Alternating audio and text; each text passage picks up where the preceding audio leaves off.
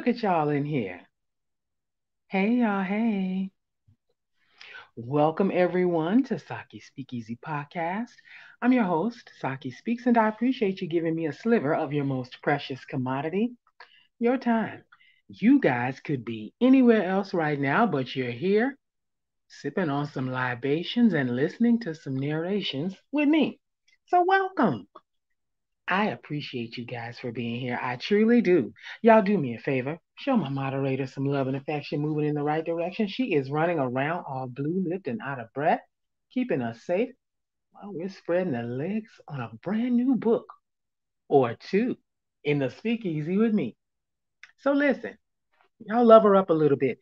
And don't forget to like, share, comment. And if you haven't already, go ahead and subscribe to the speakeasy. Y'all, it's a good time over here make sure you click that notification bell and select all. So each and every time I turn the lights on, kick the doors open, drop the beat, and start mixing those lunchtime libations, YouTube will send you a cute little notification telling you to get your rump on over here so you don't miss a single solitary word, honey. It's a good time. So, with that being said, welcome to all of my new sippers and speakers. Thank you so much for subscribing to my little janky podcast. I hope you find a reason to stick around and welcome back to all of my returning sippers and speakers. I love how y'all love on me, and I appreciate y'all being here. So, before we get started, let me say hey to some people. Hey, Love Jones, that's my little quietly learning in the back all day super sniper. Welcome, darling. Thank you so much for all of your hard work. You are true, truly appreciated. Thank you. Thank you for being here. Hey, Miss Bug Butt. Welcome, darling. Oh, thank you. Listen, it's refreshing to be back. You heard me? Because the speakeasy was dark, honey. And I was like, no, God. but welcome. Happy hump day to you. Thank you for being here. You resting and paying bills. All right. Gotcha. Gotcha. Gotcha. I appreciate you. Thank you for putting some pressure on that like button. All right. So, to the rest of y'all good folks that are up in the clouds and the shrubbery, don't be afraid to drop down and say, hey, all right, so listen, y'all, we are trying something a little different today. I found, I know I said we were going to start the other book.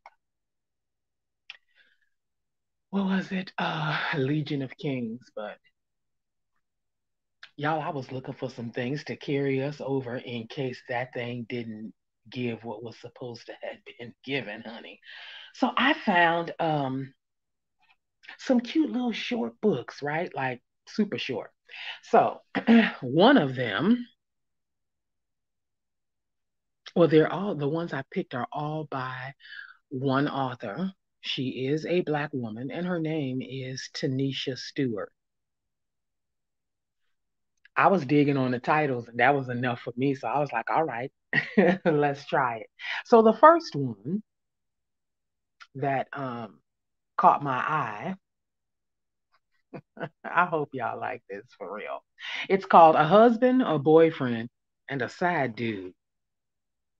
I said, well, I like that already, child. I hope it gives.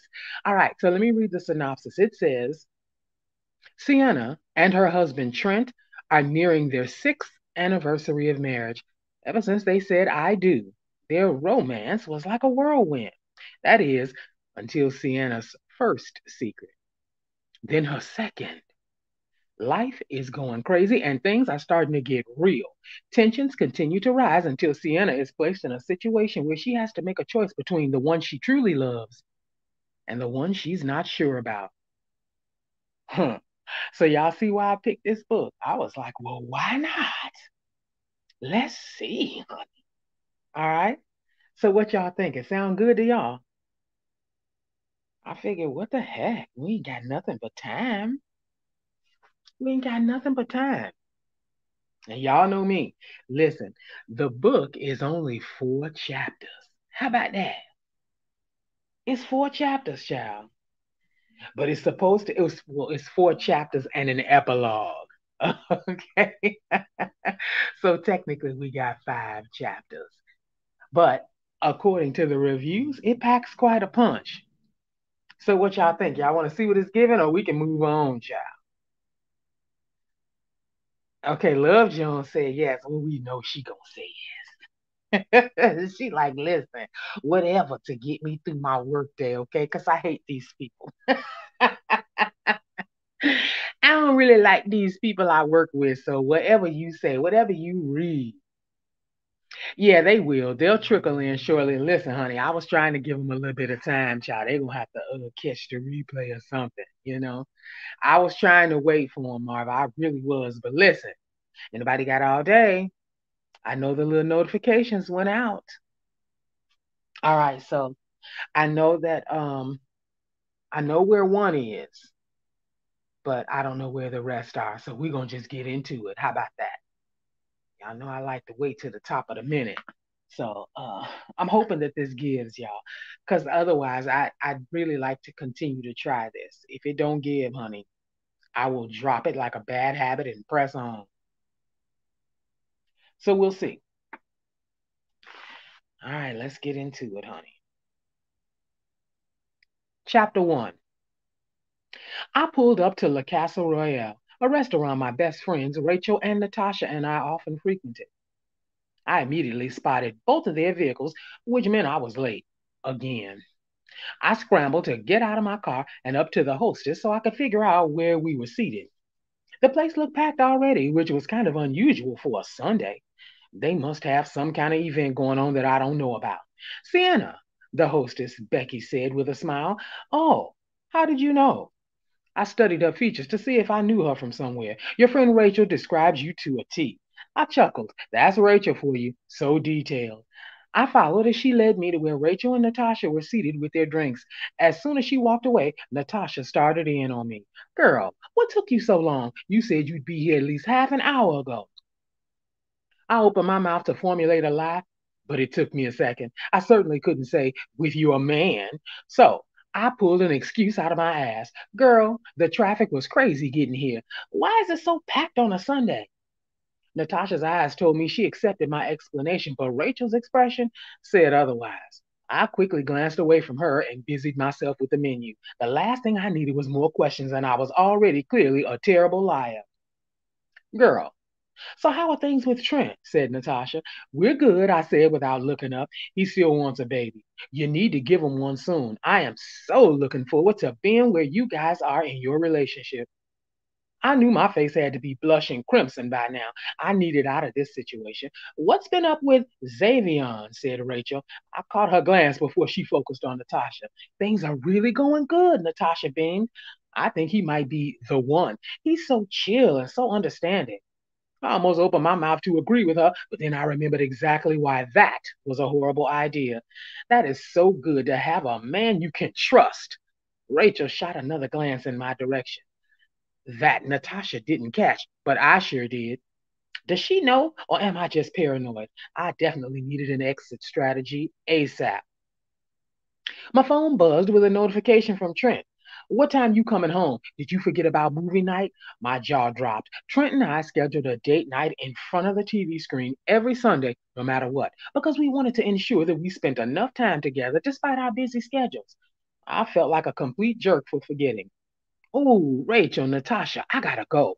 I hurried to my feet and grabbed my purse. What you mean you gotta go? You just got here. Natasha cocked her head to the side and stared up at me. I forgot about movie night with Trent. Oh, I definitely understand, but you have been so busy lately. We miss you, see? She poked out her lip. I'll do better next time. Sorry. Yeah, have fun, said Rachel, and I could have sworn I saw her roll her eyes when I turned to give one last quick wave, then headed for the exit. Well, it's a little break in the chapter. Ooh, so what y'all think? Um, apparently, C is sleeping with Natasha's man. Mm-hmm. Listen, Ce'Anna, girl. Okay. The next day at work was a refreshing release. I navigated through the day with ease, playing and being goofy with my students, exploring concepts they had never seen and watching their little eyes light up with each new discovery. Most people hated Mondays, but I look forward to them. On my lunch break, I headed to the teacher's lounge to grab a cup of coffee in preparation for round two. I had a little pep in my step. My kids had that effect on me. I sauntered over to the Keurig machine, humming one of my favorite jams from the 90s.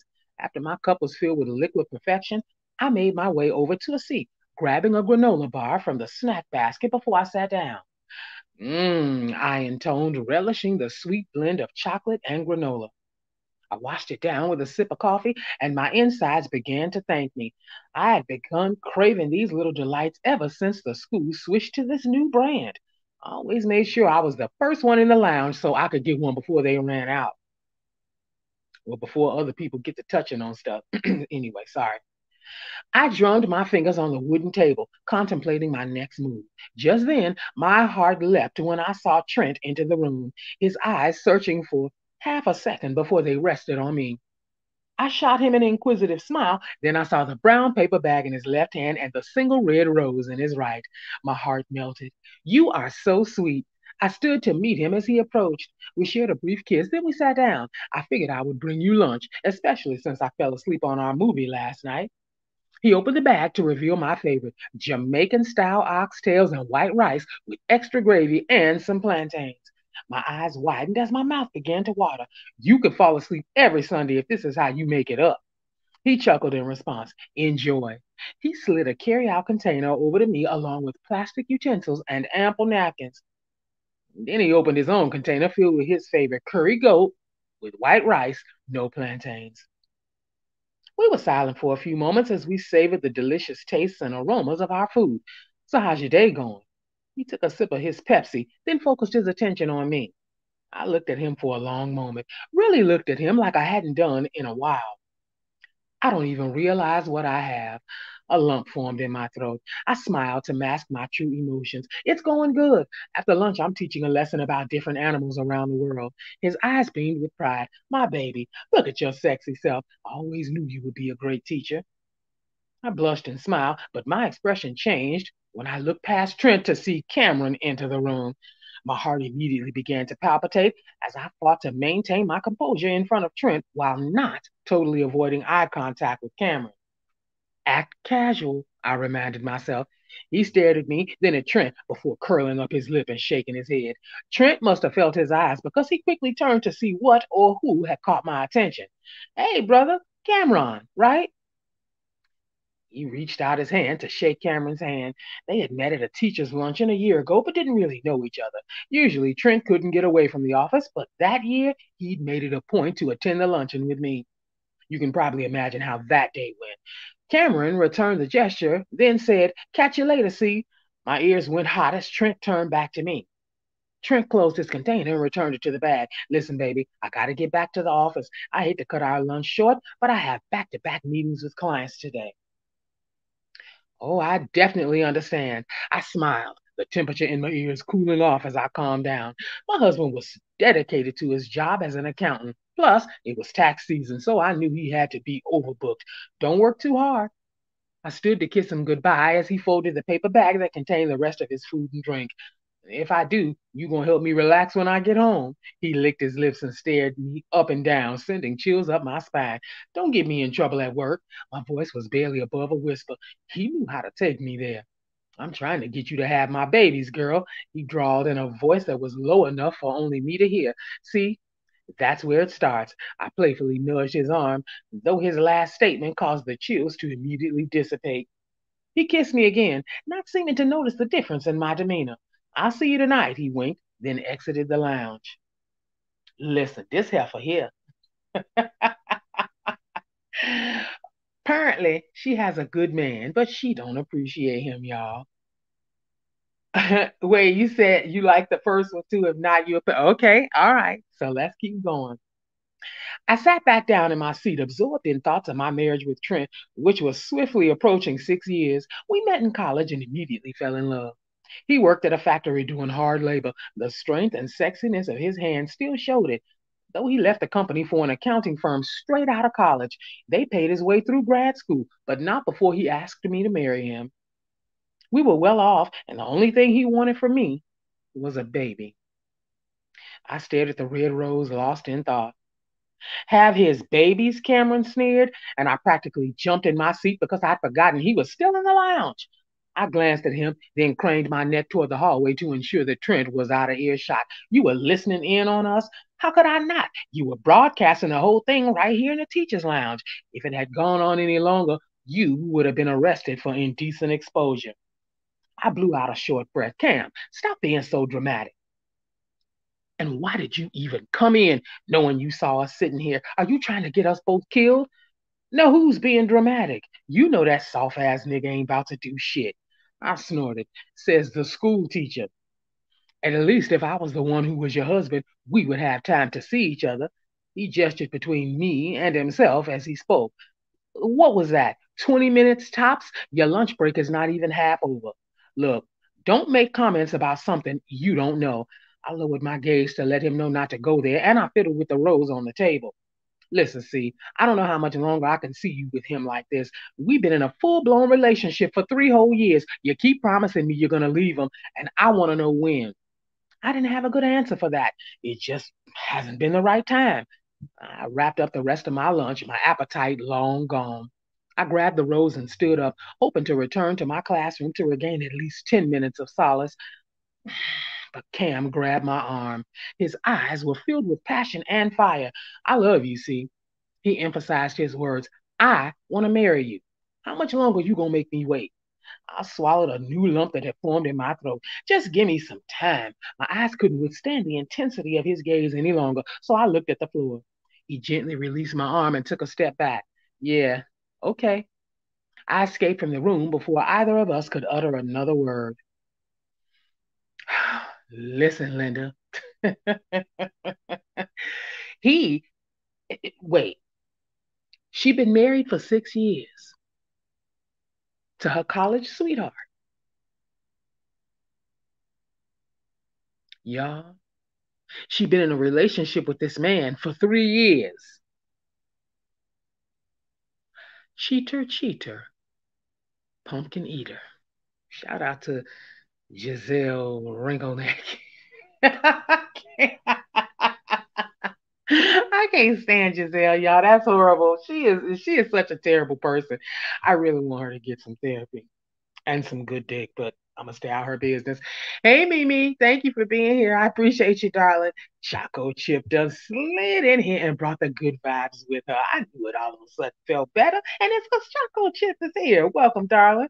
Thank you for being here. She bring the good vibes, y'all. I got to love her up. She comes in with the good vibes. You don't get no better than that.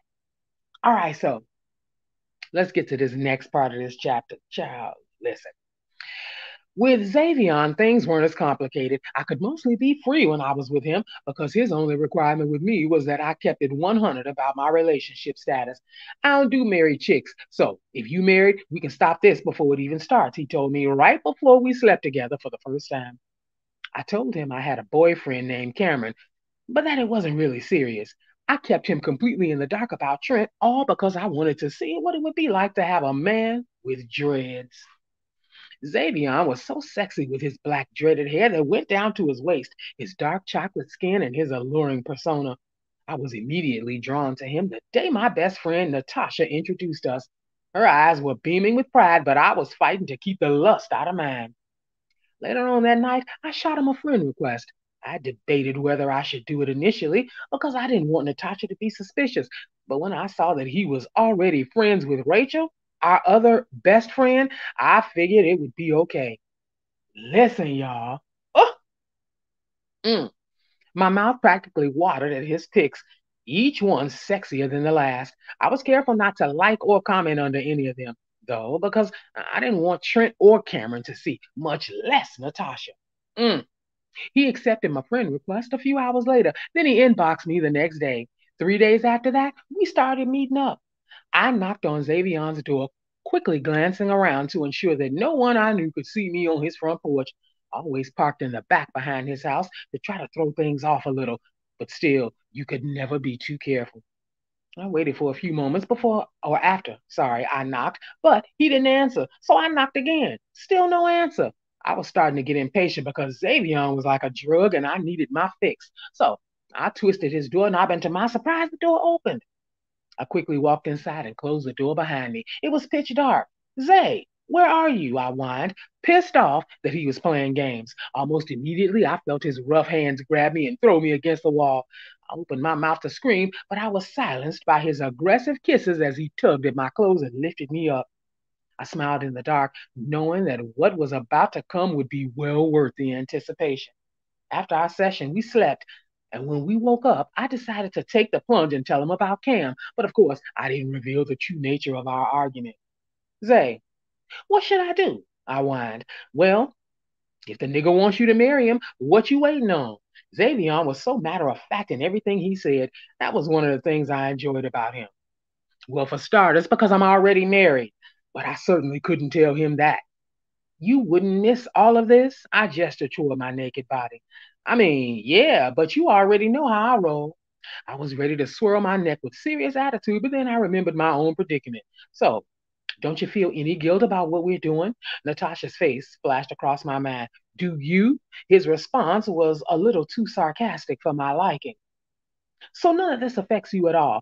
I'm not the one sleeping with some random dude behind my boyfriend's back. You really need to find another way to sort out y'all problems. I wrenched away from him and sat up in the bed, holding the covers against me, suddenly aware of my nakedness, though it hadn't mattered moments before.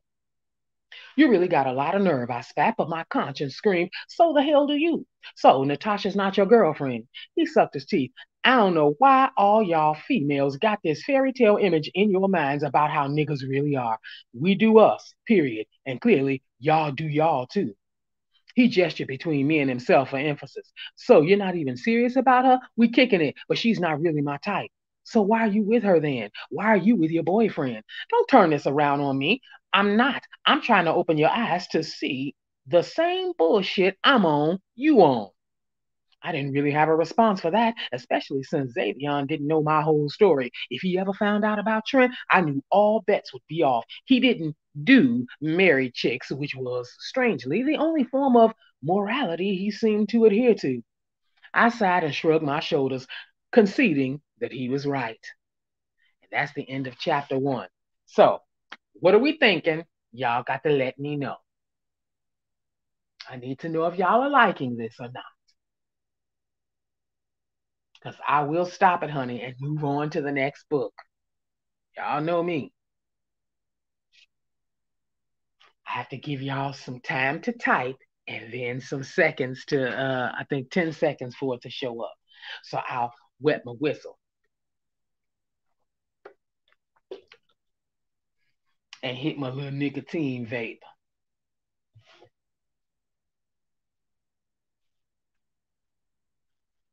So you thinking about it? Okay, Love Jones said interesting. Keep going. She like shit. I'm at work. it's got. They haven't described any sexual acts yet. I don't know if they ever will, but it was just messy enough for me. Y'all know I like my messy in written form, not in drama like that. Mm-mm. Hey, Wings. Happy hump day to you. Literally. Thank you for being here. I appreciate you. Oh, keep going. I'm liking it. Okay. All right. All right. Okay. Marva said, What y'all think? I need nasty out the gate, so my opinion don't not nasty out the gate. Listen, she like, I done pull my my glass out of the freezer, honey. I need to warm it up a little bit. What's up with this book? Where's the nasty? I don't even know if there's any nasty in here like that, Marva. I can't say. You might have to put your glass back in the in the freezer boot. Let it get a little more frosty. Cause I don't know. It's the messiness for me on this one. Mm-hmm. That's what it is for me with this one, for real. I think it, you know, that's that's kind of what I was looking at. Not, I don't know if it's going to even have any sexy smexy like that. She like, what the hell? I know, right? She is just ready, ready. Listen, especially this dude right here. He coming straight, no chase. Right? Okay. No, no punches pulled. Like it is what it is. Okay. Oh, all right. Let's see what chapter two is giving. I mean, because I, I, don't like I don't know what else to say, y'all. We might get some good good in there, Marva. Don't put it up yet. Hey, learning. Welcome, darling. Thank you for being here. I appreciate you, lovey. Happy hump day to you. Lord have mercy. Hold on to it, Marva. Hold on. Or just stand by the fridge till it get a little, little warmer. Hold on. Chapter 2. I laid in the bed staring at the ceiling, our crisp white comforter pulled up to my chin. The walls in our bedroom were blank, like they were filled with secrets, much like my life. I listened to the water running in the bathroom that adjoined our bedroom as Trent finished his shower. Tax season caused him to have to go into the office today, though it was the weekend. A lump formed in my throat as I thought about how hard-working, faithful, and loyal Trent was, which starkly contrasted my own character. I swallowed it, knowing that I had made this bed a long time ago and I was sure to have to lay in it sooner or later. I jumped slightly as the shower water abruptly turned off. I heard him fumbling through the bathroom, probably drying himself off and preparing to shave. Trent was so predictable, but in a good way. I always knew what to expect with him. He worked, he provided, he attended to my needs, and he let me have my freedom. Hmm, maybe the fact that he let me have so much freedom was a bad thing. About 10 minutes later, he emerged from the bathroom wearing nothing but his boxers and a white A shirt. I had to pause my thoughts to take in his sexiness. His skin was smooth and milk chocolate, like a Hershey bar. Saying yes was easy for me when he first proposed. I only had eyes for him. But now that we had been married for five years, with our sixth anniversary swiftly approaching, I was wondering if we should have waited. Maybe we married too young. Good morning, beautiful. He leaned down to kiss me on the lips. I don't know why he insisted on kissing me every morning, even when my breath probably smelled like something had curled up and died in the back of my throat. But that was what he wanted, so I obliged. His breath was minty fresh. He smelled like that new Versace cologne I bought him a few weeks ago. What's wrong? he said, his expression full of concern. Nothing. What are you going to do today? I scooted over in the bed so that he could sit down and look at me as he pulled on his pants and slid into his shoes. I mustered up as dreamy an expression as I could. Probably lay here all day thinking of you and missing you. That caused him to smile, such a sweet, tender expression that my heart panged. Why don't you hang with Rachel and Natasha? Maybe you guys could go to the spa or something. You need some money? My heart warmed. He was always trying to give me money, even though I had my own. I sat up holding the comforter around my naked body. I shuddered at the eerily familiar scenario. This was essentially a repeat of the other day with Xavion. That sounds like a good idea, but I got it. Okay. He stood up to put on his shirt and jacket. I helped him button it up. Then he clipped on his tie. That had been a fight during our first year of marriage. He preferred clip on ties, while I thought regular ties looked more professional. He ended up winning the debate when he told me that the reason he hated regular ties was because when he was younger, he was bullied by the older guys in his neighborhood, and one of the ways they bullied him was by tying a tie around his neck, holding him down, and squeezing until he cried. After I heard that story, I never bothered him about it again. Ooh, wee, let me get a picture. I quickly grabbed my phone from a nightstand. He stood there bashfully as I went to my camera app. Do you have to do this every single morning? He hated taking pictures, but I had hundreds of them stored in my phone. I just loved how he looked in a suit, and I suspected that unconsciously I took so many pictures of him because I wanted to hold on to the good times while they lasted. I snapped the picture, then he came over and kissed me again. I'm gonna miss you too, he whispered, his voice husky. Boy, you know you have to go to work. Didn't you get enough last night? I never get enough of you. He pulled back, then stared at me, looking me up and down. I can't wait till you have my babies. As soon as he said those words, a chill ran up my spine. I was going to have to find a way to turn this thing around, and soon. I sat up in the bed at Cameron's house, scrolling down my timeline as he slept next to me. Damn, she don't waste no time, eh? Sorry. I held my phone with one hand while I fingered my ends with the other. I was to have to visit the salon soon. They were starting to split, and I also just wanted something different. Maybe I would cut it all off. I, I took in Cameron's features as he lightly snored. Caramel skin, slanted eyes, masculine lips, and a solid, stocky build. I didn't like to compare him to Trent, but if I had to say, he was a close second. Hey, sexy, he breathed his eyes still closed. I was surprised that he was awake so soon. We had just spent the past few hours tumbling around in the bed, and now his eyes told me that he was looking for more. Hey.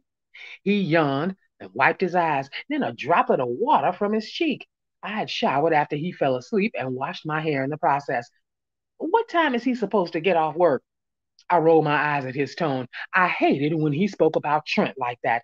Like it or not, the man was my husband and he was going to have to show him some respect. Why you want to know, Cam? Because I want to spend the whole day with you. Well, we can't. I have plans with Natasha and Rachel. I lied.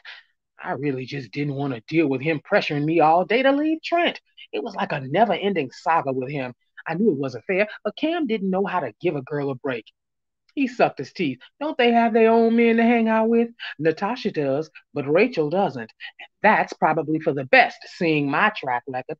I was becoming more and more entangled in this web. It was starting to choke me, and I desperately wanted out, but I didn't know how without hurting someone I loved. I suddenly felt nauseous as waves of emotion came over me. Babe, we really need to talk about this. Not today, Cameron. Trent and I had longevity. I truly loved him, but did I love him more than Cameron? Did I even love Cameron at all? Or did we just share similar interests?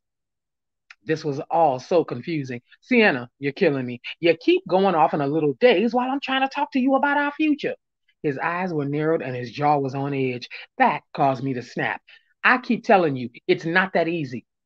You know Trent and I have been married almost six years. I can't just throw him away like he don't mean anything but he don't mean anything when it comes to us, see? His eyes and voice pleaded with me. He sat up and gently cut my chin with his hand. Look at what we have. We're perfect for each other. Once you leave him, we can get married. Then you can truly be happy. I stared at him for a few moments, assessing the anguish in his eyes. I shook my head, slowly scooting away from his embrace. I just need more time to think. He opened his mouth like he wanted to argue with me further. But then my stomach lurched as vomit rushed up to my throat. I quickly jumped up from the bed and barely made it to the bathroom before I released my insides in the toilet.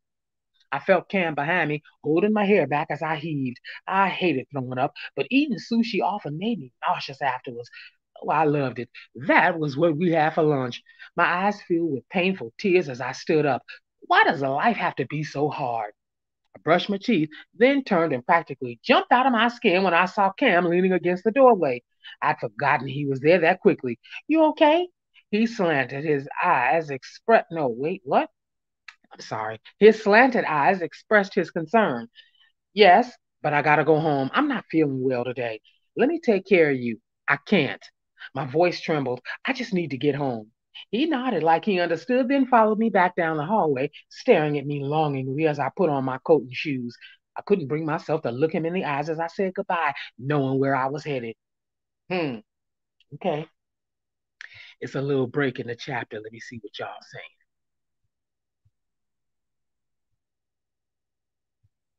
I thought I saw somebody come in. Hold on. I'm going. I'm going. There he is. Hey, Denny. Welcome, darling. Thank you for being here. Happy hump day to you. Welcome, welcome. All right, I think I got everybody. Yep, I got everybody. Okay. Yes, y'all. Please make sure you follow the backup channel. All right. I had barely got in the door from my session with Xavion when my phone rang with a call from Rachel. Wait, what? She was just with Cameron. Now she done went into with Z- this child. Listen, She has very friendly coochie. Good Googling. It's busy.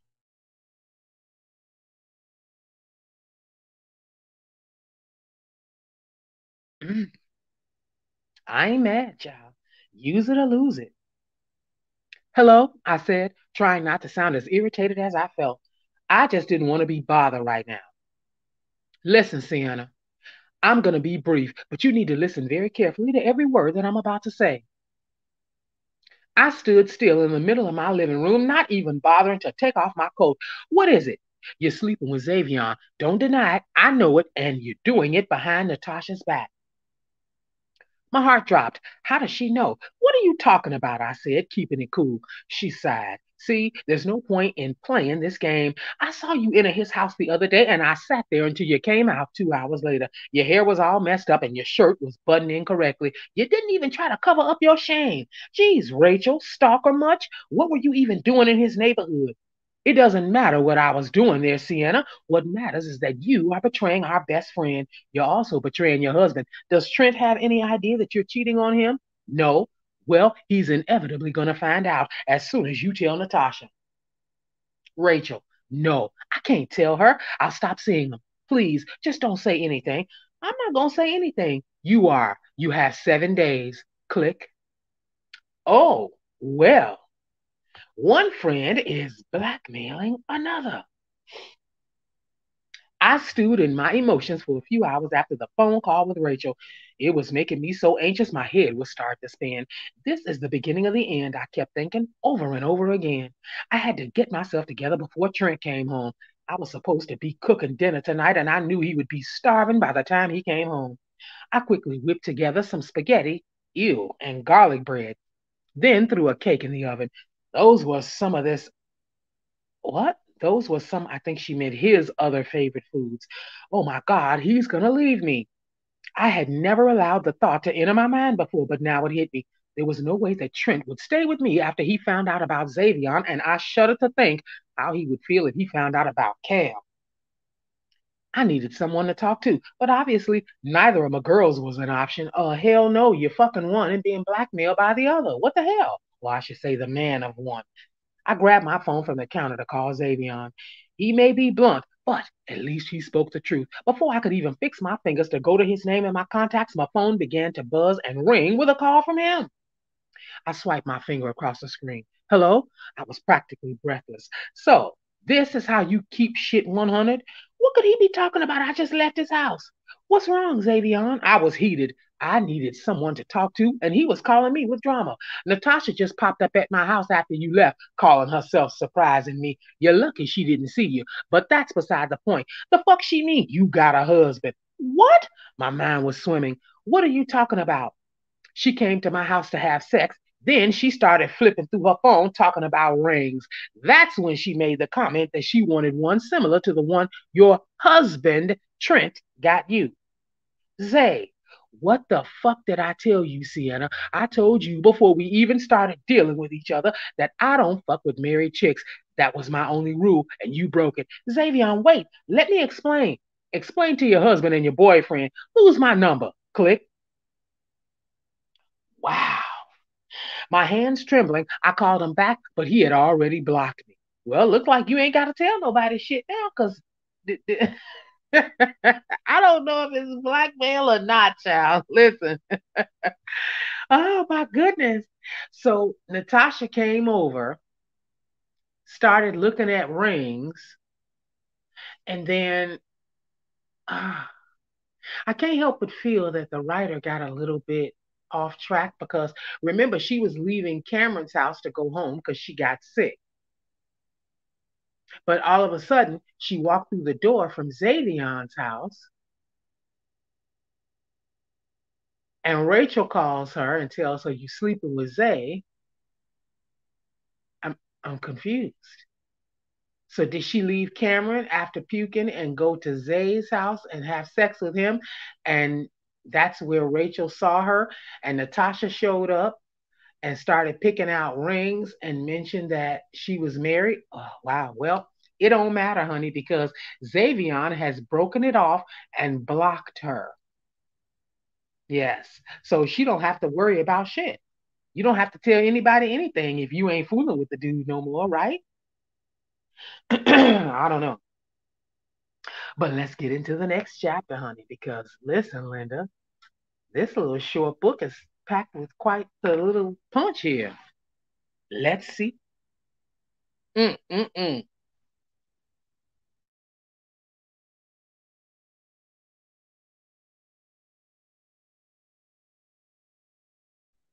Chapter 3. Three days later, and I still have no idea how I'm going to get out of this. Trent and Cameron both keep asking me what's wrong, but I have no idea what to tell them. I got an email from my job a few days ago about a weekend retreat. Before, I wasn't really interested, but now I want nothing more than to go. I'm suffering from withdrawal due to my breakup with Xavion, if you can even call it that. I guess I didn't realize how much significance he played in my life. I relied on his advice way more than I knew. And now that he was out of the picture, I had no one to confide in. Girl, you a mess.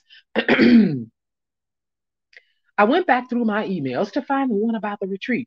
Once I found it, I tapped the screen to get to the website. I hoped that they hadn't filled up all the slots and was relieved to see they hadn't. Before I could tap the sign up button, my screen lit up with a call from Rachel. I desperately wanted to reject it, but if I did, there was no telling what she would do. I answered reluctantly. Hello?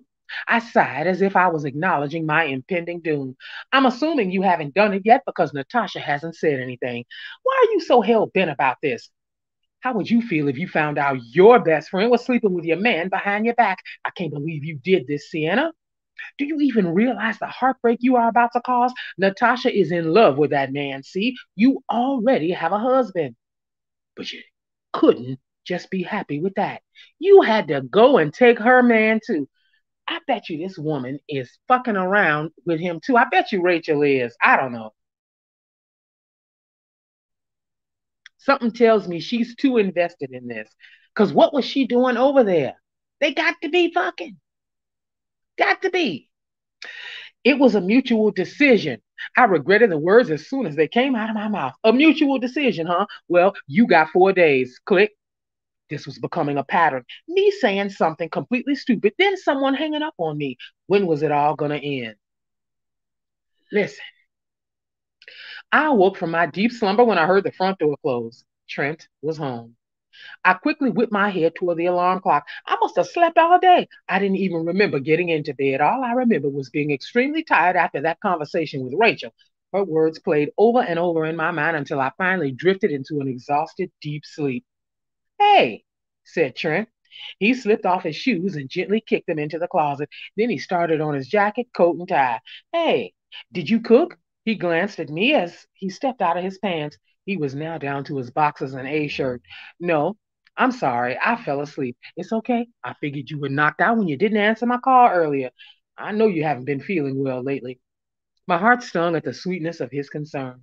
He went into the bathroom to take a shower, and I lay there with tears streaming down my face. How could I cheat on this man? All he cared about was making me happy, and look how I returned the favor. I wiped the tears away and picked up the phone to order us some food. That was the least I could do.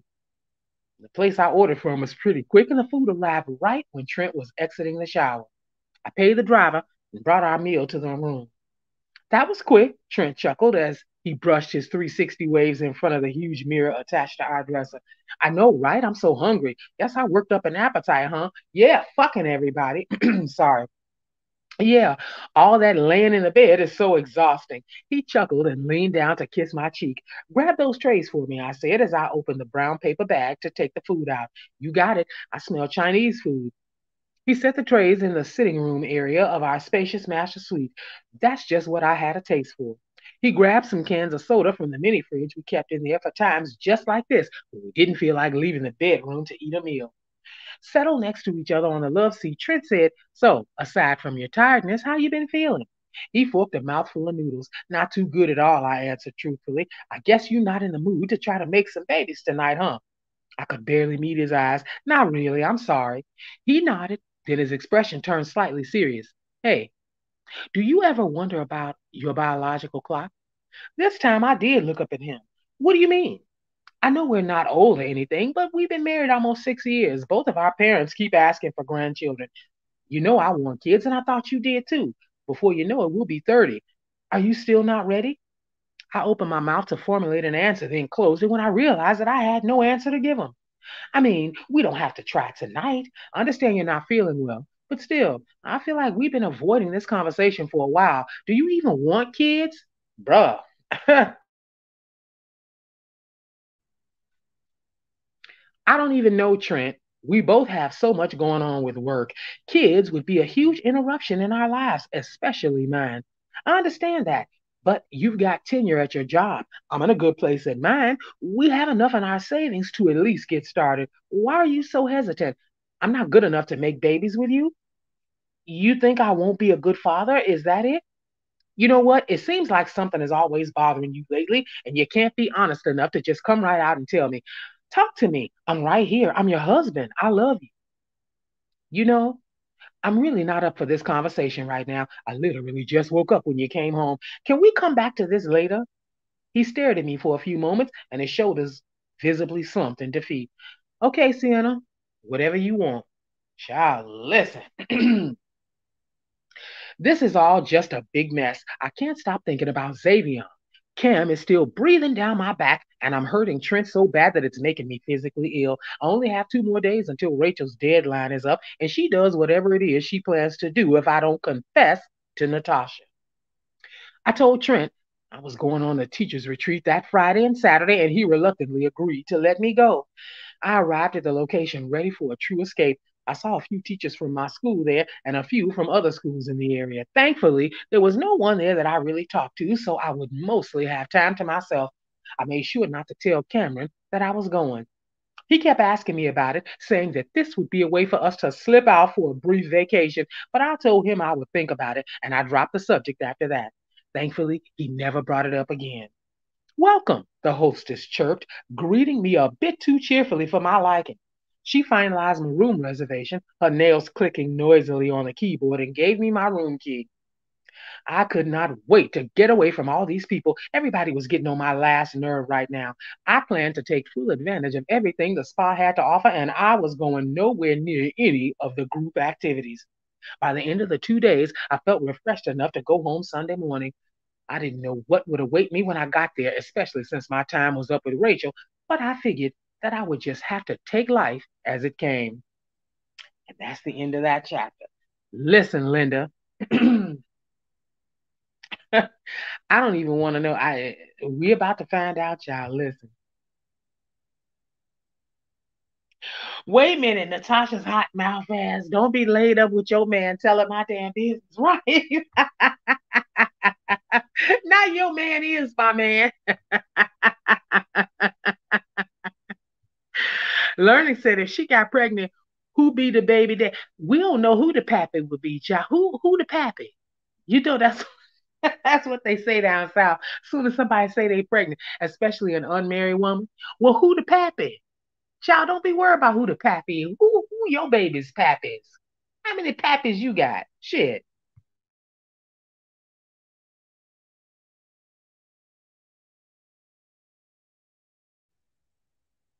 All right, so let's get ready for this next chapter, child. Listen, I tell you what. I got a feeling this chapter here is about to be packed with a punch. That's P U R N C H, a punch. All right, let's see here. Mm-mm-mm. Chapter four. The first thing I saw when I pulled up to my house was Rachel and Natasha's cars in the driveway, and my heart pounded with anxiety. I could imagine them sitting in my living room, smug and angry, waiting for me to enter the lion's den. Trent's car was gone. I didn't know what else to do, so I just got out of my car, grabbed my suitcase, and made my way to the front door, my head and heart pounding with every step. The door flung open, and there stood Natasha, blocking the entrance to my own house. Oh, so you gonna act all nonchalant like you not sleeping with my man, bitch? She jumped toward me, but Rachel held her back, and we all stood in the doorway glaring at each other.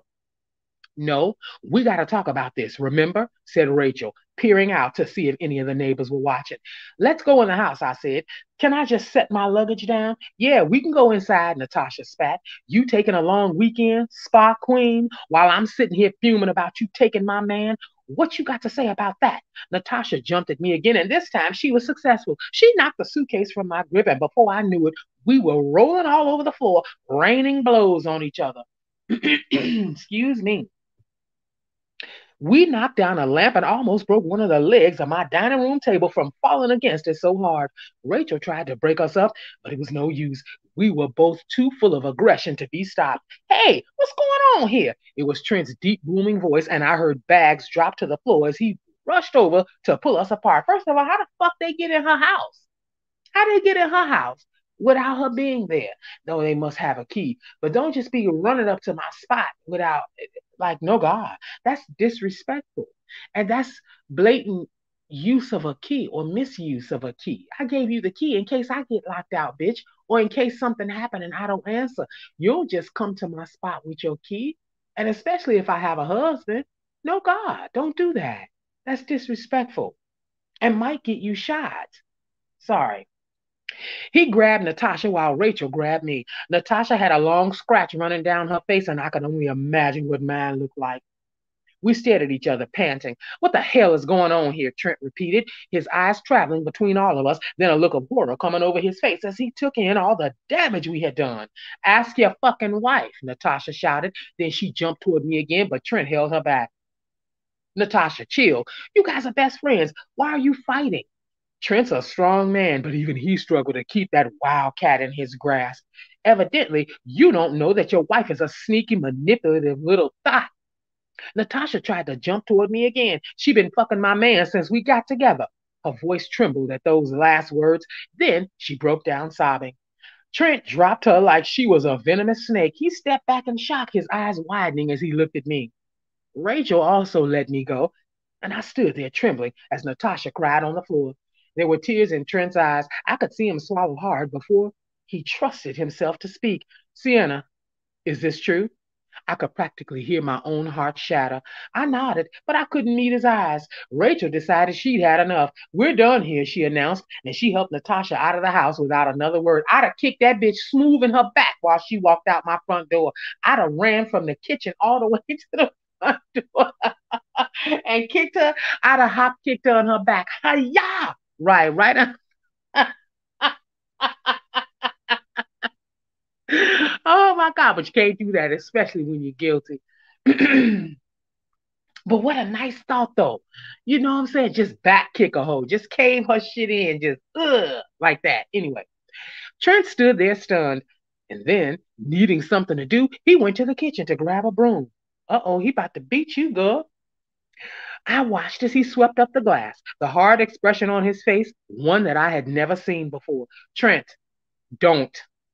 He roughly scraped some glass into the dustpan, then released it into the trash can. He tried to sweep up some more, but the gravity of the situation hit him, and he flung the broom and dustpan across the dining room. Fuck this shit. I didn't know what to say.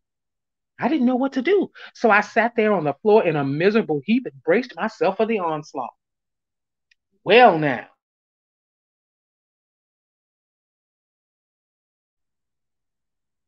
So you've been sleeping with this guy for what, a month? Two?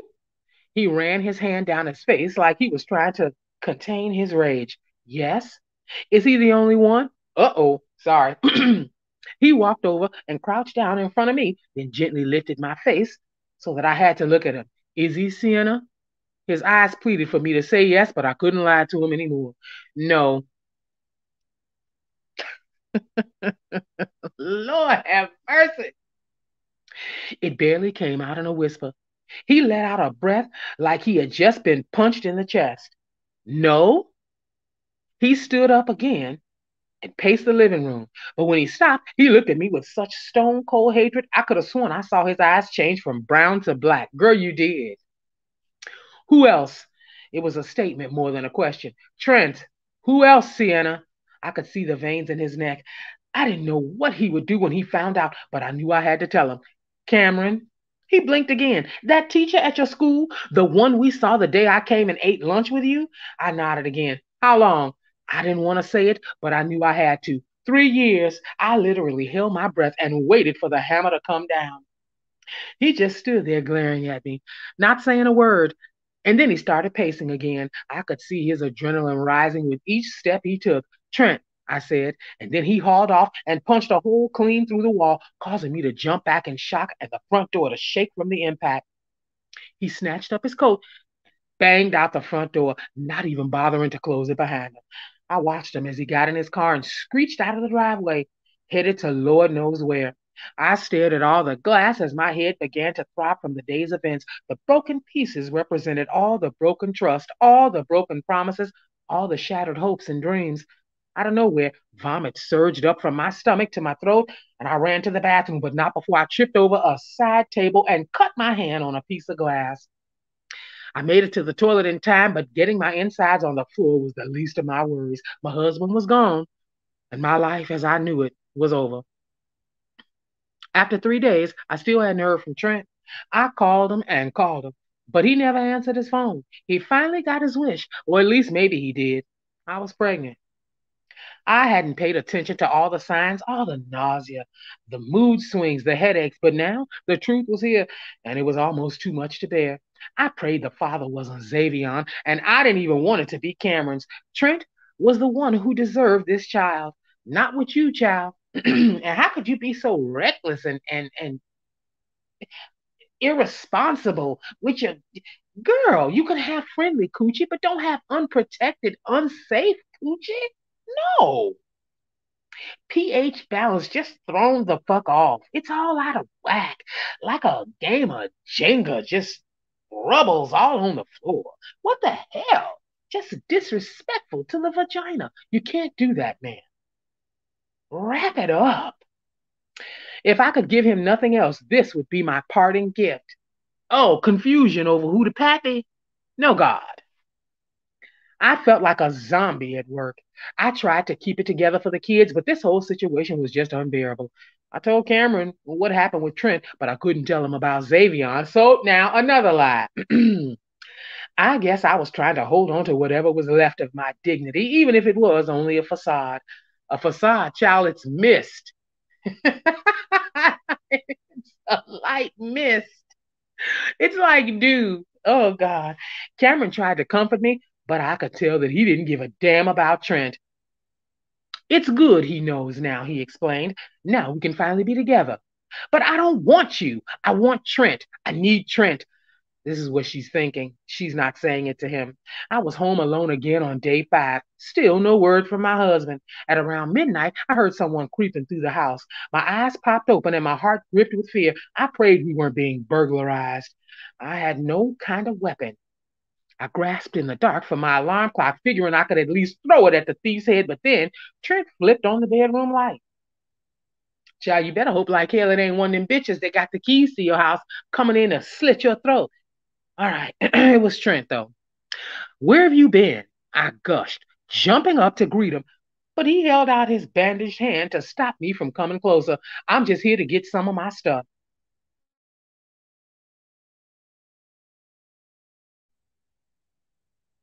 His eyes were bloodshot and his shirt was wrinkled.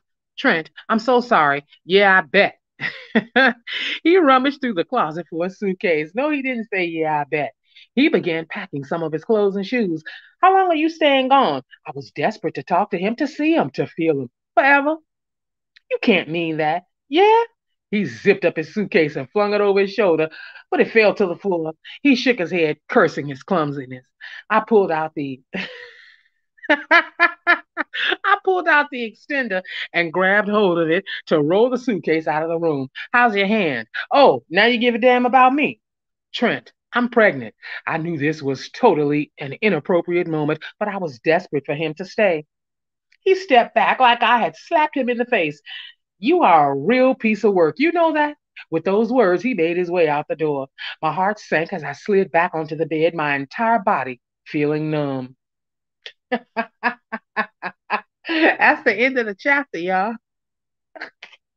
Trent was like, girl, fuck you. I'm out. and I'm Gucci on the baby, okay? Fuck you. Trent said, um, yeah, no. Sorry. Sorry, not sorry. oh my God. All right. not be a hoe. Y'all remember that? Was that in living color? I don't remember. I don't remember that. Okay, let's get into this next part here. Epilogue. It's been a year since that night Trent packed his bags. We're divorced now. I tried everything to make it up to him, telling him that we could finally have what we always wanted a family. We? No, bitch. He wanted a family. You wanted to get fucked. He ignored all of my advances and stated in no uncertain terms that the only association he would ever have with me would be if the child growing in my belly were his. Those words burned, and my heart broke even more when I found out a month ago that he has a girlfriend now. It turned out that the child was his, and I tried to get back with him once again during my recovery from childbirth, but it was no use. We had a son. I named him after his father. When Cameron found out the child wasn't his, he was kind of hurt, but he still wanted to be with me. I don't know what the hell was wrong with him. If Trent left, why didn't he? Trent Jr. is six months now, and he is growing so fast. He is constantly trying to walk and talk, and anybody with eyes can see that he's Trent's pride and joy. Trent got engaged to that woman he was seeing, and they're planning to get married soon. I wanted so bad to tell him he was moving too fast, but I knew I had no room to speak. Cameron started pressuring me after Trent got engaged for us to finally move forward too. I didn't want to do it at first, but then I thought about the fact that he was literally there for me every step of the way, so I finally gave in. We moved in together. Trent sold our own house. I got my half of the money, but money didn't mean anything when it came to all the memories we shared there. Cameron is a great stepdad and truly a loving and attentive man. I wish I could say he made me forget about Trent, but my heart still burns for him. This child is slow. So that's it, y'all.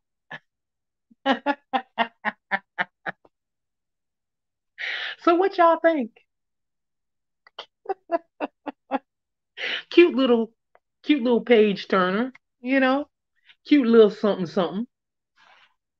I liked it. I did. I liked it. I thought it was cute, short, sweet, and to the point, you know? Kind of like some men out there. I don't know, but what do y'all think? Did y'all like it? I'll wait for y'all to respond before I decide whether or not I'm going to do the next book because it's supposed to be just as quick. I think it said it's just as quick. Let me pull it up and read the synopsis. Hold on, Snoopy, hold on. I am on YouTube singing my very private song like y'all are not. oh my goodness. Okay. Oh, okay. Mimi said I like it. Yeah, it was just a little cute little something, something. You know what I'm saying? You like the Choco chip? Well, then that's all that matters. Choco chip liked it, and that's it then. All right. okay, so that was the first offering from Ms. Smith. Oh, wait, she's a housewife. That's Mrs. Smith. So let me uh get into the thing thing here for the next.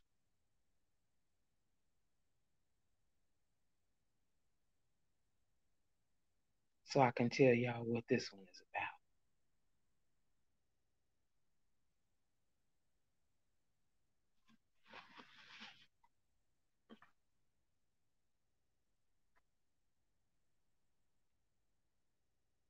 All right. So this next book, I'm trying to pull up the little thing here. It's by the same um I said I don't call the woman Smith. Her name is Tanisha Stewart. Lord have mercy. Forgive me, ma'am. I must be dehydrated.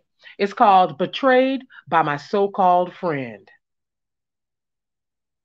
Well, it says June is in an online relationship with the man of her dreams, Jermaine. Well, there is a problem right there because anybody named Jermaine, to me, I instantly think of Jermaine Jackson. And uh, let me keep reading. He is the first person she met that seemed to know her before they ever even spoke. Although they have never met in person, she is sure he is the one.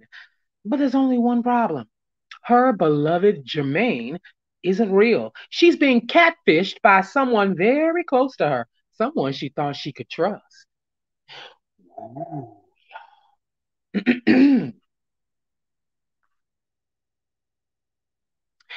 Oh, child, I forgot about him. He's scary.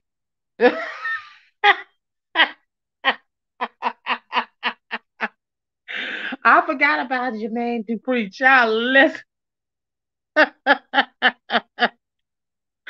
Ooh, no, God. I don't know how to uh, explain. Let me just, no. Just no. All right. How about that? We're just to stop right there.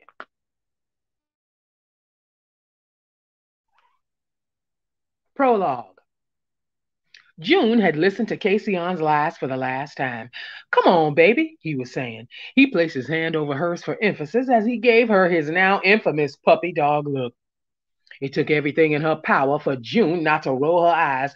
You know I would never do anything to intentionally hurt you. This time, she did roll her eyes, along with sucking her teeth. Never do anything to hurt me, huh? She snatched her hand away from his as he attempted to caress the back of her palm to calm her down. That always worked on her in the past. Casion's gentle touch. Not today. She whipped out her phone. What is this, Casion? She thrust the screenshot in his direction. And don't lie. She watched him carefully as he attempted to construct a lie to cover up what was showing on the phone screen. How could I have not seen this before? June was thoroughly disappointed in herself. I should have listened to Camaiyah. Her heart panged as her eyes burned with tears. Her best friend, Camaiyah, and even her sister Iliana had both tried to convince June that Casion was no good. But she just refused to believe it until now. It took the girl that he was messing with behind her back, sending her direct messages between she and Casion for June to finally see the light. He was a liar, just like they tried to tell her. He was talking again, but his words barely even phased her. Look, I only came over here to tell you that we were through. She cut him off mid sentence.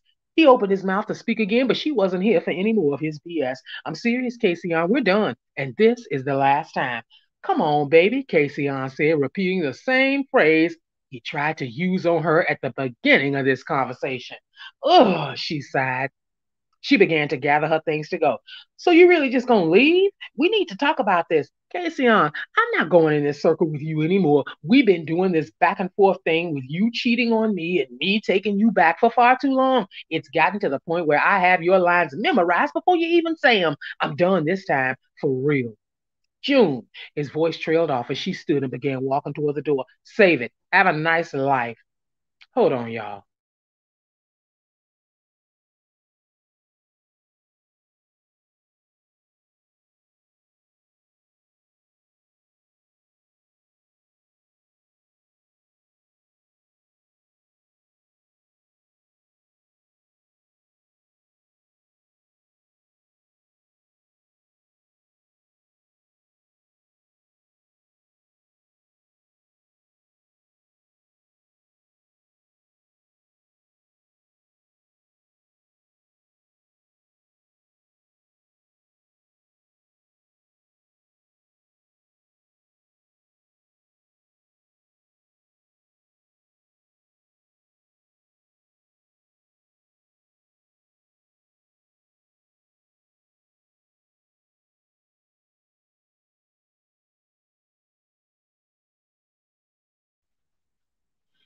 Sorry, y'all know the speakeasy grandma don't give a damn about y'all. They'll wait. That's what she say all the time. Okay. Before she walked out the door, she looked back at him one last time. She could have sworn she saw a hint of sincerity in his eyes, but she was not repeating this toxic cycle yet again. She was free. June thought that the emotion she felt over she and Casion's breakup would have died down by now, but two weeks later, she was still back and forth like a roller coaster. Some moments she felt free like she felt when she walked out of his house, while at others, she desperately wanted to pick up the phone to call him just to hear his voice. She hated when her mind went in that direction. One would think that after everything he put her through, she would never want to speak to him again, but here she was staring at his name on her contacts list. She still hadn't found the strength to delete his number or block him. She jolted as she heard a knock on her front door. Who is that? She mumbled as she got up out of her seat to answer the door. She peeked through her curtains and saw that it was Iliana and Camaiyah, her sister and best friend. Hey, y'all, she said when she opened the door to let them in. Hey, boo, said Camaiyah. Hey, sis, said Iliana. They each took a seat in June's living room. June and Iliana sat on the couch while Camaiyah sat in the recliner. It was then that June noticed the brown paper bag that Camaiyah was holding. I must have really been out of it, she said to Camaiyah. What's in the bag?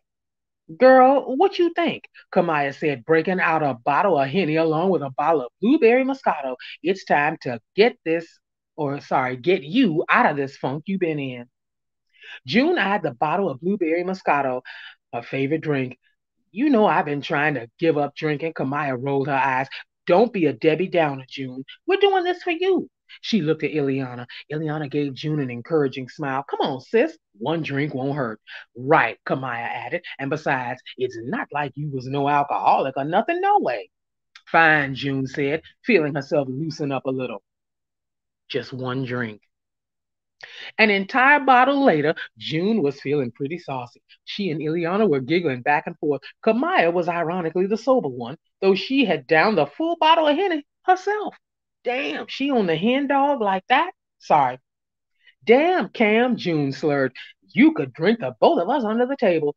Camaiyah rolled her eyes. I'm glad you're feeling better, even though it's at my expense. Oh, I'm so sorry, little baby. June attempted to soothe her. I didn't mean to hurt your feelings. Camaiyah burst out laughing. Bitch, you drunk as hell. I ain't mad at you, though. Iliana was busy bobbing her head to an imaginary beat. And look at this bitch, Camaiyah nudged June. Fuck is she dancing to? She and Camaiyah shared another laugh at Iliana's expense, but Iliana was too zoned out to notice she was the first to get drunk. Always. Hey, so I have an idea, Camaiyah started. Girl, I am not flashing nobody tonight, June said. I'm not that drunk. She was referring to the time they had a ladies' night at a hotel with a few other girls, and Camaiyah dared June to go in the hallway and flash some of the other patrons. June obliged, but only because she was twisted out of her mind. It was doing another one of she and Casion's breakups.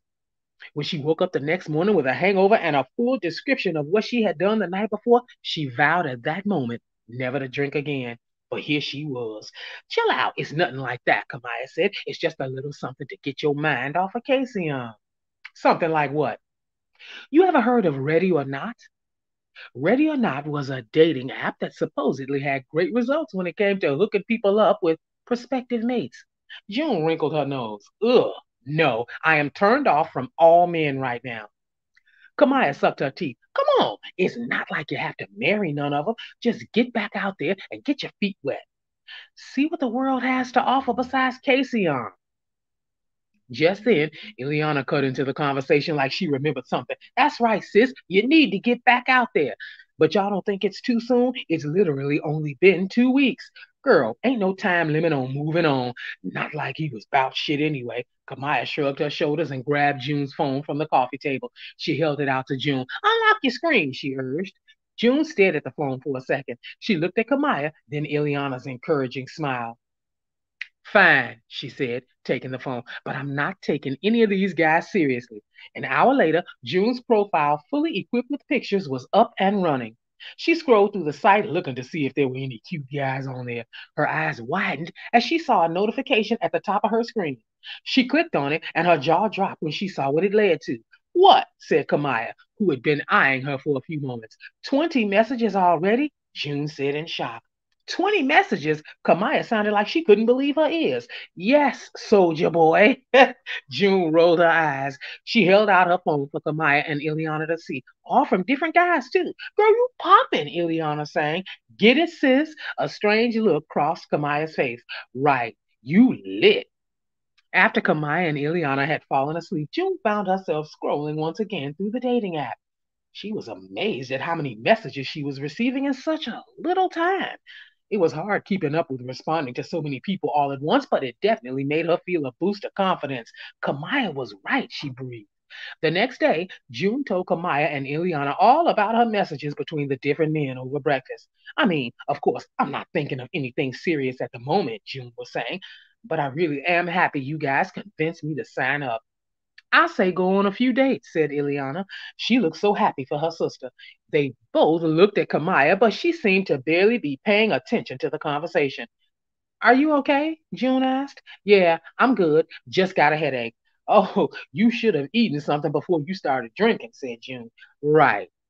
June continued with the site for a few more days. The excitement over all of those messages was starting to wear off. A lot of those dudes reminded her of Casion. When she expressed this to Iliana and Camaiyah, they urged her to just keep going. So she did. And good thing she listened yet again, because less than 24 hours later, she received her first message from Jermaine. She could immediately tell that he was different from the way that he approached her. He stood out from all the rest. The next three months practically flew by as June and Jermaine's conversations grew more and more. The whole concept of online dating was intriguing for June. All the other guys she had dated, she met them in person, including Casion. But things with Jermaine were totally different. They were taking things very slow, something else that was new for June. They were building up to their very first phone conversation. June couldn't wait till they were official, just so she could rub it in Casion's stupid face. It got all the way down to the day June and Jermaine were supposed to have their very first phone conversation. June got all dressed up and everything, even though she knew Jermaine wouldn't be able to see her through the phone. At the time that they agreed to the call, June sent Jermaine a message on the Ready or Not app to get his number. In all her excitement, she missed that very important detail, but Jermaine never wrote back. In fact, she checked her notifications every 10 minutes for hours. He never even logged in to see the message. At first, she thought he was just busy or nervous about finally t- talking on the phone with her for the first time. But when she saw that he had went a full 24 hours without being online, she felt like something might be wrong. One second, y'all.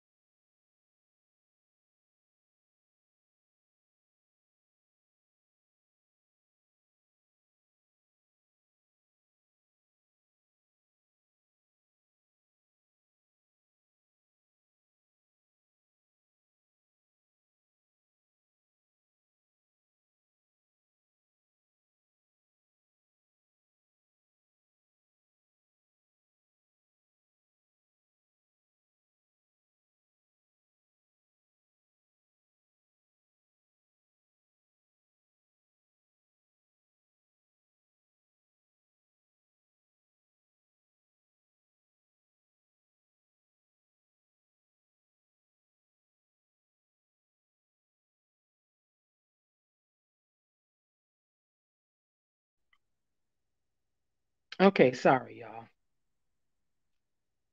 I'm like, good grief. Somebody else can't sign for the Walmart delivery? Let's get it moving. Got to do everything, child. Everything. All right, I hope y'all can hear me. All right. Trying to make sure my everything is okay here. All right, let's get to getting. All right. So when he went a full 24 hours without being online, she felt like something might be wrong. By day two, she was getting frantic. What happened to Jermaine? Mm. So that was the prologue. Okay. And then we get into the chapters. Let me see what y'all saying here. I'm sorry, y'all. They're delivering the uh, fixings for the Thanksgiving dinner for the shelters, child. It's like ugh, one thing after another. Hey, Princess. Thank you for popping in while on a quick break. I appreciate you, dear. Happy hump day to you. All right, so let's get into this. Uh, you dig here. This is another little short one. So we're going to see, child. Let me see here.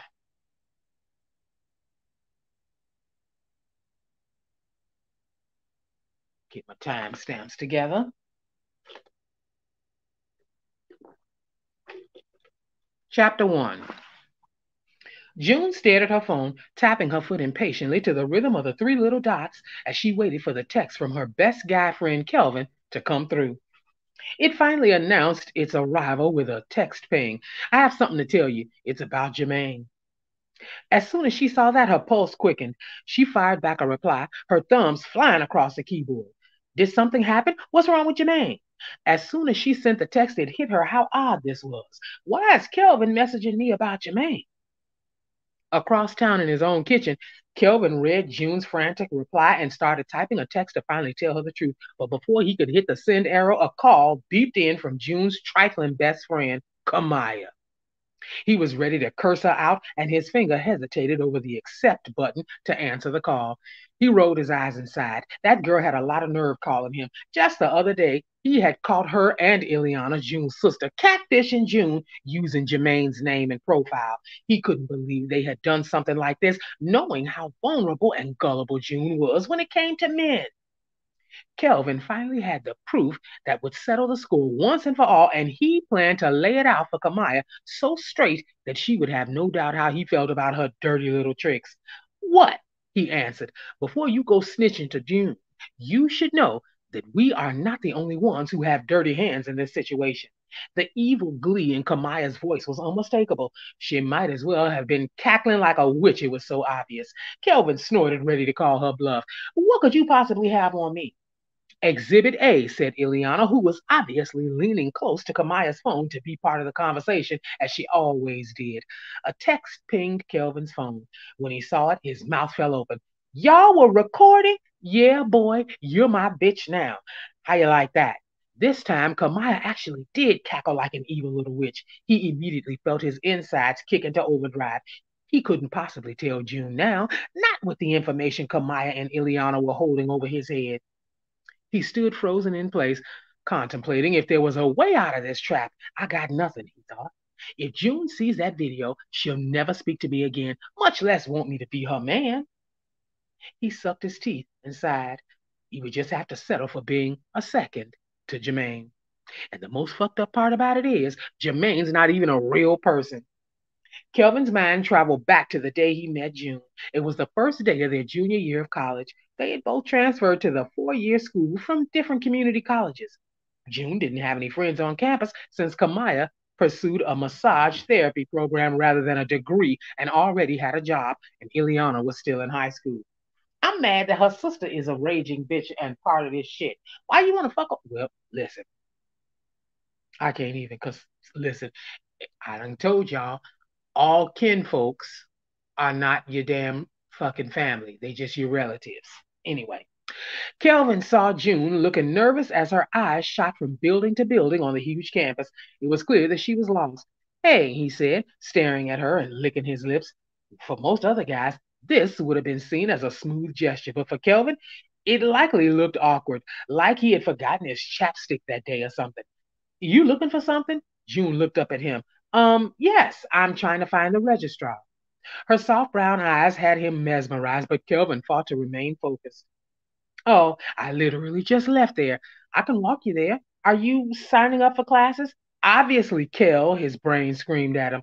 Oh, no, I already signed up. I just need them to print out my schedule for me. Oh, Kelvin felt more and more embarrassed by the second. Well, you know you can look up your schedule online, right? I do, but I still like to have a physical copy. Okay, well, I'll lead the way. June's smile sent butterflies all through Kelvin's stomach. As they walked, she kept looking down and smiling at her phone. Don't mind me, said June, just going back and forth with my boyfriend Casion. Kelvin almost stopped in his tracks at those words. Boyfriend? Shit, Kel, you sure know how to pick 'em. Kelvin walked June the rest of the way to the registrar's office. Once she got her schedule, they found out that they had three classes together. From that moment on, their friendship blossomed. Every time June broke up with Casion, Kelvin wanted to make a move, but before he could, she always ended up back together with him. Once they finally broke up for good, Kelvin tried to give her some space before he approached her, but then she started talking about Jermaine.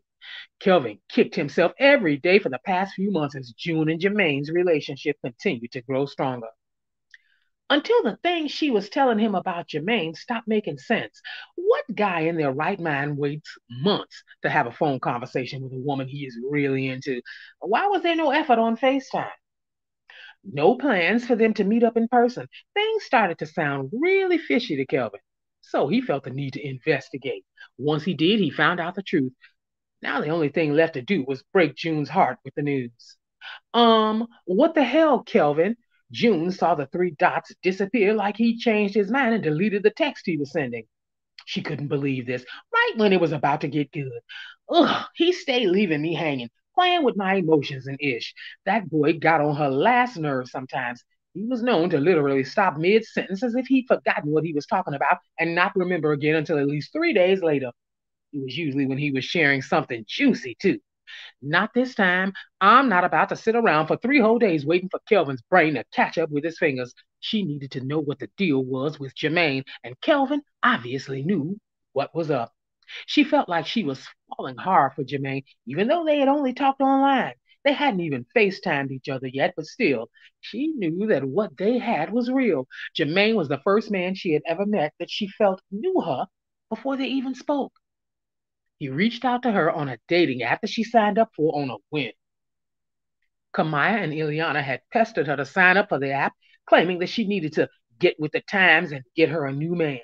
She was totally surprised to discover that Jermaine was so sweet, a far cry from her first love turned ex, Casion, who had broken her heart in ways one could only imagine. Kelvin was really working her nerves here. She hoped that he didn't have any bad news about Jermaine. Hello, she texted him, tapping her foot against the floor. She silently prayed that he hadn't had a brain freeze and forgotten what he was about to tell her. She stirred her pasta as she waited for his response, glancing at her phone every few seconds. Come on, Kelvin, get your brain in gear, boy. Three hours later, there was still no word from Kelvin. Forget this. I need answers. She threw on her shoes and coat, locked the front door behind her, and headed to Kelvin's house. oh, no, God. Why didn't she just pick up the phone and call his ass? Shoot, shoot, shoot. She's on her way. Kelvin was frantic as he tracked June's location through her social media app. Hey, he knew it was low key stalkerish, but he had to buy time somehow. Unfortunately, though, it seemed that the jig was up. June was on her way to his house, and from the tracker on the app, it showed she was only five minutes away. What the fuck is it with people in her life fucking over her? Her best friend got some kind of stalker app on her phone, and her sister and her female best friend are catfishing. What the? F- Listen. Okay, here we go. Think quick, Kel. Think quick. He paced back and forth nervously, licking his lips as he ran one hand over the back of his head. Why didn't I just write her back? I could have played it off. Only four minutes remained until June would be at his house. He knew that what he was about to do was extremely childish, but he felt he had no other option. With two minutes remaining until June's arrival, he hopped in his whip and bounced. And that's the end of that chapter. Good googly moogly. Y'all, I'm mad. I, I feel like this is trash for them to do that to her. I really do. I really feel like that's a horrible, horrible trick. You don't do that to somebody you care about. Like, why? Why would you even? But whatever. All right. so let's get into the next one here.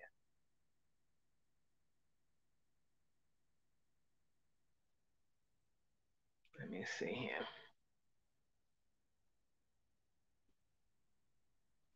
Gotta put my timestamps down. Y'all know how I do. All right. Chapter 2. Meanwhile, Iliana and Camaiyah were busy turning up. We got that nigga, bitch. Camaiyah said in a sing-song voice. I can't believe this has been going on for so long, Iliana said, playing it cool and casual, but she was really throwing out feelers to see how Camaiyah felt about this catfish situation. It had started out as a harmless joke that somehow turned into a cruel prank, but Camaiyah seemed to be enjoying it almost too much. Iliana had put on a front over the phone, but she was secretly hoping Kelvin wouldn't tell June what was really going on. She didn't even know how he found out that she and Camaiyah were catfishing her. If June found out that her own sister was involved in something like this, much less her best friend, the consequences would be unbearable. Maybe we should just tell June, said Iliana, pacing her shots so that she only took one for every three that Camaiyah knocked back. What you mean? This is classic. Camaiyah slammed down her shot glass, poured another, and kicked it back. Baby girl ain't gonna know what hit her when she finds out. Iliana chuckled and finally took half a shot. So how much longer should we let this play out before we come clean? Camaiyah wrinkled her nose. Come clean? Never. Let her figure it out. And how is she going to do that from all the messages we've been sending? She thinks Jermaine is real, Cam. What are we going to do when she finds out? Plus, we got Kelvin on our backs now, too. This is going to blow up soon. And when it does, psh, Kelvin ain't about to do shit. Trust me, I got him. You say that, but you forget that he's her best friend, too. Okay, but I've known her longer. Camaiyah, he has proof that it was us. Camaiyah flipped her hand at Iliana like she was swatting at a fly that kept coming at her. Okay, so what? He's not going to use it. Why are you so worried all of a sudden now? Anyway, don't tell me you getting scared. Nobody's scared. I'm just trying to figure out what the end game is. The end game is letting June know that she can't have everything she wants. Camaiyah's tone was so cold that Iliana had to just stare at her to see if she was serious. What is that supposed to mean? She said. Camaiyah had never let Iliana fully in on her reasons for catfishing June, who supposedly was her best friend. The reason? June had stolen Camaiyah's man, Casion, back in 10th grade. Well, he technically wasn't my man yet, but June had to have known that I had my eyes on him first. Camaiyah thought back to that day. Casion was leaning against his locker, sporting brand new all white Air Forces. He looked good enough to eat, and Camaiyah was hungry for him. They hadn't really spoken to each other, but ever since Camaiyah saw him on the first day of school, she was caught up. They had the same homeroom together. Today was the day that all of that was about to change, however. Camaiyah slowly made her way up to where Casion was standing. He was wearing a white fitted cap, which accentuated his thick, full, juicy looking lips. It was against the rules to wear hats, of course, and Principal Henry was bound to make him take it off, so Camaiyah was taking full advantage of the view of his sexiness while it lasted.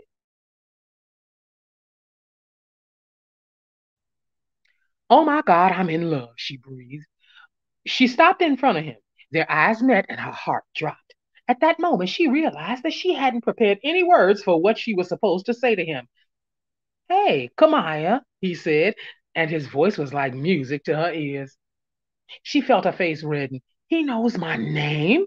Camaiyah blushed and opened her mouth to respond, but June waltzed up to them full of attitude.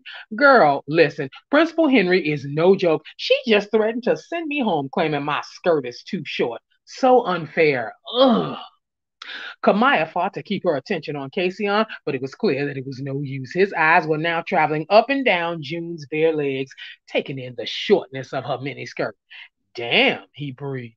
Camaiyah's heart dropped again, this time for an entirely different reason. June didn't seem to notice that Casion was practically salivating in her direction. She was too busy waiting for Camaiyah to respond to her disdain for Principal Henry. Damn, Ma, Casion repeated. I don't think we've been introduced. What's your name? It was at that moment that June finally realized that Casion was trying to get her attention. Her eyes softened as she took in his features, and the chemistry between them was obvious. Camaiyah felt mute as they carried on a full conversation right in front of her face. She barely felt like she was even there. Camaiyah snapped out of her reverie when she heard Iliana still expressing her concern over June. She didn't say what she was thinking, but she opened her mouth to give a deflecting non answer when a loud, urgent knock at the front door stopped her cold. Iliana's head whipped around. Who's that? And there's a little break in the book. Let me wet my whistle right quick.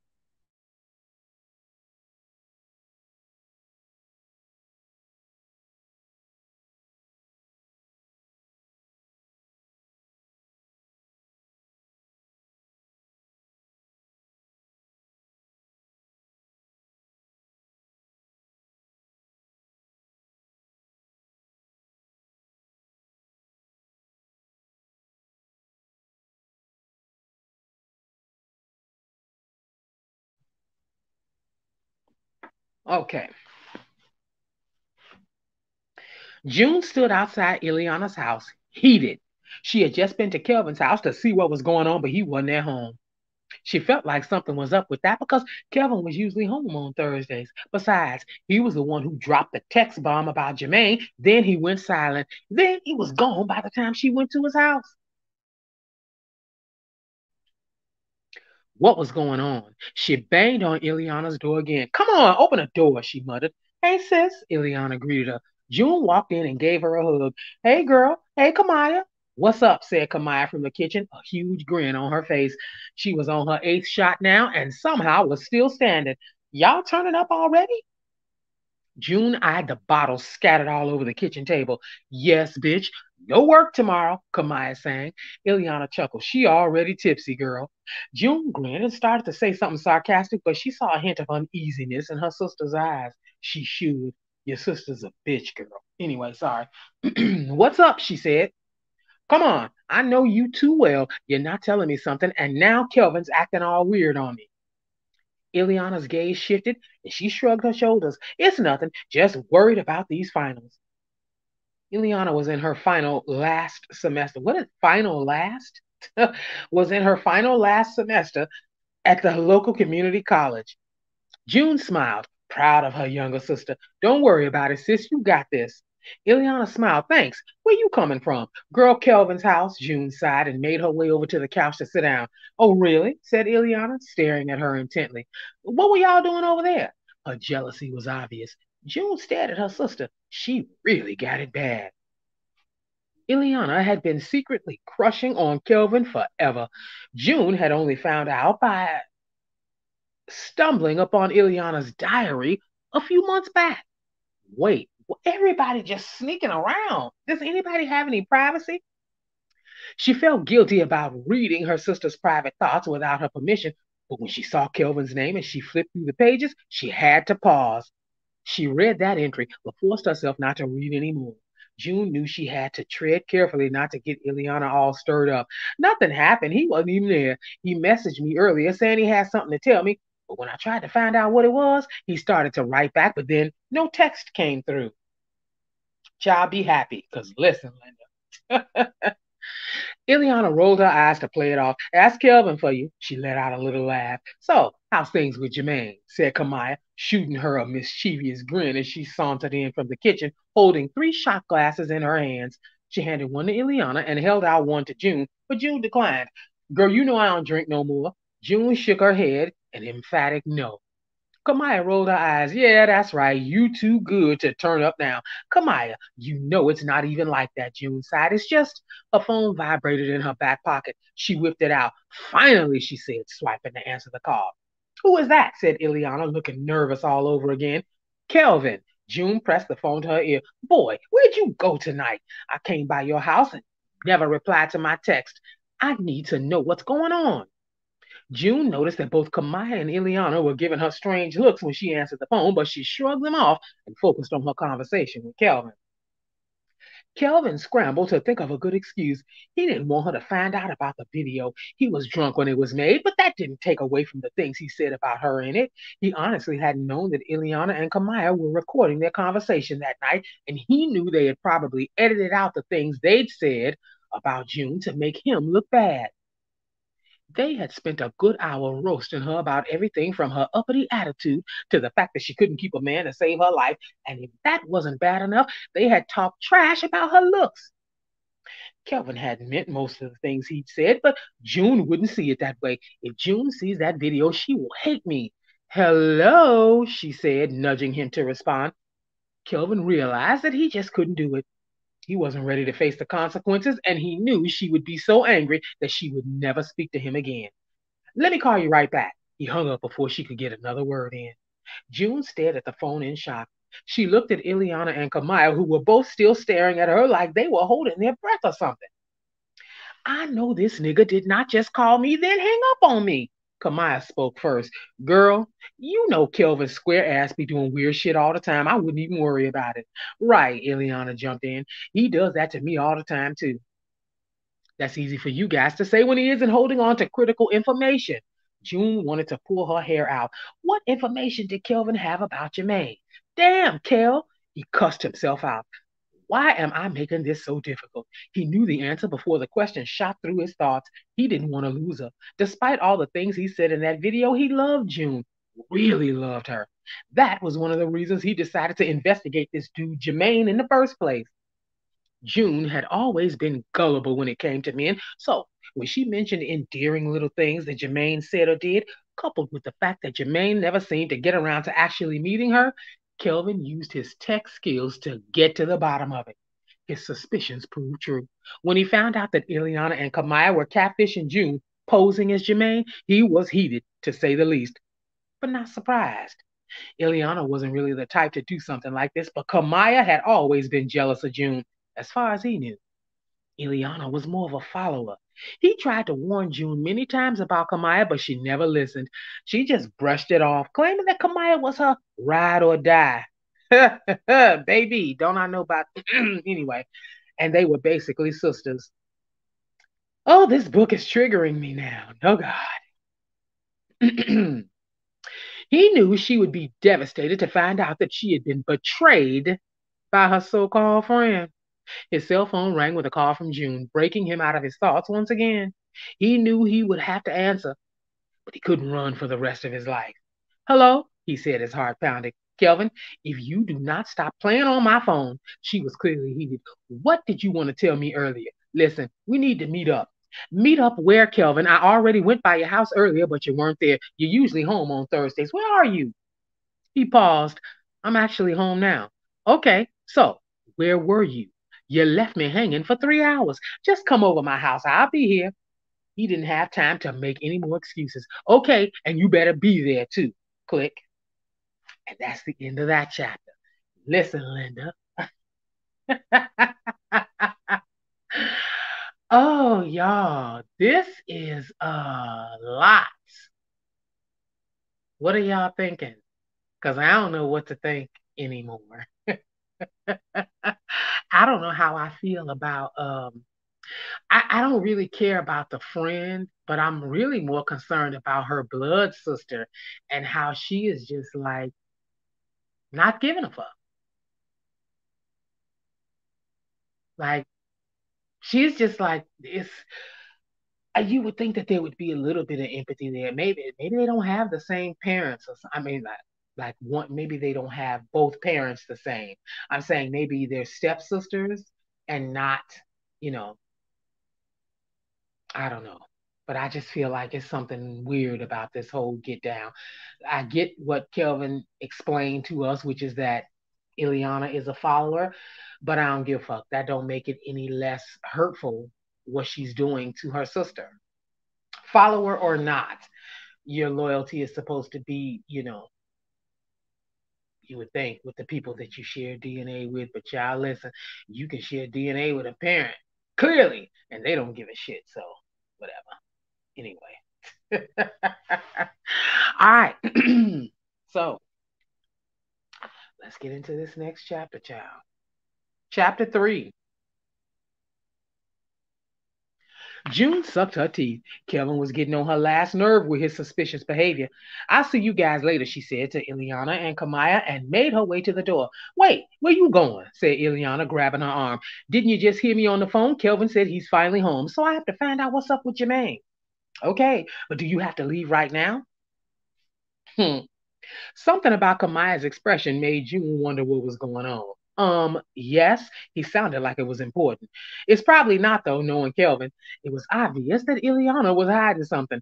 Why are y'all so heavy on my back about this? Jermaine hasn't responded to my messages in two days. I need to find out what's going on with him, and it sounds like Kelvin knows something. Wouldn't you want to find out if Jermaine was your man?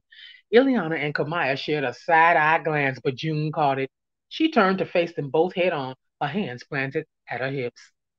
What's going on? Come on, out with it. I know you're both too well for you to pretend like it's nothing. What do you mean? said Iliana, looking uneasy. Why are you guys so tense? Why don't you want me to go over Kelvin's house? It's not that we don't want you to go, said Camaiyah. It's that you just got here with us, but now you're running off to go see about Jermaine. You never have time for us anymore. June couldn't believe her ears. Where's this guilt tripping coming from? I talk to you guys almost every day, and we see each other every weekend. I've never even met Jermaine in person, so excuse me if I feel like I need to know what Kelvin wants to tell me. Don't you think there's a reason for that? Iliana blurted before she could stop herself. For what? Camaiyah shot a warning look in Iliana's direction. There was no way she was about to snitch in her presence. Nothing, girl, she said to June. Go. Iliana is just mad that you're leaving so soon. June rolled her eyes. Whatever. I'll see you two after I finish with Kelvin. Iliana watched through the window blinds as June got in her car to head to Kelvin's house. She turned back to Camaiyah. So we just gonna let her go? Camaiyah shrugged a little too nonchalantly for Iliana's liking. What were we supposed to do? Hold her hostage? Iliana's mind swirled with thoughts. How was she to get out of this one? Usually, she went to June for advice on how to get out of sticky situations, but now June was in the middle of her drama. She should have listened to June all those times she warned her about being a follower. She had been so caught up in trying to be down with Camaiyah that she hadn't seen her for who she truly was a snake. the night that they all got drunk and made that video, it was Camaiyah's idea to secretly record Kelvin. They were all acting a fool, taking turns making jokes at June's expense, all because she refused to hang with him. She was out on a date with Casion her on again, off again boyfriend since high school. To Iliana, they were all just joking around, but she knew that if June saw the video of Kelvin, she would think otherwise. Come on, Iliana, Camaiyah had said the night of the recording. This shit about to be funny as hell. I don't know, Camaiyah. You know how Kelvin gets when he's drunk. He is way too loose with his tongue. Camaiyah shrugged in indifference. Okay, and that's our problem. How? As long as we don't say nothing too bad, we good. Yeah, but Iliana didn't want to betray the true reason of her reluctance in this situation. Look, are you going to do it or not? Camaiyah was growing impatient. Not. Sorry, I have to pass on this one. OMG. Why? Camaiyah drew out her word. Because, Cam, how would you feel if someone recorded you without your knowledge? It's just a fucking joke, Iliana. Damn, we'll delete it right after. Iliana thought for a few more moments before she gave in. They went through with the recording. At first, it was all in fun, with each of them taking turns roasting June, but then Camaiyah took it a little further, and Kelvin followed suit. They all knew he didn't mean the things he was saying, but it certainly didn't look that way once Camaiyah edited the video. Once Iliana saw the edited version, she tried to get Camaiyah to delete it, but of course, she refused. We just gonna have a little fun with it first, Camaiyah had said. She didn't sound reassuring at all. To be completely honest, not only did Iliana want out of this situation because of her sister, but also because she wanted to protect Kelvin. She had been crushing on him since the first day that June introduced him to her, but she never told him how she felt. She was afraid that he would just see her as June's little sister rather than a love interest. So that's why she started hanging with June and Camaiyah more heavily. She wanted Kelvin to see her as a worthy prospect, but unfortunately, that ship was sunk. Kelvin would never want her now. Hello? Camaiyah snapped her fingers in Iliana's face. What? Did you hear anything I just said? I got a plan, bitch. Camaiyah's evil grin was back in place. What's your plan this time, Cam? We're gonna get him before he gets us. Camaiyah grabbed her purse and keys and hustled to the door. Iliana followed, but she wished she never got herself into this mess. Now she had no choice but to roll with it. Child, listen, this is horrible. I, I feel some type of way about this, and I'll tell y'all why uh, at the end of this book. June pulled up to Kelvin's house, glad to see that his car was parked outside. She walked up to the front door, her anticipation building with each step. She hoped that whatever he had to say about Jermaine wasn't bad, especially since she'd had nothing but silence from Jermaine in two days. She was really looking forward to meeting the man of her dreams and was convinced it would happen soon. It had to. Jermaine seemed like he really understood her and knew everything about her. If anything bad happened to him, she didn't know what she would do. Kelvin was always on her back about rushing into things too quickly with guys, but she couldn't help it. She was a hopeless romantic who was just trying to find her one true love. She knocked on the door and composed her expression so she didn't look too desperate. When Kelvin opened the door, she searched his face for clues but got nothing. He closed the door behind him, then turned to face her, his expression unreadable. Feeling awkward just standing there, she took a seat on his couch. So, she said and waited. About your Jermaine. Kelvin was being way too silent for her liking. Usually he looked excited when she came by his house, and they were always laughing and joking about something. Kelvin felt like he was going to choke. Here she was, the love of his life, and he was about to break her heart. Why did she have to go on that site anyway? This whole time I've been standing right in front of her, but she never even saw me. That was when it hit him. He was selfish. June was clearly sitting on pins and needles about some dude she didn't even know, but all he could think about was his own feelings. Listen, this is not going to be easy, what I have to say, but you deserve to know. He strode to the couch and sat down next to her. June studied his features for clues. His expression was way too grim for this to be good news. What could he possibly have to say about Jermaine? Did he know him from somewhere? Was he in an accident? Her mind was frantic as Kelvin sat there staring at her, looking like he didn't know what to say. Kelvin, what is it? You're scaring me. I haven't heard from Jermaine in over two days. What do you know about him? Kelvin backed slightly away from June on the couch as if he was bracing himself for the blow she was about to take. It wasn't a pretty situation, but she needed to know. It was better for her to find out now than to fall even deeper for this guy. Jermaine's not At that moment, they heard rapid footsteps thundering up the steps to his front porch and loud fists banging on the front door. What the hell? said June, her eyes darting from Kelvin to the door. And that's the end of that chapter. Listen, Linda, I am getting annoyed. Annoyed, annoyed, annoyed. That could be wings. That could be. All right, so too gullible when it comes to love. Girl, you don't even know Jermaine. Have you seen him in the daylight? Do you know what he looks like? what I'm I'm I'm bothered about is uh this so-called friend of hers, you know, like she could have just said, you know, damn June, I was digging on Casey, huh? You know, why you do that? And let Casion tell her that he didn't want her anyway. Cause shit, he clearly didn't even want June.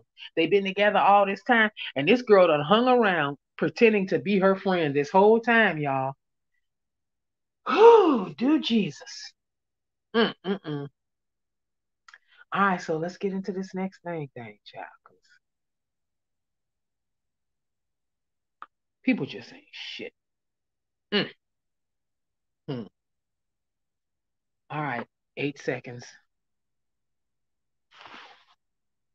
This is a book, so. Chapter four. Hold on. Kelvin hopped up from the couch to see who was causing such a ruckus. He wasn't trying to deal with complaints from his neighbors. His landlord already couldn't stand him, but that was a problem for another day. He whipped open the door, ready to cuss out whoever was on the other side when his jaw dropped. Camaiyah pushed past him as she and Iliana strode into the middle of his living room. June just sat there looking at him in confusion. Camaiyah, did you drive here? She finally said, Are you crazy? Girl, you know you already got two DUIs, plus you got my baby sister in the car. What's wrong with you? So you think you slick, huh? Camaiyah said, whipping her head toward Kelvin, completely ignoring June. I think I'm slick? Why are you here, Camaiyah? He could feel the heat rising within him. He could not stand this girl. He had seen her snake like tendencies the moment June introduced him, but she was part of June's circle, whether he liked it or not. So he put up with her. Now she had gotten him into a situation that he didn't know how to handle. Basically, he was going down no matter how the story went. If he snitched, Camaiyah would flip. Yeah, what are y'all doing here? June jumped back into the conversation. I told you that I was coming back over to your house after I finished talking with Kelvin. Okay, simmer down. Camaiyah didn't have to be so dramatic trying to silence June with her hands, but she was feeling the shots she downed earlier. What were you two talking about? She looked back and forth between June and Kelvin. June felt her blood pressure rising, so she got up off the couch to literally stand her ground. What does it matter, Camaiyah? I told you that I was coming here so he could tell me what happened with Jermaine. Why are you so concerned? Why are you blocking? She looked at Kelvin for help, but his expression was stony. She shot a glance at Iliana, who looked like she was about to piss on herself, and she looked at Camaiyah, who appeared to be low key enjoying this moment. No one seemed to understand her anxiety. She just needed to know if Jermaine was okay and why he hadn't answered her messages in two days. What's going on with Jermaine? She demanded. Kelvin said, Look, June, I know you don't want to hear this, but so you think you just gonna do this right now in front of both of us? said Camaiyah, cutting him off. Yes, I am. This ends today. His tone was final. What is going on here? said June, her voice rising. You are so fucking corny, Kill. Camaiyah said, brushing off June like she wasn't there. She was beyond irritated that he was really to snitch like his hands were clean.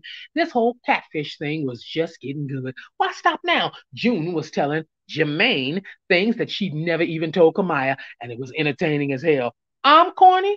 Kelvin was taken aback. Okay, so I'm corny, but you're the one acting like you are auditioning for a damn reality show with your dramatic ass. Camaiyah thought fast. Anything to throw Kelvin off his square. Oh, so I'm dramatic. Why's your best friend a female? If you're trying to insinuate something, you can just come out and say it. It worked. Camaiyah's evil grin told him that he had taken the bait. June couldn't take it anymore. Both of y'all shut the hell up and tell me what happened to Jermaine. Iliana had just stood there silent as Kelvin and Camaiyah went at each other. She felt bad for her sister, though. June looked so desperate, crying out for answers with nobody listening. Iliana couldn't take it anymore. It was time to come clean. Jermaine's not real. They all whipped their heads toward her. June's face went from shock to anger to hurt all in a matter of seconds. What did you just say? Then she looked from Iliana to Camaiyah, from Camaiyah to Kelvin, and from Kelvin back to Iliana. She put two and two together as she took in their guilty eyes, all of them. Oh, I get it now. I see what you've been doing. She shook her head at her own gullibility. You're telling me that Jermaine isn't real. Is that true? She looked at Kelvin. He nodded and swallowed, not taking his eyes off of her. She pinned her gaze on Iliana and Camaiyah. So how do you two factor in? How do all three of you know that Jermaine isn't real? How am I the last person to find out? Here she was in a living room with three of the people who were closest to her on earth, and they all seemed to know something that very deeply pertained to her life, but somehow she was out of the loop. This was unreal. The only possible explanation was that someone in this room had betrayed her. She sank onto the couch, her head spinning with the possibilities. She looked at Iliana, but with a different set of eyes. You're my sister. Iliana knew more than anyone all the heartbreak June had been through over the years with different guys, each time thinking she'd found the one, each time being disappointed. They all turned out to be the same. They used her and abused her, and she was left to pick up the pieces. A tear rolled down Iliana's cheek. I'm sorry, June. She looked like she wanted to hug her, but she just stood there. Camaiyah's expression was blank. She looked slightly unbothered by the fact that her best friend's heart was breaking before her very eyes. Kelvin looked torn. He was hurt to see her hurt, but his eyes told her there was more to the story. June wanted to press all of them for information, but had already heard enough to find out that the man that she had poured her heart into for several months wasn't even a real person. How could they play with my emotions like this? Whose idea was this? Who have I really been talking to this whole time? She recalled with pained embarrassment all of the sensitive details about her life that she had divulged to Jermaine. She needed answers. She crossed her arms and sat back, patting, or rather, putting on her poker face. So, who was it? Or was it all of you? Kelvin knew June's poker face very well. She was trying to put on a front like she wasn't hurt, but he could see right through her. Jermaine had meant a lot to her. He could tell by the way she spoke about him and how excited she became whenever he texted or messaged her. He was beginning to regret sending her that text saying he had something to tell her about Jermaine. She would have found out eventually anyway that this dude wasn't real. As soon as he had that thought, he regretted it. If he hadn't told her, he would have been no better than Camaiyah. He had to tell her. He shot Camaiyah a look of disgust. He hated everything this girl represented. He couldn't for the life of him understand why June continued to trust her after she had showed her sign after sign of not being loyal. He bet June still didn't know that Camaiyah had slept with Casion while he was supposedly June's boyfriend. Wait, what? Oh my goodness. Kelvin had found out this juicy tidbit while he was compiling info on Jermaine. Once he discovered that it was Camaiyah and Iliana doing the catfishing, he had both of their computers to pull messages. He saw the messages between Iliana and Camaiyah, as well as several conversations between Camaiyah and Casion. To make matters worse, the things he said that drunken night didn't even compare to the things Camaiyah said to Casion about June. If June ever found out, he would need help picking Camaiyah up off the floor. And Iliana, the poor girl, was so lost. He had gleaned from the messages that she was all in on the idea of catfishing June in the beginning, but only because she thought it was a harmless joke. She had dropped little hints here and there that she and Camaiyah would stop or should stop, but she hadn't realized that Camaiyah was out to hurt June. She was dragging June's baby sister right along with her, a casualty of war. Kelvin couldn't ignore June's eyes imploring them for answers. Somebody had to say something soon. Don't everybody speak at once, said June. She folded her arms and braced herself for the worst. Kelvin decided there was only one way out of this situation. What he was about to do might seem stupid to some, but he felt he had no other choice. He was partially to blame, so he might as well own it. And if he fessed up, maybe June would give him points for being honorable. Iliana opened her mouth to speak, but Kelvin held up his hand to stop her.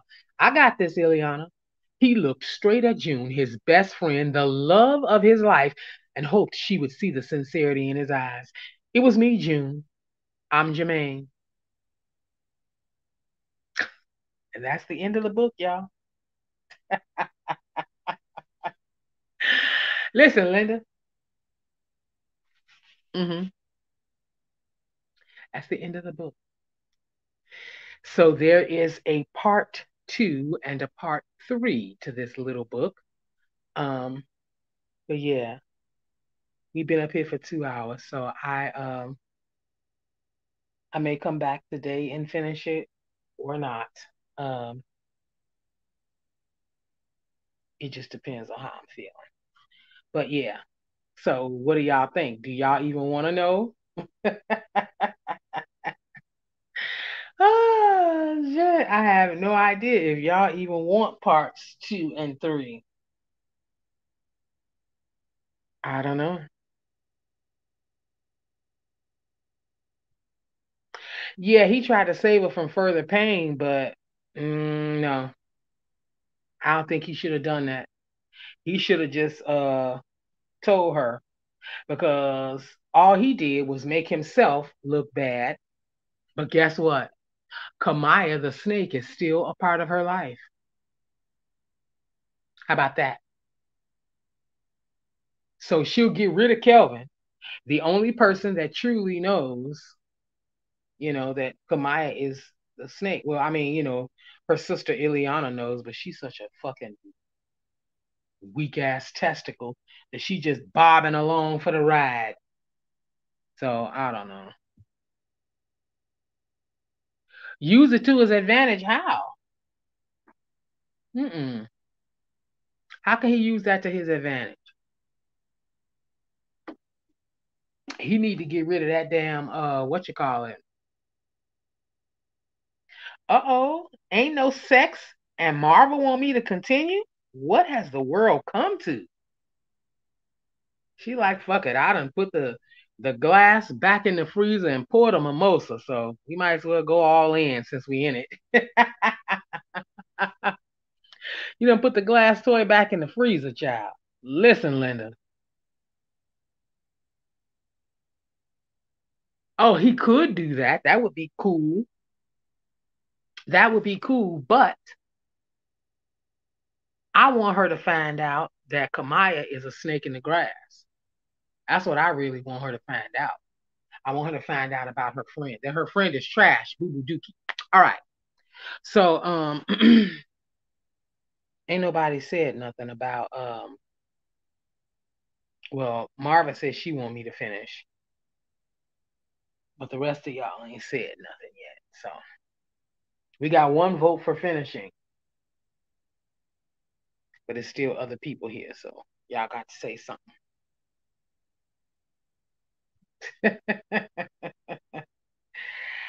ah, wow.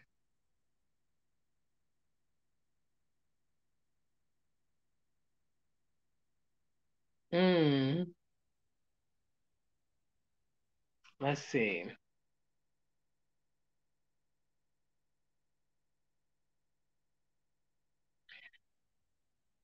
She's got quite a uh, few books here.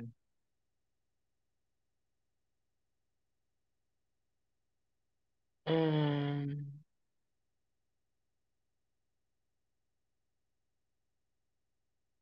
Oh wow, she got uh.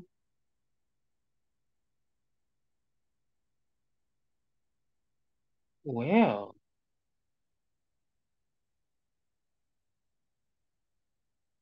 Okay. Well, and she got yeah, she got quite a few um not in love with my Uber driver.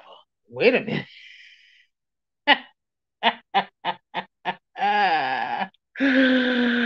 oh, I cannot. How you gonna be in love with the Uber driver, boo? She said, "Come on, give us one more real quick." What, girl? I ain't ate shit all day. I got to go eat, eat. oh my goodness. She talking about, come on, give us one more real quick. You sound like uh, anyway. moving on. okay. you must be at work, Wings. Books or essays, just joking. I like it. no, child, these are um this is she got look, I don't know if these are books. I know that the the other two that I'm gonna read are books, but I think the In Love with My Uber Driver is um I don't know if that's a let me see, I can see if it's a short thing or not. Child, I don't even want to know if somebody being Choco Chip said finish. So if Choco Chip say finish, then finish it we will. I mean, not now though, but later. Sorry, my face was all up on the thing. That that came out really wrong. My bad. No, God. Listen, let me go back to uh. Let me see. Where is it? Um, in love with my Uber driver. Hold on, child. I don't even know why I'm looking this shit up. I want to know if it's a short book. Anyway, who cares? Whatever. We got two more uh books here. So we just finish up the betrayed child. All right, so thing is trying to do something I didn't ask it to do now. All right, so we got that one. We're good. I don't know what this is. Um, we'll figure out the rest later. How about that? Let me head back to the thing thing here. So we just did number one. Um, so we can return that one. Okay, bye. So now, part two. It says it's supposed to be. Um...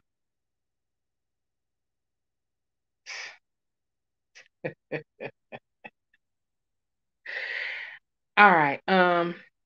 Yeah. So I'll uh.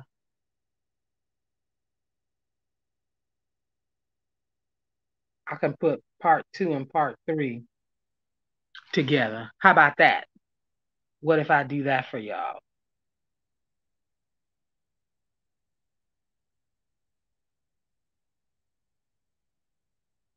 That make y'all happy? I can put part two and part three in a separate one. Because it seems like she's got a few, you know, these shorts. Or did y'all even like the notion of the shorts? Say something, people, because I'm about to leave. I swear, y'all know I will end the video if y'all don't say something. Type a dot and let me know you typing something. oh my God. I forgot y'all like like it simple. So okay, so Choco Chip said it sounds good. What? Wait a minute. Wait, Wings has completely lost his mind. Yes, we'll give you about 11 minutes to eat. Uh, excuse me, sir. No, it take me 11. anyway, listen. and Lil Jones gonna type with dot. no, God. Okay. So what I'll do is that I'll uh, I'll put them together. I'll put those other two together because it's saying that this um. No, she gonna say continue, please. Oh no, God. Child, listen. You want me to forego my food? She talking about continue, please. Child, listen. oh, I don't never chew, boo. I always just anyway. Wayne, knock it off. All right. How about that? Because it seems like uh, all right, so it says book two takes roughly an hour to read. And let me see what it says about uh, book three.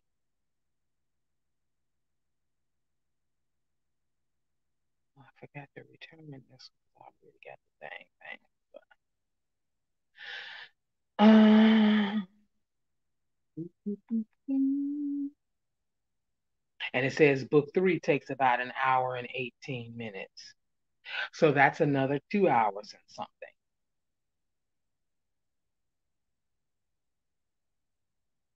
See, y'all be trying to keep a bitch up here all day. Let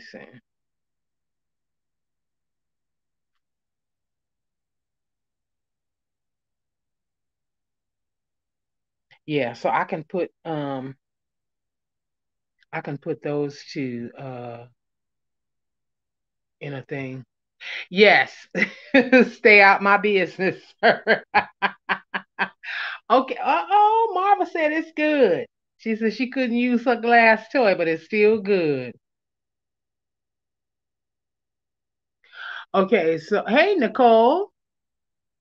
Said peace and blessings, everyone. I'm catching up. Thank you for your time. You're welcome, darling. Thank you for being here, but I'm about to go. So you're gonna be catching up on the replay, boo. All right, so each one takes about a, a, little over an hour, just a little bit over an hour, it seems like. So I'll put those together and then we'll have two two videos, right? To um put with this lady. Let me see. Cause I don't know. Y'all have to think about my moderator too. I can uh because she's at work. and I try to give her a little breaky break. Let me see.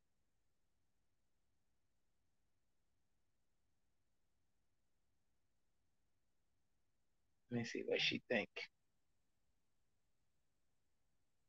and I guess I could put all four of these together. And then y'all asses ain't gonna see me no more till Friday. That's how I do that. If I sit here, oh, she gonna say, I'm good. Of course she will say she good. Shit. Mercy. Mm-hmm. Okay. All right. Well, then y'all need to let me um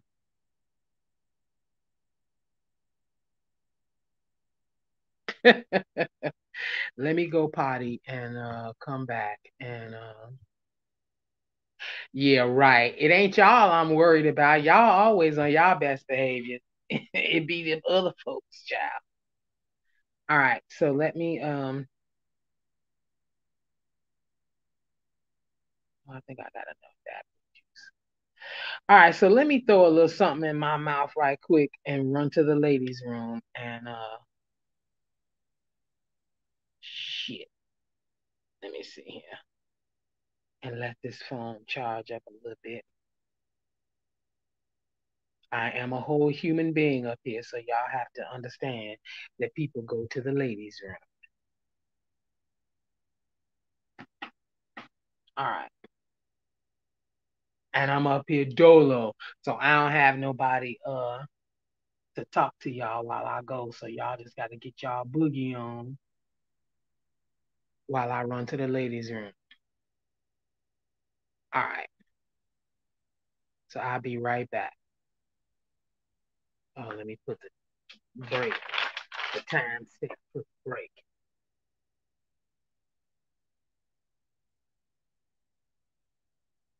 What's my time stamp break here?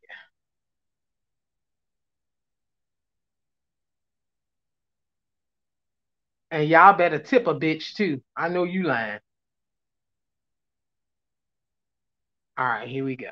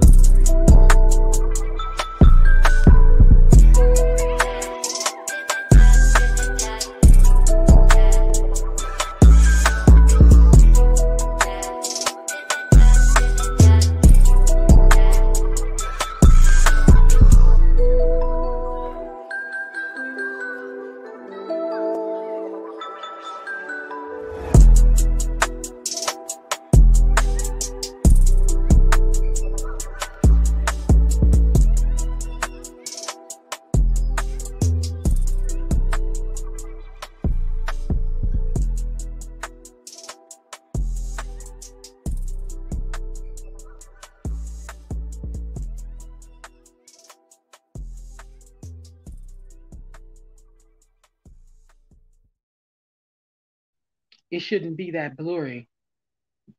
But for whatever reason, it's showing up blurry. Hey, y'all, I'm back.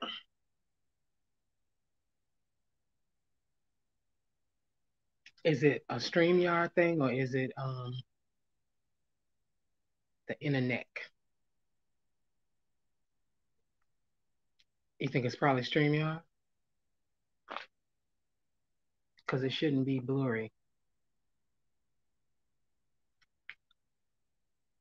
Hmm. I don't know. I don't. I don't... Okay. Sorry, y'all. I'm not exactly sure what's going on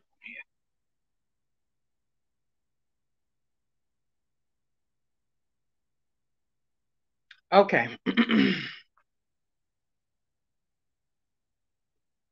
All right, let's uh, talk about this next book here. Thank y'all for your patience. Let's see.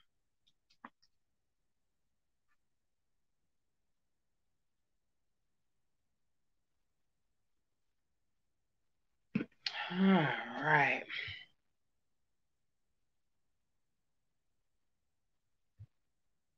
All right, so this is Betrayed by My So Called Friend, Part 2. The drama picks up again in part two of this tangled web of lies.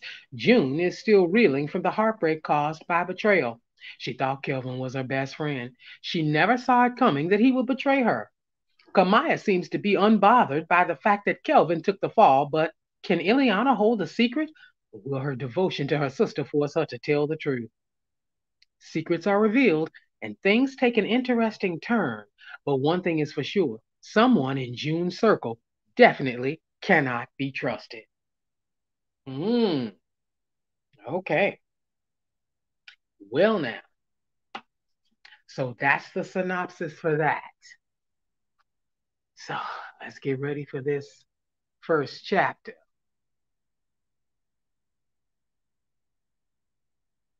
All I left my water. Hold on.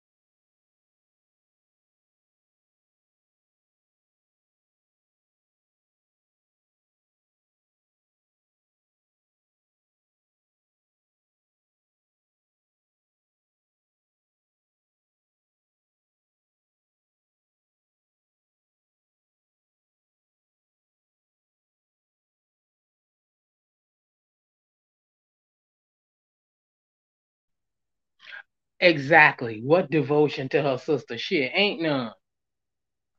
Ain't no devotion wings. Hmm. She ain't got no devotion to her sister. She a piece of shit right along with Camaiyah's ratchet, wretched ass. All right. Chapter one. June blinked at Kelvin like she couldn't believe what she had just heard. What the hell do you mean, you are Jermaine? Kelvin swallowed and looked down at the floor, trying to figure out what to say next. He got nothing. He looked back up to see June glowering in his direction. I'm sorry, he swallowed again. Whap! Before anyone could react, June had smacked Kelvin clean across his face. You're fucking right, you're sorry, she spat. She began trying to pummel him with blows. Camaiyah just stood there watching, but Iliana got in the middle of them to break up the altercation. June, chill, no need for violence. It's fine, Iliana, Kelvin said, not moving to defend himself and not taking his eyes off of June the whole time. She's just hurt. At those words, angry tears filled June's eyes. Do you have any idea what you just did? She said. How could you, Kelvin? How could you? There was no need for Iliana to hold June back anymore. Her strength was deflated as she sank to the floor, overcome by painful emotion. Iliana sat on the floor with June, comforting her and staring back and forth between her sister and the biggest crush she ever had in her life. She felt so guilty that it literally seared through her heart, but she didn't open her fucking mouth and say nothing, though.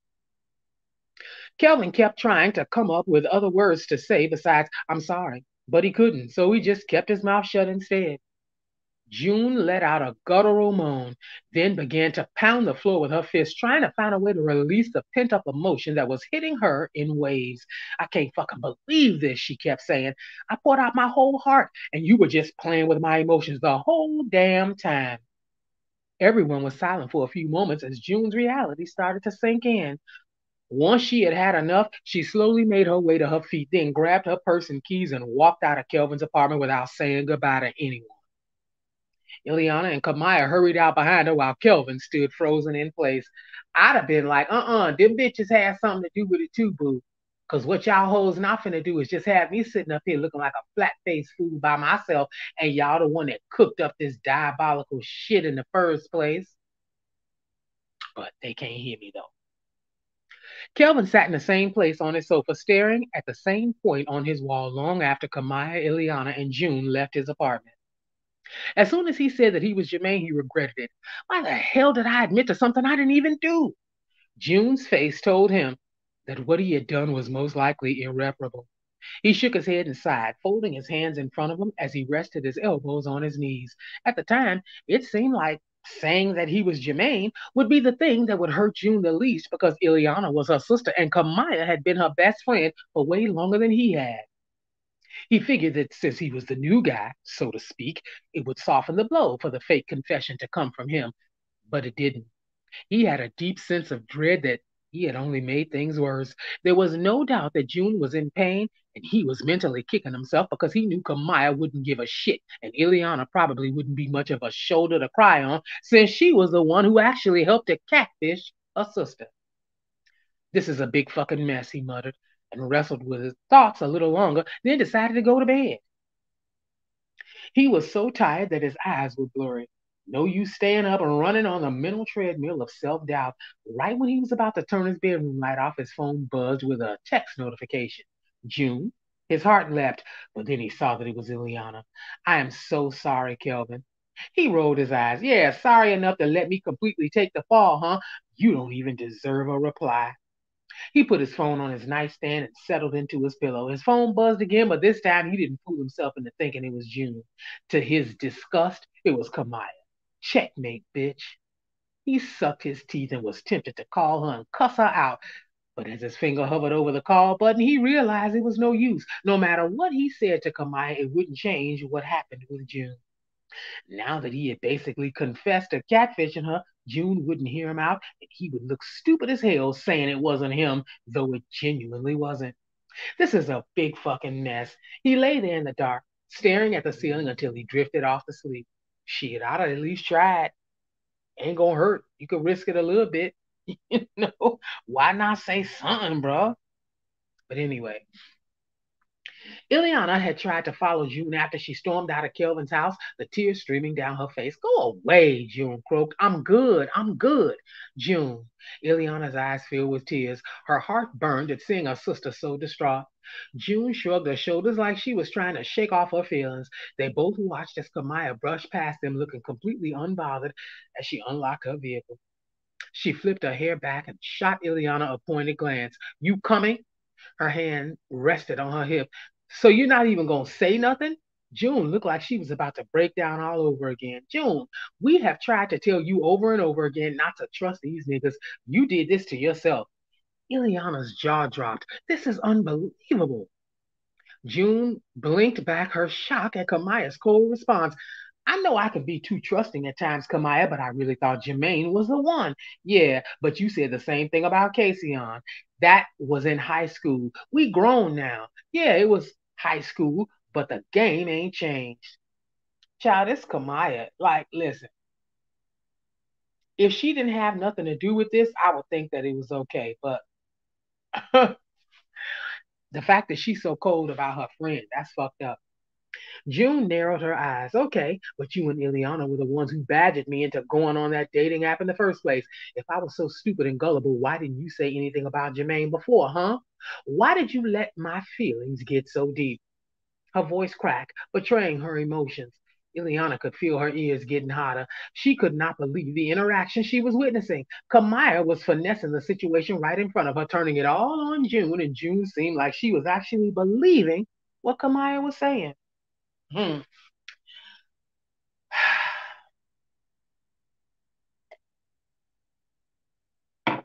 Here's the problem. June still ain't asked herself why Camaiyah is so thoroughly invested that she followed her over to Kelvin's place. She ain't put none of this shit together. But okay.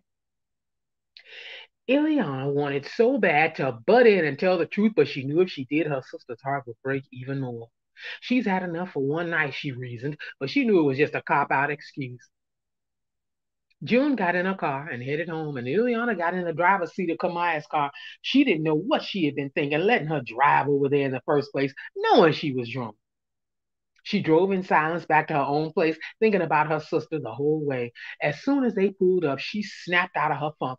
I can't believe what you did back there, Camaiyah. Camaiyah sucked her teeth. What? It was a fucking joke. June needs to learn to stop being so sensitive all the time. Her heart just got broken, Camaiyah, and it was all our fault. Doesn't that make you feel any type of way? No, honestly, it doesn't. Iliana's jaw dropped. How the hell did I never see this side of her before? You are a cold hearted bitch. Camaiyah cocked her head to the side as if she was daring Iliana to say more. I'm going to let that one slide since you and your feelings for your sister, but I'm not going to be too many bitches, Iliana. Iliana desperately wanted to put hands on Camaiyah in response, but she knew it would be no use. How would she explain the fight to her sister? Delete that video, she said instead. What video? Camaiyah, stop playing. Delete the video you have of Kelvin. I mean it. I'm not deleting it, Iliana. Why not? It's the only way to make this right. That was totally unfair what happened to Kelvin. You wasn't worried about Kelvin's feelings when we made it in the first place. You got that. But we can delete it now. It's not right to just keep it. No. Camaiyah's face was set in stone. Iliana could feel herself becoming frustrated. Delete the damn video now, Camaiyah, or I will call my sister right now and tell her the whole truth. For the first time, Camaiyah's stony expression started to waver. You wouldn't. Iliana whipped out her phone in response and went to June's name and her contacts. I will call her right now. I swear. Camaiyah sucked her teeth again. Oh my gosh, so fucking dramatic. She took out her phone and deleted the video, both the full and edited versions. Happy now? She rolled her eyes. Not really. This still doesn't erase what we did to June. Camaiyah shrugged again like it was no big deal. Kelvin already took the fall, Iliana. What else were we supposed to do? Tell the truth, Iliana's mind screamed, but she didn't say it out loud because that would be like admitting she was ready to tell June everything, including that she betrayed her. And she couldn't handle that right now. So she sat there silent and let Camaiyah feel superior as usual. Child, listen, the fuck out of here. Mm, mm, mm. Child, be careful about your friends. Iliana could barely focus during her classes the next day. Finals were already becoming, well, no, I'm sorry, were already looming before the situation with June, and now she was stressed to the max. She kept itching to come clean about the whole situation, but every time she went to June's name in her contacts, she lost courage. She knew one day June would find out what she had done, but she wasn't ready to face it right now. She decided to text Kelvin instead. She was conflicted about his side of the situation. Although she felt nothing but relief when he took the blame for what she and Camaiyah did, she still felt like she owed him an apology. And that was outside of the fact that she secretly harbored a huge crush on him. This is a big mess, she breathed, hitting send on her text to Kelvin, hoping he would answer her this time. Kelvin, I really am sorry. We need to talk. He responded quickly, which caught her off guard. There's nothing to talk about. You and Camaiyah know what you did. She swallowed. Yeah, but I didn't mean for this to happen. Doesn't matter. That Camaiyah sure did. She paused. She didn't have an adequate response to that reply because he was right. She was seeing more and more that Camaiyah really didn't have her sister's best interests at heart. Really, bitch? Now you got that too? I just wish there was a way out of this. She wrote that last part more to herself than to Kelvin, but she sent it anyway. Well, I have an idea. She could practically feel his sarcasm through his words. Her ears were burning. She knew her face had to be red with embarrassment. She felt stupid sending that last text in the first place, like Kelvin had some magic wand he could wave to make it all better. June was right. They were grown now.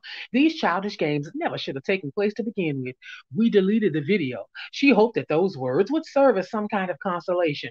What do you want, a cookie? Her heart panged when she read those words. There was no coming back from this. She had hurt both her sister and Kelvin all in one night. This is all Camaiyah's fault. She let that thought linger for a few moments before she conceded to the fact that it was her fault too.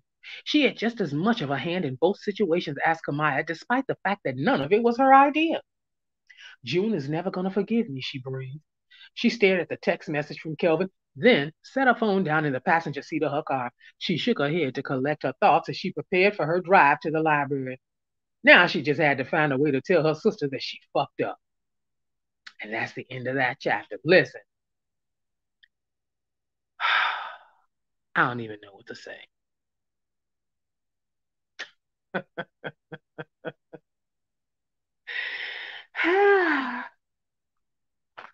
right. Let me write my tam, tam, time stamps down. Y'all people better be careful who y'all be trusting out here. Chapter 2 The situation hadn't changed much by the next weekend. June had been trying to pick up the pieces since she found out about Jermaine, but it wasn't easy. Her pride, ego, and heart had all been shattered at once. She winced every time she remembered the secret she shared with Jermaine, and when she pictured Kelvin reading those messages, she wanted to disappear into a hole in the ground. It was all so humiliating. Why would Kelvin do this to me? She had heard of catfish situations and even watched the show where the term originated, but she had never thought in a million years that it would happen to her. She liked to think her friends were better than that, but apparently not. Kelvin had tried to text and call a few times over the week, but she ignored him. Even though she considered him her best friend before this happened, she really couldn't see a way for him to redeem himself. Something had to have told him that I was getting serious about Jermaine. He had to have known this would hurt me. She quickly wiped the single tear that had rolled down her cheek. No more crying, she resolved. It wasn't even that serious, no way. As soon as she said those words, she knew she was lying to herself. She had really wanted this thing with Jermaine to work. It seemed like they connected so strongly and related so smoothly. She had desperately wanted to meet him in person. Whatever. She shrugged her shoulders as if literally pulling herself together. I'll just take some time to focus on me now. She parked in front of Camaiyah's apartment behind Iliana's car and made her way to the door. She and Camaiyah had sort of made up over the week after Camaiyah's cold response and their subsequent mini argument. Camaiyah had texted her twice asking if she was okay. June reasoned that this meant Camaiyah was sorry for what she said, blamed her words and actions on the shot she had drowned. Drowned that night? Okay, well, whatever. Iliana had contacted June every day. She looked and sounded so guilty every time she spoke. June knew that it hurt her baby sister to see her hurt. she found herself being more of a comforter to Iliana than the other way around. She chuckled at that thought as she knocked on Camaiyah's door. Her sister seemed more distraught over the situation than she was. Hey, she said when Camaiyah opened the door. Sup, said Camaiyah, giving her a once over and adding cute outfit before stepping aside to let her in. June walked into Camaiyah's living room and saw Iliana sitting there with a drink in her hand. Child. She eyed the bottle of Patron on the coffee table and rolled her eyes at Camaiyah. Girl, do you drink every day? She took a seat, said a quick hey to Iliana. Camaiyah rolled her eyes right back at June after sitting down herself, blowing out the smoke from her hookah. June wrinkled her nose and waved her hands in a useless effort to push the smoke back toward Camaiyah, who merely rolled her eyes at June's dramatics. Bitch, please, you can't even smell it. Um, yes, I can. And do you have to do this every day? June, don't sit over there judging me. You know how I do. You used to do it too before you got all bougie. Nobody is being bougie, okay? I told y'all before, I'm trying to make some healthy changes. Camaiyah chuckled before downing a shot of Patron. She seemed to be done with her hookah. Right. So, anyways, as another part of my journey toward health, I'm done with men for a while. June squared her shoulders and tried to look proud as she made her proclamation. Camaiyah's eyebrows shot up. Done with men? You switching teams? Girl, you know what I mean. June shook her head at Camaiyah's silliness. You keep saying I'm so gullible when it comes to guys, so I'm taking a step back and focusing on myself. Amen, sis, said Iliana, looking proud of her sister. That's good. Thank you, Iliana. I'm glad somebody understands me. So, anyways, did you hear what happened with Cardi B? The girls faithfully followed the famous rapper, and Camaiyah wanted to shift the attention off of June. Mm-hmm. Hating ass bitch. I hope so too, Wings. I really do. Iliana said nothing. June refused to be ignored. Have y'all heard from Kelvin? She asked. Have either of you spoken to him? Iliana, startled at the mention of Kelvin's name. No, not really. Why do you ask that? June wondered why Iliana was so shook at the mention of Kelvin's name, but she let it slide. She looked at Camaiyah and waited. Camaiyah sucked her teeth. Girl, you know me and Kelvin don't even talk like that. I was just wondering if he said anything so or to you guys after what he did. You mean after what we did, Iliana thought as she shot Camaiyah a glance, but all she said to June was a casual no, he hasn't. I kind of miss him. Girl, bye. It's barely been a week. Plus, as far as I can see, good riddance. If he could do all that, he wasn't a good friend, no way. Girl, no, you did not say that. He wasn't a good friend. Camaiyah is a mess, child. Ugh. Iliana could not believe Camaiyah's gall. She was telling bold-faced lies left and right, and Iliana felt powerless to stop her. Girl, you need to step your pussy up, because you fucking weak as shit. You're right, said June. I just wish I saw the signs. The proof is in the pudding, girl, said Camaiyah, having the nerve to sound sweet and encouraging. Iliana wanted to go over and yank her out of her stupid seat. So what are you guys doing next weekend? said June. I was thinking of joining a gym. Iliana opened her mouth to respond, but Camaiyah beat her to it. I'm busy, unfortunately. I got to pick up my cousin Coop from the airport. He's visiting for the weekend. I can go, Iliana offered, but June didn't seem to hear her. She was all ears for Camaiyah's news. Your cousin Coop? Girl, what he look like? Camaiyah's jaw dropped. Bitch, didn't you just say you were done with men? She made air quotes to add to the sarcasm. Besides, he's not your type. Camaiyah had to look away to hide her contempt at June's question, and I'll be damned if you ever try to hook up with my cousin. Mm. See how that is? Yes, some nerve indeed. She don't need her butt whooped, she need her ass kicked. Two different things. Later that night, Camaiyah was FaceTiming with her cousin Coop. They had been close ever since they were three years old, and although he moved away with his father when they were 10, they still kept in close touch with each other. Camaiyah knew everything about Coop, and Coop knew everything about Camaiyah. Well, almost everything. I can't wait to come up and see all of y'all, Coop was saying. I've been missing my mom's like crazy. She misses you too. I went by to see her the other day. Coop's eyes narrowed. She still seeing that nigga Troy? Boy, bye. Camaiyah rolled her eyes. Newsflash, your mama is grown. She can date who she wants. Not while I'm in town. What are you gonna do about it? Besides, Unc got remarried anyway. Yeah, but that was different. How so? Camaiyah could tell that Coop was trying to come up with a decent response. Look, it just is. Right. You know it sounds stupid. I don't care. That nigga better not come through while I'm there. I'm the man of my mom's house. For what? A whole weekend? You supposed to be on my side with this anyway. I thought we was best cousins. Camaiyah rolled her eyes again in response. So anyway, you got any cute friends I could chill with while I'm there? Coop gave her his sweetest smile. Camaiyah tried to mask her surprise as June's face flashed across her mind. Boy, you only gonna be here three days. I'm saying though, I'm trying to settle down. Okay, so you can settle down with somebody out there. Besides, all my friends are hoes. All your friends are hoes? Girl, who you be hanging with? You don't know none of them. I have nobody for you. Whatever, Camaiyah, you block it. She damn sure is. Listen.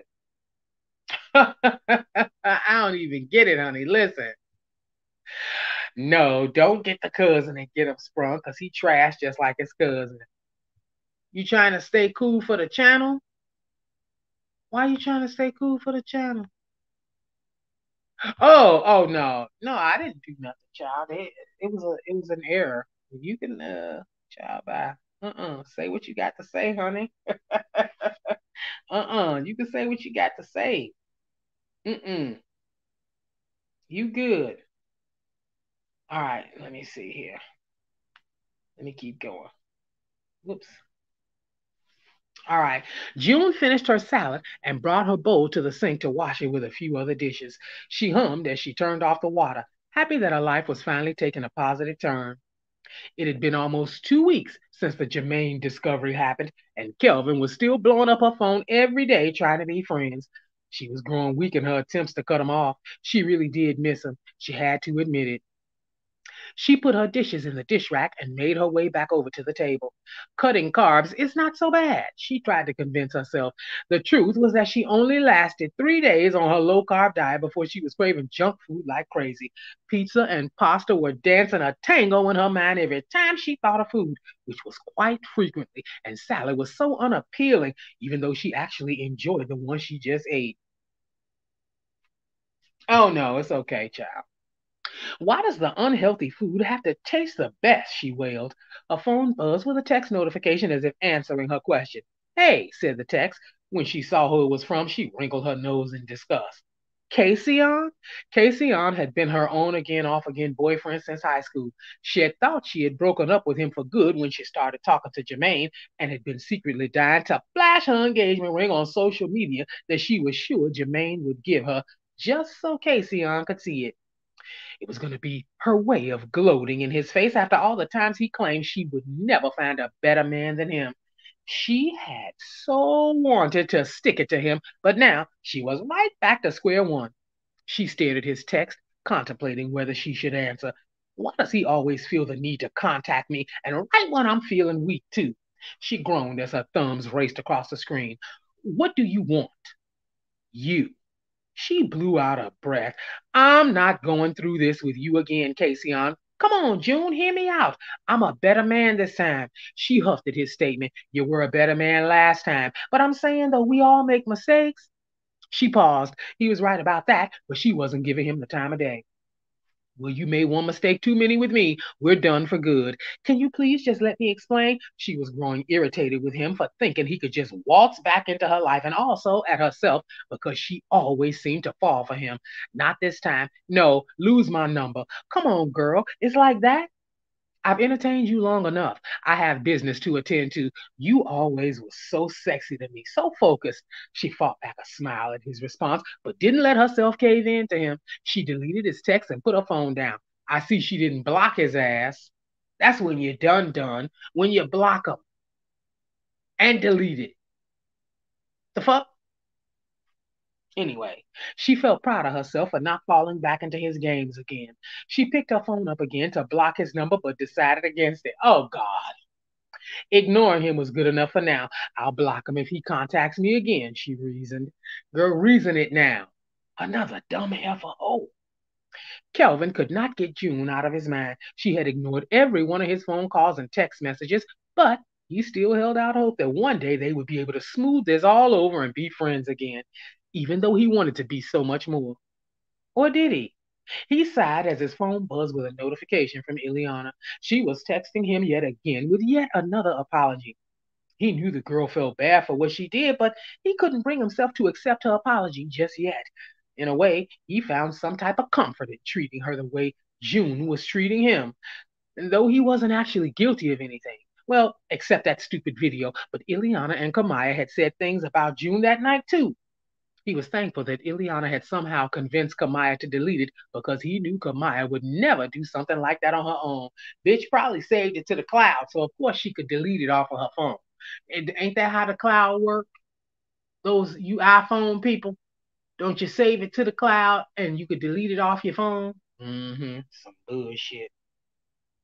Maybe I will just text her back, he said to himself. He stared at Iliana's text for a few more moments before deciding to deal with that situation later. He went to June's social media page and saw that she had posted a new status.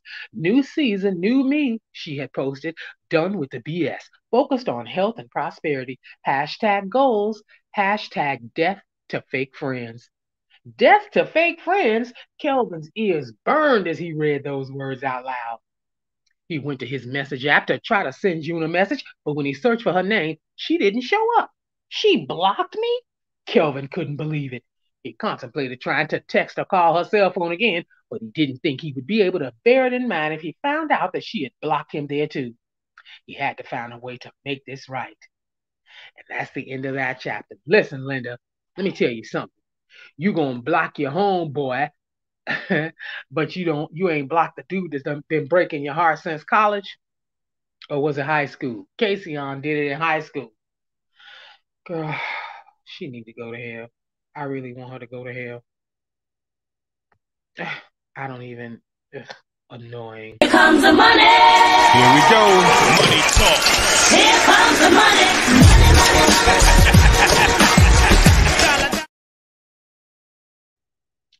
Thank you, Nicole, for the Cash App. Is she still here? I hope she didn't just Cash App me and leave, child. I'm sorry. I wanted to finish the chapter.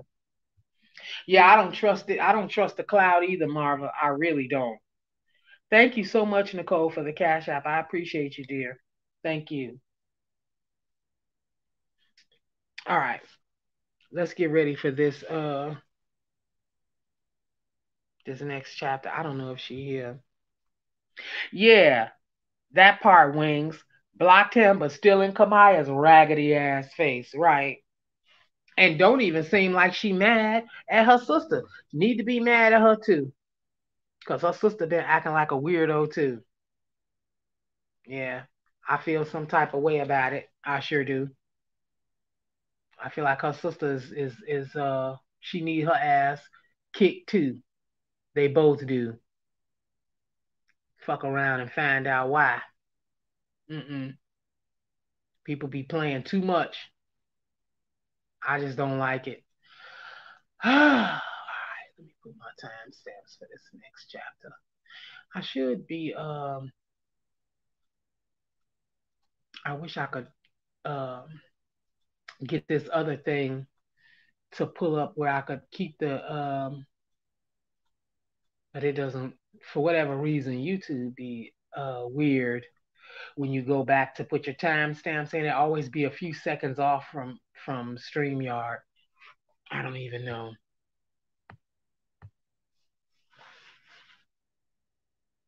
Yeah. All right. So let's get let's get this party cracking lacking. Of course, you probably shouldn't be sick. Anyway, let me be quiet. Oh my God. Okay, here we go. Chapter three. Camaiyah's face beamed in a huge smile as her cousin Coop approached her, stepping into her open arms. Cousin, she exclaimed, embracing him for a while before they broke apart. Although they talked on the phone and FaceTimed all the time, they hadn't seen each other in person in over 10 years. You're so tall, she blinked back her tears. How was your flight? He sucked his teeth. Man, I couldn't even get no sleep in. This lady had a kid that was sitting right next to me, and he was screaming at the top of his lungs for half the flight. I wanted to shake that little nigga.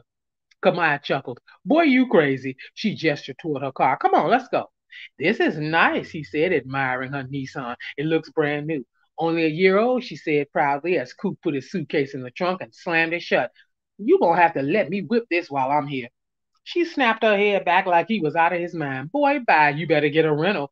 Grimy, he said, and they shared a laugh. So you still working at that massage place? Coop asked as Camaiyah pulled off. Yep, five years strong. Camaiyah had gotten her license right after high school and had been working at the same spa ever since.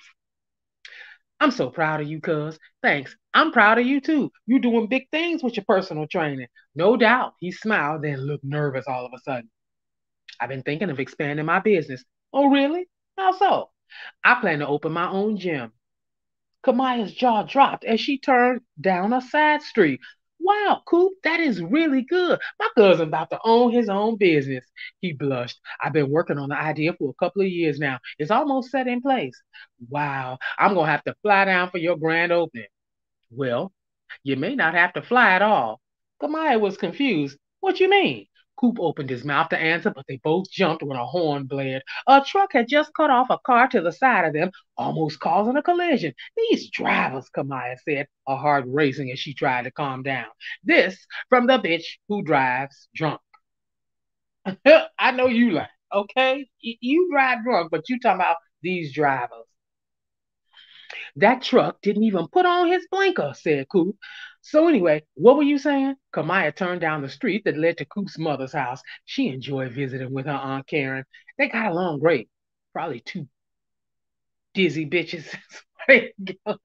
two diabolical bitches.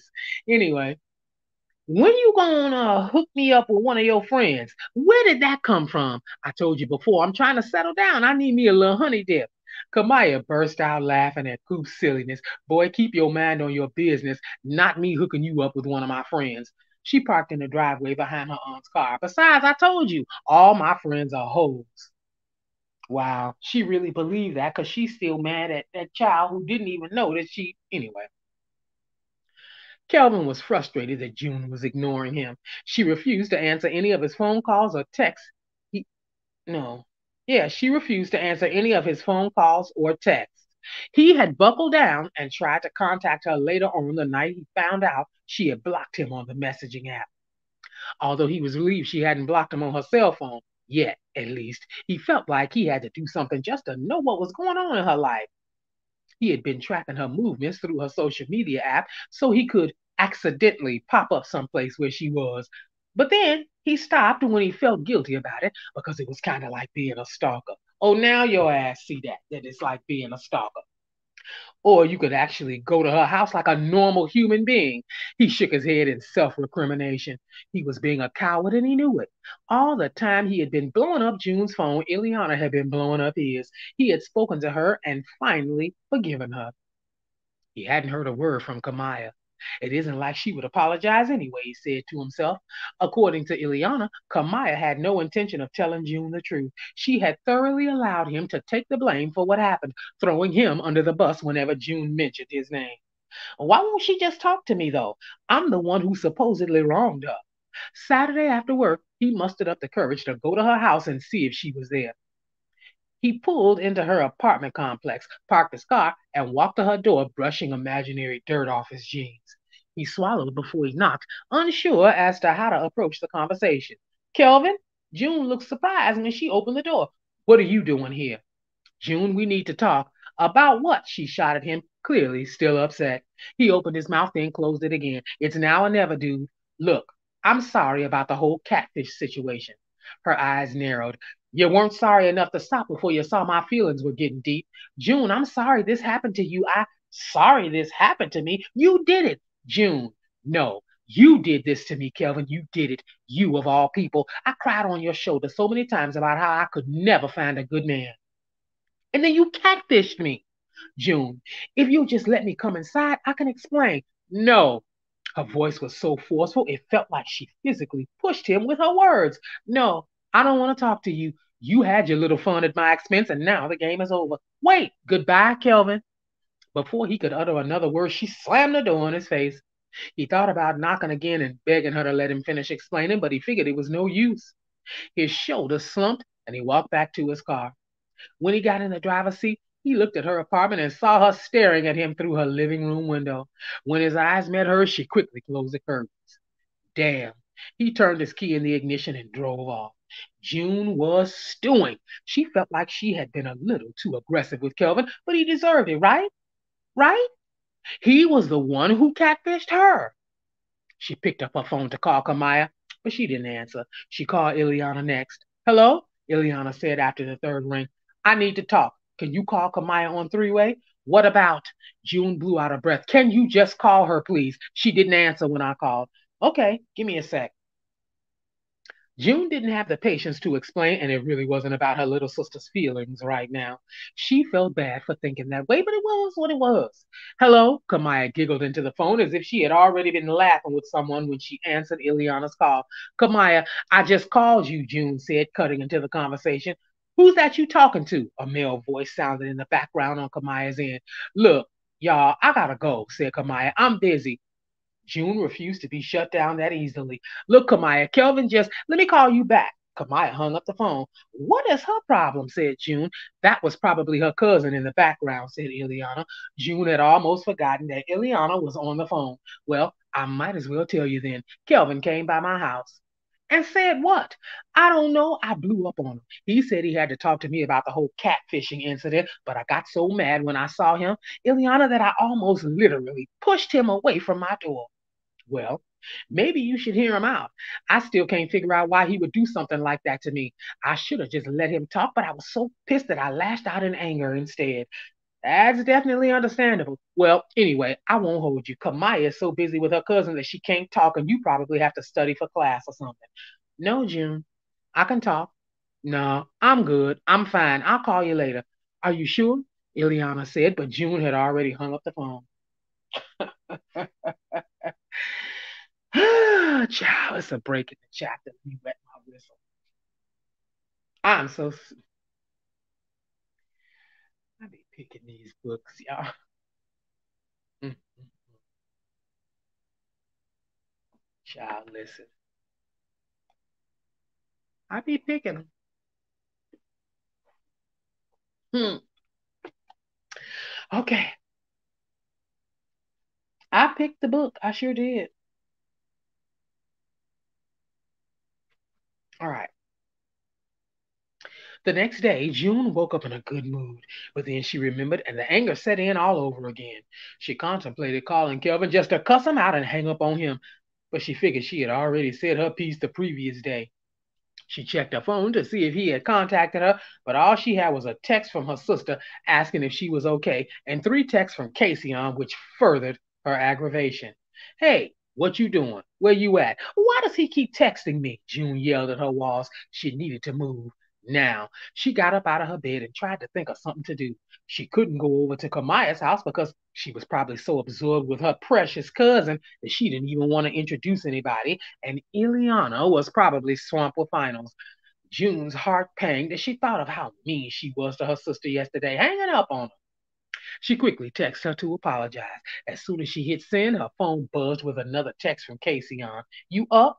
She got so mad that she hurled her phone across the room. What the fuck? She screamed when the phone slammed against the wall, then hit the floor, and she braced herself for the sound of shattering bits of metal, which thankfully never came. She ran over to assess the damage. Her phone was fine. Thank God her case was built like a tank. She rummaged through her drawers for some leggings, a sports bra, and a tank top. She had planned to start working out on Monday, but she couldn't wait. She needed to blow off some steam now. When she got to the gym, she went straight to the punching bags. Luckily, no one was using them. She grabbed some of the gloves and went to work. She threw a few soft swings at the huge bag and felt irritated that the bag didn't budge, but also soothed by the feeling of her fist connecting with something solid. So she went ham. She started punching the bag as hard as she could, feeling better and better as she released her frustrations. She knew she looked like a maniac hitting this poor bag like she was in the middle of a street fight, but hey, that's what it was there for, right? Plus, it was therapeutic. When she was finally exhausted, she pulled off the gloves, her arms numb from all that punching. She threw the gloves in the bin, grabbed a water bottle, and took a long drink. She downed half of it in one gulp. She hit the locker room next to fix her hair and washed the sweat off her face and neck. Then she headed to the exit. She was walking so aimlessly that she barely noticed the muscle bound man walking directly toward her. They collided, and she stumbled backward slightly. Oh, I'm so sorry, she said. And when she looked up at him, her jaw dropped. Jermaine? This can't be real. There is no way he is standing right in front of me. I thought he didn't exist. Oh, no problem. Wait, huh? He stared her up and down. How do you know my name? Wait, so your name. So you really are Jermaine? She felt like she was about to collapse from the shock. She knew she sounded like a blundering idiot, but she looked just as confused. No, but he looked just as confused as she was. Wait, Camaiyah done used her cousin's name and picture as Jermaine. She dumb as shit. Camaiyah is slow, y'all. No wonder she went to fucking massage therapy school instead of college. The bitch is dumb. That's not to say that people who are massage therapists are dumb. That's not what I'm saying. I'm talking about this bitch in the book. Child, you gotta preface everything because they'll be, oh boy, Casa, she talked about massage therapists are dumb. Whatever. Yeah, my first name's Jermaine. People usually call me by my last name, so that's why you caught me off guard. Do I know you from somewhere? He stared at her expectantly, but she was mute. And that's the end of the chapter. What's your last name?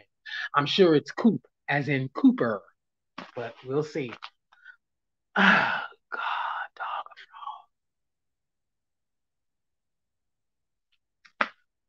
dog.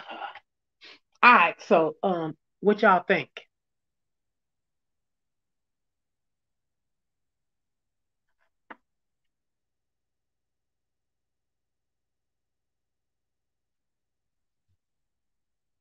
I know y'all working and whatnot, but still.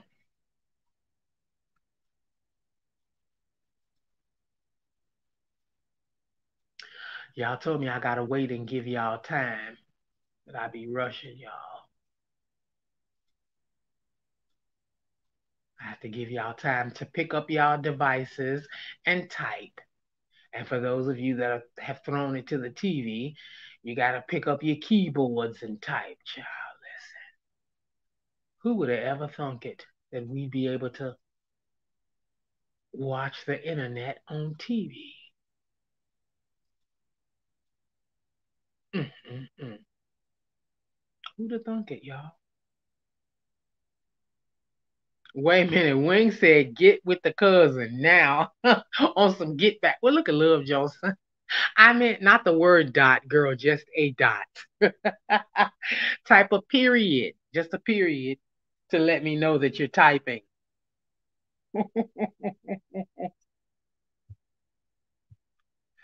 mm, that'll be the best revenge on Camaiyah. Okay. She said, I think let's finish on your time, but just know the glass is way back in front. ah, shit, listen. oh my God, listen. oh, Marva was like, no, God, I done put it up, child, all the way in the back of the freezer. Just fuck it. Literally. I'm sorry, Marva. There's no sexy smexy in this. Not get him married, have a set of twins, and make her my baby. Shit, I wouldn't trust her with my damn cell phone, let alone my baby. Shit. Mm-mm. Mm-mm. No God. Hmm. Chapter 4. Coop and Camaiyah sat at her kitchen table eating pizza. Camaiyah had enjoyed taking her cousin around to different spots in the city, showing him what had changed since they were kids and what areas had stayed the same. They even linked up with a couple of his old friends from the neighborhood they lived in before he moved away with his dad. Coop, I am going to miss you so much, she said. We definitely need to do this again. What time is your flight tomorrow? He swallowed a bite of pizza, then washed it down with a swig of his soda. He quickly wiped his mouth with a napkin. Well, about that. Camaiyah stared at him. About what? Look, this has been very hard to keep from you, and I've been waiting for the right moment to tell you, but I'm actually not going back. I'm staying in town and opening my gym here. He sat back and smiled expectantly, knowing his cousin would be pleased with his news. Camaiyah almost choked on her pizza. Say what? From the look on Coop's face, she knew he expected her to be just as excited as he was, and she was, partially, but a larger part of her was racking her brains. It was hard enough keeping Coop from her friends for a weekend, but if he was planning to stay here permanently, there was no way she'd be able to hide her little secret from June. Absolutely no way. Right. So the shit would basically, y'all, hit the fan because even though Kelvin took the fall, how the hell would he get a picture of Camaiyah's cousin Coop to put up on a fake profile? So it's all about to come out. We hope. Anyway, she suddenly felt like her world was spinning out of control and she struggled to keep her composure. You all right? Coop said, smile, his smile erasing. Yeah, um, congratulations, but why here though? He frowned. Why not here? I mean, you're already established where you are. Why would you want to leave your clients and start over in a whole new city? Well, it's not exactly new. I always plan to come back. The market is actually a lot better here. I've been researching it for a couple of years. I already have a partnership in place. Me and my boys, Val and Drew. Well, we're going to go in together and get an LLC. I thought you'd be happy about me staying. What's going on? Camaiyah could tell Coop's feelings were hurt. That was the last thing she wanted to do. but there were bigger things at stake here. Look, Coop, I'm not trying to make you feel any type of way. I'm just a little caught off guard by what you're saying. That's all. Yeah, caught off guard in a bad way. You acting like you don't even want me to stay. No, I do. I really do. I would love having you around. It's just, it's just what? He stared at her expectantly. There was no way she could tell him the truth. She had to think quick. She burst out laughing. Boy, I got you. What you mean? You know I was just playing. Of course I want you to stay out here. We gotta plan your welcome back home barbecue. Your welcome back home barbecue. Whatever, child. Coop smiled. Girl, you had me for a minute there. Thank God he bought it. Camaiyah had some brainstorming to do. This bitch is insane, y'all. Iliana turned in her last final for the semester and headed back to her apartment. On the way there, she decided to stop at Starbucks blech, to grab a celebratory coffee and unwind. Even though school was out till next semester, she was troubled by the bigger problem in her life right now. Her sister still didn't know that she betrayed her. On top of that, she still hadn't had a chance to officially speak to Kelvin. They had sort of made up over the phone, but she needed to see him in person to make sure they were good. Child, listen, I don't blame Kelvin. Fuck all of them, except for June, of course. She sighed as she pulled into the parking lot. Who was she fooling? She didn't need to see him. She wanted to see him. Despite all that had happened, her feelings for Kelvin hadn't changed. Her crush had only grown stronger. As soon as she walked into the door, she froze. Kelvin was standing in line. Her heart pounded as she made her way behind him to place her order. Should I tap him? Should I just say his name? She stood awkwardly behind him, feeling stupid. She picked up the scent of his sexy cologne. She almost moaned in appreciation, but she caught herself just in time. Stop sniffing them, Iliana. I'm not. She glanced around as if everyone else could hear her internal debate. And then she felt weird and even more stupid and shook her head. Child, you really gonna be hurt when you find out he in love with your sister and don't give a fuck about you. You half of a diabolical bitch, you, because you ain't completely diabolical. That's Camaiyah, but you halfway there, heifer. As if he heard her thoughts, Kelvin turned around and looked surprised to see her. Iliana, hey, you should have let me know you were in line behind me. Now I feel like I've been avoiding you or something. She blushed, and she just knew her face was turning red. Her body was truly turning against her today. Why am I so nervous around him all of a sudden? Usually I can play it off. Hey, she replied, I just, I wasn't totally sure if it was you standing there. Kelvin was next in line to place his order, and after that, she placed hers. They stood together at the other end of the counter to wait for their drinks. They'd ordered the exact same thing venti peppermint mochas with whipped cream on top. Blech. That has to be a sign, right? Iliana thought to herself. So, are you sitting down? Kelvin said as the barista handed him his coffee, then handed Iliana hers. Um, yes. Are you? Get a grip, girl. You've known him for years. Yeah, I was going to sit here and work on a few things for my job, but I could use some company for a few. He adjusted his laptop bag and pointed to a table in the back. Want to sit over there? Sure. She tried to calm herself as they made their way over to the table. Is this a date?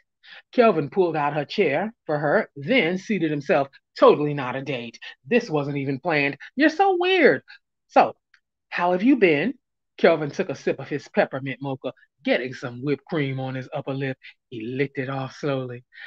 She repositioned her legs to fight the fire growing between them. I've been good. Finals were kicking my butt. Oh, really? When's your last one? He looked genuinely interested. She smiled. It was today, actually. I studied all night, but I think I passed. That's what's up. How much longer do you have in school? Well, next year's my last year. I plan to transfer to a four year school after that, but sometimes I feel like I'm not smart enough. You're not. Clearly, you're a dumb heifer hoe. Anyway, her head dropped slightly, and she took a sip of her coffee because it made her nervous to look into his beautiful eyes. Not smart enough, Kelvin's eyebrows raised. Uh, from what June told me, you're basically a genius. Didn't you get all A's last semester? She knew her cheeks were red by now. Yeah, but at a community college. So it's basically the same thing. I went through community college my first two years before transferring to a four year school. The work level was about the same. I wouldn't be worried. You got this, girl. He really looked like he believed in her. Iliana didn't know whether to cry or to jump across the table and straddle him. Maybe she should do both. Maybe neither. Thank you, she said. She left about half an hour later. Kelvin broke out his laptop and prepared to get down to business. He paused right before he entered his password. Wait, he thought, remembering how flustered she seemed around him. Is she feeling me? Something had been gnawing at him the whole time he and Iliana were speaking, but he couldn't place it while she was there.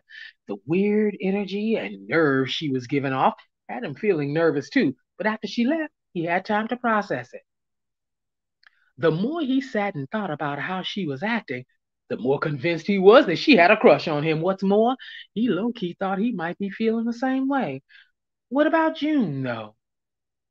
June exited the gym cheesing at the text message that she had just received from Jermaine. They were really hitting it off. It felt almost like her connection with the real Jermaine was even stronger than the one she shared with Kelvin's catfished version of Jermaine. She still could not believe that she had actually met him in person. How often does something like that happen? After showering at home, she headed to Camaiyah's house. The girls were all supposed to hang out there tonight. Hey, June said when Iliana opened the door. Hey, sis. They hugged and made their way to the living room to sit down. Where's Camaiyah? said June, placing her purse on the coffee table. She went to the store to get some drinks. June rolled her eyes. She's always got to have some alcohol. A text buzzed her phone. It was Jermaine. She quickly swiped the screen to respond, then put her phone face down on the coffee table. Iliana eyed her suspiciously. Who was that? Oh, why you look so giddy? And what's with putting your phone face down all of a sudden? Iliana reached for it, but June grabbed her phone before her sister could and opened her mouth to answer when Camaiyah's key turned in the lock. Honey, I'm home, she sang. Why do her sister think it's okay to grab her fucking phone after she done already done the most diabolical shit. Anyway, child. People, let me tell you something. Grab for my phone if you want to. Your new nickname will be Nubby than a motherfucker. Don't do that. She made her way to the living room holding a brown paper bag. She took the drinks out of the bag and placed them on the table. And before you even say anything, here's some fruit punch for your bougie ass. She handed it to June. June chuckled. Fuck you, Camaiyah. Usually she would get upset at Camaiyah for always talking trash about the healthy changes she was making in her life. But tonight, nothing could knock her off her square. Nah, honey, I got your man for that. Camaiyah said playfully, then twerked her butt nastily. Ew, chorused June and Iliana. Ew. Camaiyah flipped her hair before sitting down. That ain't what he said. Iliana rolled her eyes. So, anyways, is your cousin finally gone? That's why you suddenly have time for us? A curious expression flitted across Camaiyah's face before she mustered up another smirk. Oh, did you guys miss me? June spoke before Iliana had a chance. I sure did, girl. So much has gone on over the past week or so. Like what? Iliana looked jealous that June waited till Camaiyah was there to spill the tea. June opened her mouth to reply, but Camaiyah cut her off. Don't tell me this is about Kelvin's square ass. Kelvin, June said, perplexed. Iliana felt her face get hot and she hoped it wasn't as red as it felt. Yeah, when you two called me the other day, you said he did something you needed to tell me about. Oh, yeah, June said, remembering. Well, him too. But I got more tea to spill than that, honey. Oh, yeah? Camaiyah smirked. Like what? She fixed her face like she was ready to hear the most boring story ever told. June didn't know if she should mention him now, especially since Camaiyah seemed to be dead set on putting her down every chance she got. Plus, she had just told them a week ago that she was finished with men. She shook her head. Maybe she should wait until she was sure things were working out with Jermaine. Girl, never mind, June said, flipping her hand like it was no big thing. That only made them more curious. Iliana spoke up. What were you about to say? Did something else happen with Kelvin? Camaiyah snapped her head to look pointedly at Iliana. Why are you so concerned about Kelvin all of a sudden? Usually, she and June dominated their conversations and treated Iliana like a tag along, which was exactly how Camaiyah wanted to keep it. June never seemed to realize that her sister felt like a third wheel when the three of them got together, and Camaiyah hoped she never would. It was so much easier to manipulate Iliana when June was clueless. Kelvin is just a friend, Iliana sputtered. Y'all know that. Hmm, crushing are we? Camaiyah wanted to say, reading Iliana's response. June must have caught it too, judging from the expression on her face. She and Camaiyah shared a knowing glance. What? Iliana said, looking back and forth between the two of them. You like his nerd ass? Camaiyah scrunched up her nose. He is not a nerd, said Iliana. Camaiyah toyed with her. That's right, boo. Defend your man. He's not my man, okay? Iliana's face flushed. She looked at June for help. What's wrong with liking Kelvin? June said casually. Iliana's jaw dropped. I thought you hated Kelvin now. Camaiyah studied June. Looks like I'm not the only one keeping secrets. It was June's turn to look slightly guilty. Life's too short, she replied. Camaiyah knew June was hiding something. Mm-mm, girl, not that quick. How you gonna get over what he did that quick? I just did, June countered. Camaiyah rolled her eyes. So anyway, what did you have to tell us? Oh, it was actually about Casion. Camaiyah and Iliana wrinkled their noses and replied in unison. Casion? Yes, she sighed. He keeps blowing up my phone. Just then her phone buzzed with another text. Is that him? said Iliana. June swiped the screen, then put her phone back down on the table, face down. No, that wasn't him. Her flushed face told them she was hiding some juicy details. Camaiyah eyed her. Who was it then? How she keep finding all these niggas? Bitch is barely better than average and got all these niggas in her DMs. June shook her head. It's nobody. and yet another break in the chapter. Y'all hear this shit? Camaiyah is such a bitch. I want to punch her in the face myself. Yes. Make sure you subscribe to the backup channel, everybody. And if you're on the replay, make sure you look in the comments when you hear me say this and subscribe to the backup channel. We don't want nothing happening if they figure out that our wings are, well, I shouldn't say that. If they start feeling like our wings are rancid. Yeah. If they find out we selling top shelf liquor at budget prices. Hmm. We don't want them to shut us down. Yeah. That's how we'll put that. Anyway, June only lasted another hour at Camaiyah's house before she was ready to leave. She claimed that she had to get home because she was tired from the gym, which was true. But her real reason was that Jermaine was supposed to call her that night. Mm. She need to get rid of that social media shit that let folks track her. Y'all need to get all that shit off your phone. Motherfuckers be knowing where you at. Anyway, let me stay out y'all business. When she got home, just as she was pulling her pajama top over her head, she heard a knock at her front door. She sucked her teeth and rolled her eyes. I hope that's not Calvin, she said, remembering how their last conversation ended. Then her expression softened. Maybe she could forgive him now that she had met Jermaine. Kelvin had seemed really sorry for what he did, and things were going great with Jermaine, so there was no reason to hold a grudge anymore. She threw on her robe and strode to the front door with a new outlook on the situation. She was prepared to tell Kelvin she accepted his apology so he could go on his way and she could be at peace with the whole situation because it had actually worked in her favor. Her demeanor totally shifted when she opened the door and saw Casion standing there. What do you want? she demanded, hand on hip. You haven't been answering my text messages. He eyed her up and down, licking his lips. I like that tight fitting top, girl. June firmly closed her robe, tying the knot tighter. She should have closed the door. Fuck closing your robe. Close the door on his ass.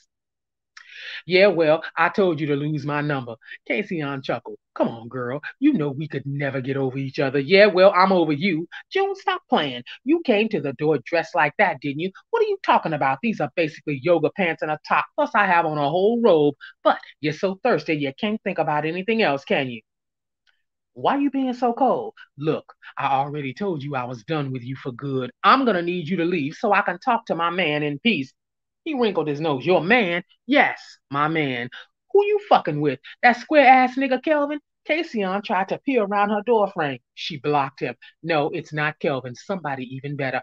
I hope you ain't talking about that catfish nigga.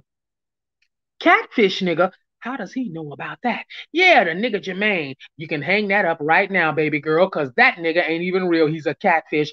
How do you even know about that situation? June felt dizzy and nauseous. Don't worry about how I know. I'm just glad you dropped that chick. She was no good for you anyway. That chick? What the hell are you talking about, Casey, Casion? Camaiyah. What about Camaiyah? She's the one who catfished you. June's jaw dropped. Stop lying. Casion uh, sucked his teeth. Come on, June. How you think I know about it? Who else would do that to you? Kelvin did it. June's ears were ringing, and she literally felt like she was about to faint. No, It wasn't Kelvin, it was Camaiyah. But that's beside the point. The nigga ain't real. So what's up with me and you? June could barely process what he just told her. Camaiyah catfished me? Kelvin was innocent? Why the hell did he confess then? Bye, Casion. She closed the door in his face and locked it. June! She ignored him and walked into her bedroom. Her phone blinked with a missed call from Jermaine, but she didn't have the strength to call him back. Mm, Good old Casion. That nigga good for something with his dirty ass. Mm-hmm. Mm. Look at the Lord bending the block for a bitch. That's what I'm talking about. Cause Shy, how was we ever gonna find out about that? Mm-mm-mm. Well, mm-mm-mm-mm-mm. Okay. Mm. I think Nicole left.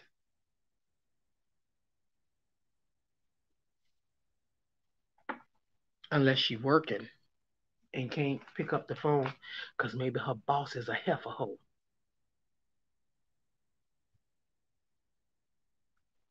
Look, we done came up with a whole scenario. oh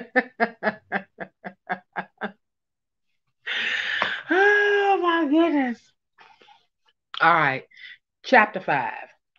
Camaiyah was beginning to feel overwhelmed with running back and forth between Coop, her job, and her friends. This keeping secret shit was for the birds. It was fun at first to fuck up June's life, but Camaiyah had to admit that it was much harder being a liar than just being straight up honest about everything. One good thing about the whole situation was that Coop didn't expect to hang with her every day since he was holding a lot of meetings with Phil and Drew in preparation for opening their gym. Plus, he was trying to find an apartment.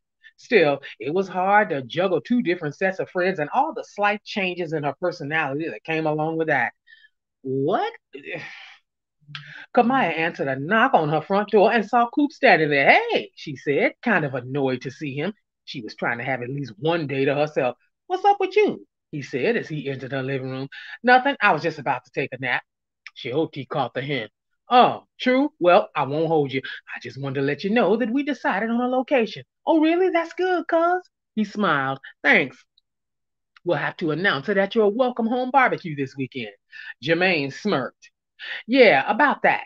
Boy, I already told you I have no friends to hook you up with. He feigned like he was hurt, then smirked again. Actually, you don't have to worry about that. I already have a plus one. Thank you very much. She rolled her eyes. I knew it was only a matter of time. What hood rat you bringing? She's not a hood rat. Far from it. You'll see her at the barbecue. Whatever. She pushed his head playfully. She felt relieved that he had found someone on his own. Maybe now he would stop pestering her about her friends. After Coop left, she felt like she needed some air, so she took a walk to a nearby park. As she was walking on one of the trails, she spotted Kelvin and June sitting on a bench with their backs to her. It looked like they were having an intense discussion. Hmm, what's this about? She murmured under her breath. Her jaw dropped when she saw Kelvin lean in to kiss June. Oh, shit! She held up her phone, chose the video app, and quickly pressed record just in time to catch the kiss before June pushed him away. Camaiyah laughed at Kelvin's rejection. That's what you get, square ass. She made a quick edit on the video, typed a brief message, and sent it to Iliana's inbox. My work is done here, bitch. She flipped her hair and made her way home. Wow. Kelvin felt like the king of bad decisions. He was totally caught off guard when June invited him to the park to talk about the catfish situation, and he was even more thrown off his game when June said that Casion told her it was Camaiyah who catfished her. Kelvin never liked Casion for more reasons than one, but he was happy that he had at least helped to convince June that he was innocent. He was still confused about his feelings for June and his newfound chemistry with Iliana. He didn't know which feeling was real or if they both were. At one point in the conversation, it seemed like June was giving him an opening, so he kissed her. Well, that didn't turn out like he hoped, and now he would feel like a total asshole if he hooked up with Iliana after what he just tried to do with her sister. June felt like her head was spinning for the umpteenth time that week. She had to quickly exit the situation after Kelvin tried to kiss her. Her mind raced as she hurried to her car. Where the hell did that come from? She totally was not expecting that. She didn't even know Kelvin was feeling her in that way. She hoped Iliana never found out. Child, listen, what is going on?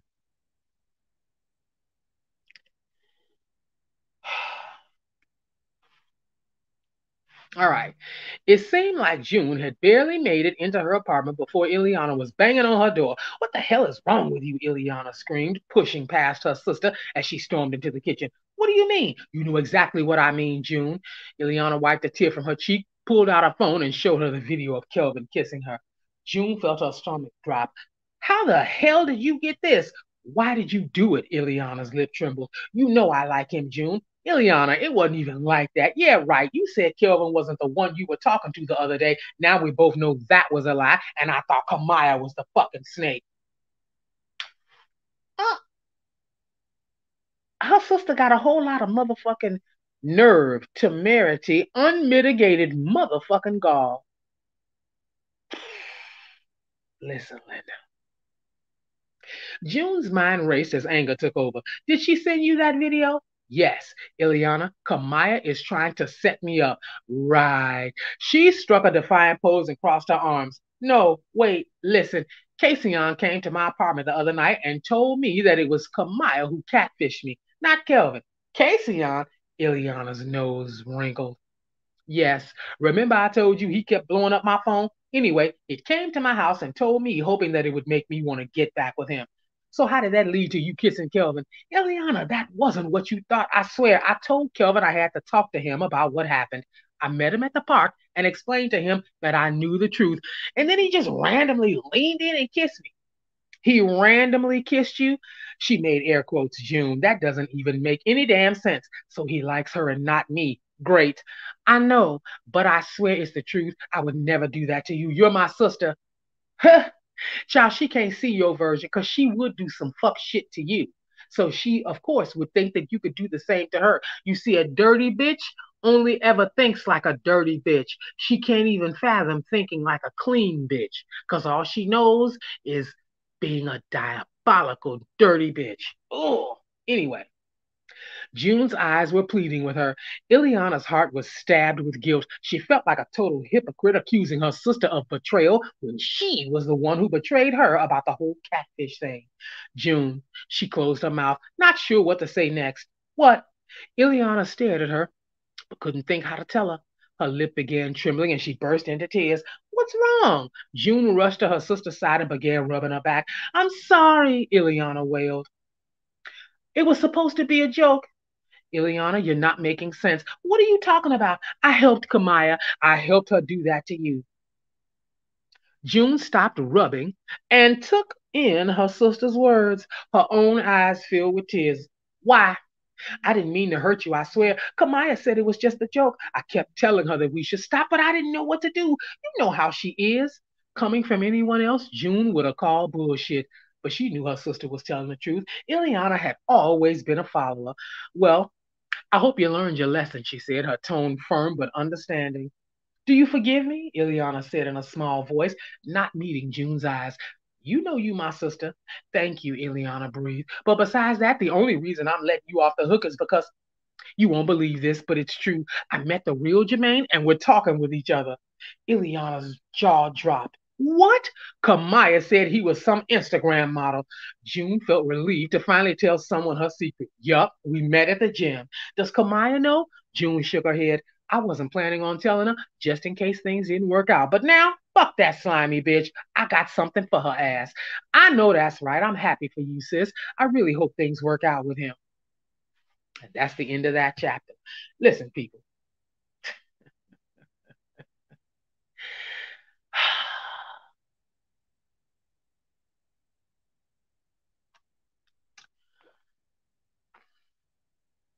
These hoes be hating. For I don't know how many years this bitch been pretending to be her friend. A mess. Chapter 6. Iliana and Kelvin bumped into each other again at a different Starbucks. What is it with y'all and Starbucks? It, just like, are you serious right now? Why do y'all drink that shit? They don't give a damn about black people. Knock it the fuck off. This time, Kelvin was the one who seemed to be tongue tied. Shit. What do I even say? I didn't expect. I mean, hey. He looked very nervous at the sight of her. She wasn't quite sure how to take the situation either, especially after seeing the video of him kissing her sister. Hey, she crossed her arms. What's wrong? Iliana got right to it. Do you like my sister? Kelvin sighed. June must have told her about the kiss. Iliana, can we just talk? She looked unsure as to how to respond. Sure. They got their coffees from the barista and made their way to an empty table. Don't fuck this up, Kel. He almost sighed audibly in his determination to set things right. So, do you like her? Kelvin played with his collar. Not anymore. Real smooth, Kel. He internally reprimanded himself. This is why you've never had a girlfriend. What do you mean, not anymore? Iliana's confusion was evident in her facial expression. Wait, that kind of came out wrong. I thought I liked your sister, but then I realized I didn't. And this was after you kissed her? This is getting better and better, Kel. Good grief. You totally should have signed up for that dating seminar. His face burned. Yeah, he looked away. So, you never had any feelings for me, huh? He took a few seconds to answer because he didn't want to screw this up. Actually, I do. She scrunched her face. I'm not buying it, said her doubtful expression. Kelvin shook himself from his negative thought process. Look, I know it sounds stupid, and to be honest, it was, but I was trying to sort out what I was feeling at the time. And the only way to do that was to kiss my sister? He didn't respond. Damn, another one bites the dust. Iliana stood up, suddenly feeling the need to get away from Kelvin. Wait! Kelvin reached for her hand, but she stepped back. What? She waited a beat, then sat down again, willing to give him one more chance. Can we just start over? This whole situation is confusing as hell, but I know how I feel, and it's you that I want to be with. Kelvin prayed that she would just give him a chance. She stared at him, not sure if she should believe him. He looked into her eyes and smiled. It's a, it, if it's okay with you, I want to give us a try. This was the most awkward situation she had ever been in. Here was the guy she had been crushing on for years, finally professing his feelings for her, but only after attempting to kiss her sister.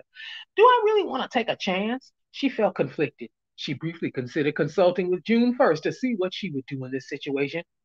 But then it occurred to her it was time for her to start making her own decisions. She'd been relying on June and Camaiyah all this time, looking to them for all the answers, when she really needed to stand on her own two feet. She decided to do what felt right. Okay, she finally responded. Let's try it. And there's a break in the chapter. Like this is uh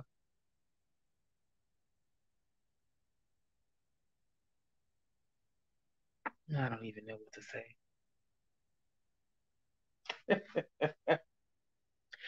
June rode in the passenger seat of Jermaine's rental as they headed to his family's barbecue. She was excited that he had invited her, but nervous at the same time. She figured it was a good sign that he wanted her to meet his family, but she didn't want to come off as too trusting. She had learned that from Camaiyah the hard way. She still hadn't confronted her. The truth was, she was still reeling from the revelation that her oldest friend could do her so wrong. Were we ever really friends? She'd always taken Camaiyah's constant put downs as concern for her well being or harmless sarcasm. Now she knew better, and she was reminded of something her mother told her one time. When someone shows you who they really are, believe them the first time. She sighed. You were right, Mom. Hey, you all right over there? Jermaine said softly. Yeah, I'm good. June gazed out the window and had a weird feeling of deja vu. My best friend lives out this way, she commented. Well, ex best friend. Soon to be, anyway. How ironic. Oh, wow. He glanced at her, then back at the road. What happened? June briefly considered explaining the situation to him, but quickly realized that that would likely take a much longer conversation than this car ride would be, especially once he heard the part about how his name and picture was used to catfish her. A bunch of drama she had, or she said instead. I'm still trying to sort it out. I'm sorry to hear that. We can talk about it if you want. That made her smile. Jermaine was so sweet. She didn't want to say it too soon, but it really felt like he was a keeper. Thank you. We can talk after the barbecue. Let's just focus on your family now. No doubt. He smiled, revealing his sexy dimples. She resisted the urge to lean over and kiss him. She was dying to know what his lips felt like. Well, you probably shouldn't do that while he driving, bitch. Anyway, she smiled back at him, but when he turned down Camaiyah Street, her stomach flipped and she felt the color drain from her face. She was trembling as he pulled into the parking lot in front of Camaiyah's apartment. Your cousin is Camaiyah? She blurted out. It was all she could do to keep from screaming. Jermaine looked confused. Yeah, why? This bitch Everything clicked into place. So you're Coop, huh? Unbelievable. Now I know why she didn't want anybody to meet him. Uh, yeah, is everything okay? Not getting an answer. He said, My last name is Cooper, but people call me Coop. Why? What's up? You look really upset about something. What did I do? June could feel the heat rising within her. She balled up her fist, fighting to control her rage. That fucking bitch. June, baby, you okay? Jermaine looked seriously worried now because she was taking deep breaths to calm herself. Look, Jermaine, we need to talk before we go in your cousin's house, okay? She spat out the word cousin. Uh, okay. Jermaine listened as June told him the whole story, and by the time she was finished, the expression on his face matched the seething fury she felt. Camaiyah felt like she had been running around like a chicken with its head cut off, trying to get everything perfect for Coop's welcome home barbecue. Her family was getting on her damn nerves, asking question after question about Coop. They acted like he wasn't their family too, like they didn't have his number to ask him themselves. So where's Coop's gym at again? Her uncle Jerome asked for what felt like the 50th time. It's going to be on Wilson Street, Camaiyah gritted through her teeth as she set a large bowl of potato salad on the table.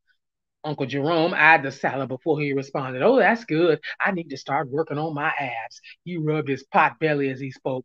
Camaiyah fought the urge to roll her eyes. So what time is he coming again? Call him yourself, Camaiyah spat out before she could stop herself. Her Uncle Jerome gave her a stern look. So did her Aunt Karen. She knew she was in trouble. You better watch your tone, girl, her uncle and aunt said in unison. Sorry, Camaiyah said, re-attempting to relax herself. She quickly retreated to the kitchen to get the baked beans. When she came back out, everything seemed to be back to normal.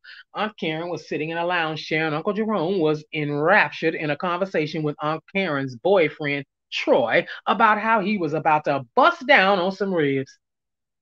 She smiled when her cousin finally arrived, but her smile vanished when she saw who was with him. Her jaw dropped as her eyes met June's icy stare, then Jerome's steely expression. She was in deep trouble. June wasted no time jumping right into it with Camaiyah. So, you just have no type of shame in your game, huh? She strode toward Camaiyah's direction. Aunt Karen quickly assessed that June was about to get physical, so she jumped up to get in between the two ladies. Camaiyah was on ready. She ain't even flinch. Come on and say what you got to say, June, she replied, pretending to be unfazed. On the outside, she displayed her usual tough, hard, heartless demeanor, but on the inside, she was shaking like a leaf, not because of June, but because of Jermaine. She refused to even look in her cousin's direction, but she felt his disappointed stare. She didn't know how she was going to explain this situation to him, but she first had to deal with the matter at hand. June, honey, Aunt Karen was saying, I don't know what's going on between you and Camaiyah, but this is not the time or the place. This is a family barbecue. She emphasized the word family, but June was too pissed to back down. I understand that, Miss Karen, but Camaiyah, listen, whatever it is, you two can deal with it later. I think you need to leave. No, June said in defiance as she crossed her arms. Everyone stared in shock. Camaiyah caught her Uncle Jerome sneaking some potato salad out of the corner of her eye. I'm not leaving, June repeated, seeming to be happy about the fact that she now had the floor. You all need to know about how Camaiyah is nothing but a lying, sneaky, manipulative little snake. Aunt Karen gasped. June, I'm sorry, Miss Karen, but she catfished me using your son's name and picture. By now, Camaiyah's family was fully engrossed in June's exposure. Even Uncle Jerome stopped mid bite when he heard those words. Aunt Karen turned to Camaiyah, who was speechless once in her life. Did you really do that? Camaiyah stared down at the grass. Go on and tell him, June taunted. Or does the cat have your tongue? Ain't shit got my tongue, bitch. Camaiyah finally found her voice. Camaiyah, watch your mouth, Aunt Karen said. I'm sorry, Auntie, but she's not just gonna come up in here disrespecting me like she owns the place. Camaiyah returned her attention to June. You know, you ain't really about that life, so I suggest you leave before you catch these hands. Camaiyah, Coop finally spoke. I'm serious, Coop. You better get your little girlfriend, whatever you want to call her, before her mouth signs a check that her ass can't cash. Camaiyah was secretly hoping that June would pop off so she could have license to go ahead and beat her ass. She needed someone or something to unleash all of her frustrations on, and June had had it coming for a long time in her eyes. Her mind briefly flashed to the bottle of Remy she had stashed in her room. That will take the edge off, she reasoned. Whatever you got, you can bring it because I'm sick of you. June reached around Aunt Karen like she was trying to hit Camaiyah, but Camaiyah knew exactly what June was doing, trying to use her aunt as a shield so she could save face in front of her family.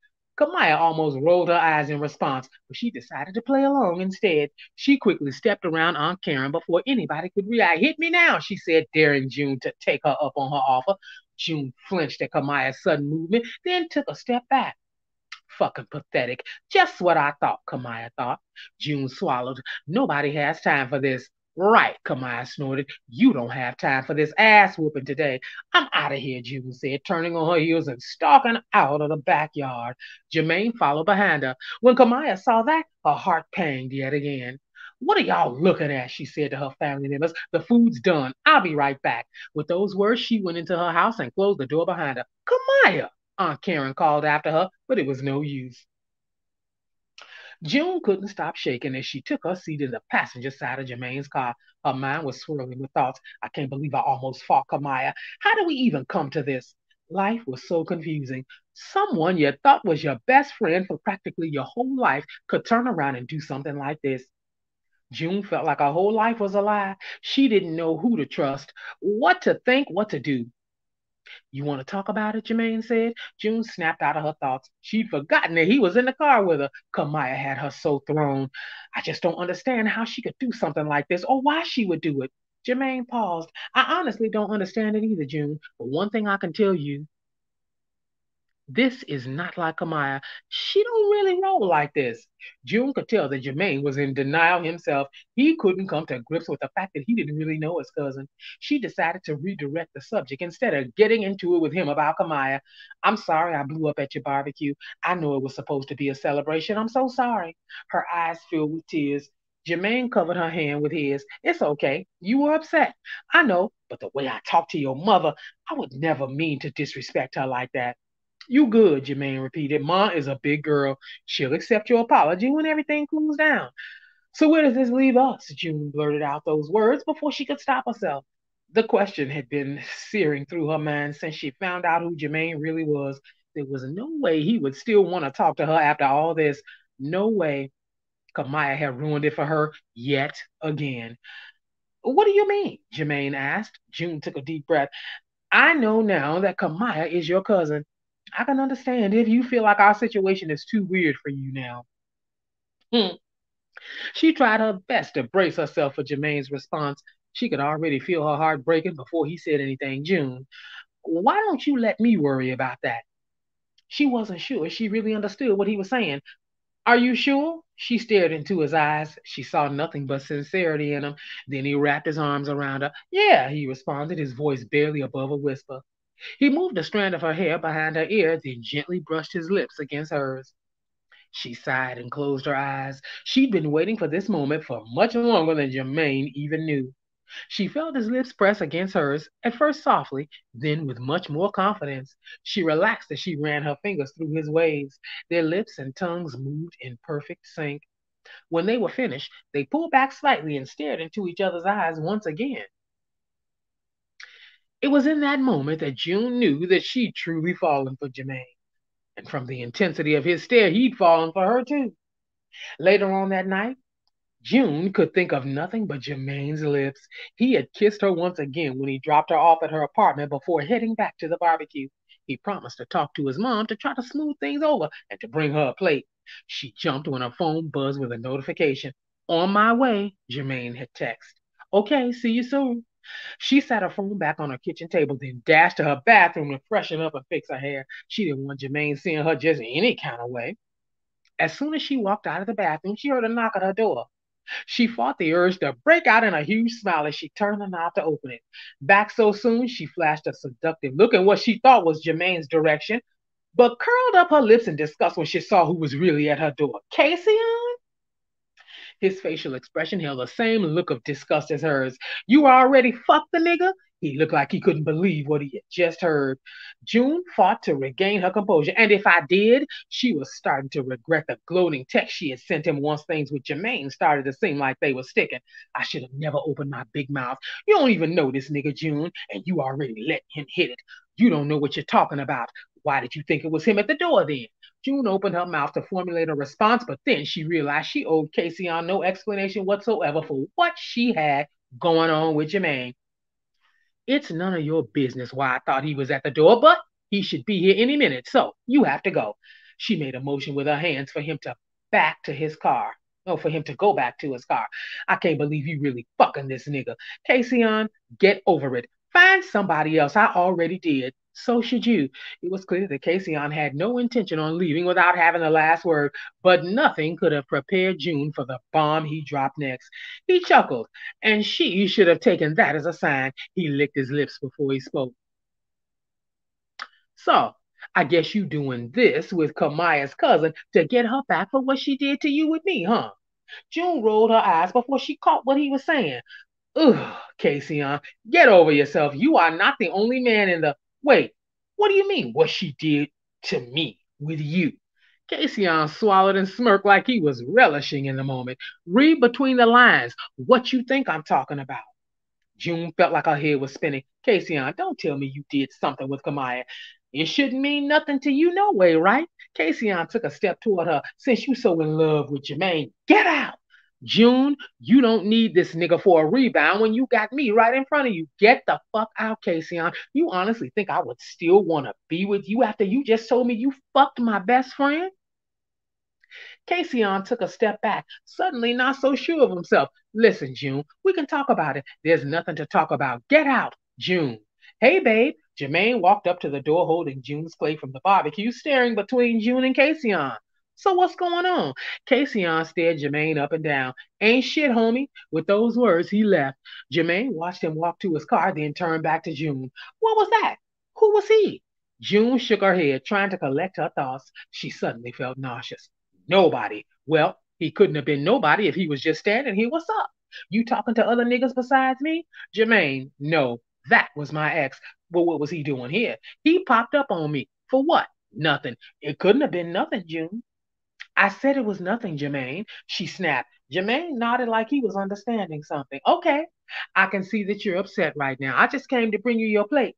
He handed it to her. I'll be on my way. Got to get back home before it's too late anyway. He started to walk away. Wait, Jermaine. June watched as Jermaine continued to his car, got in, turned the key in the ignition, and drove off. She stared at the empty street in front of her apartment for a few moments, then went inside and closed the door.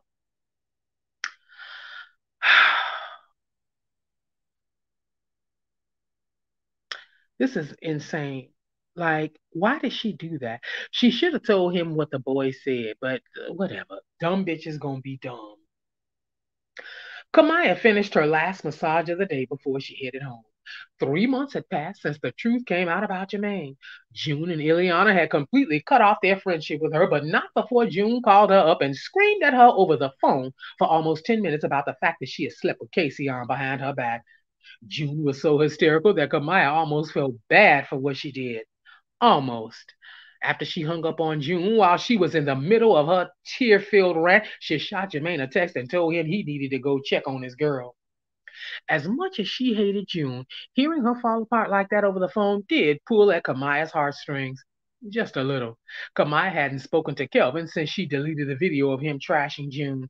They had never really been cool like that anyway. Coop forgave her after her profuse apology for using his name and picture to catfish June and decided it was best to keep the two ladies away from each other.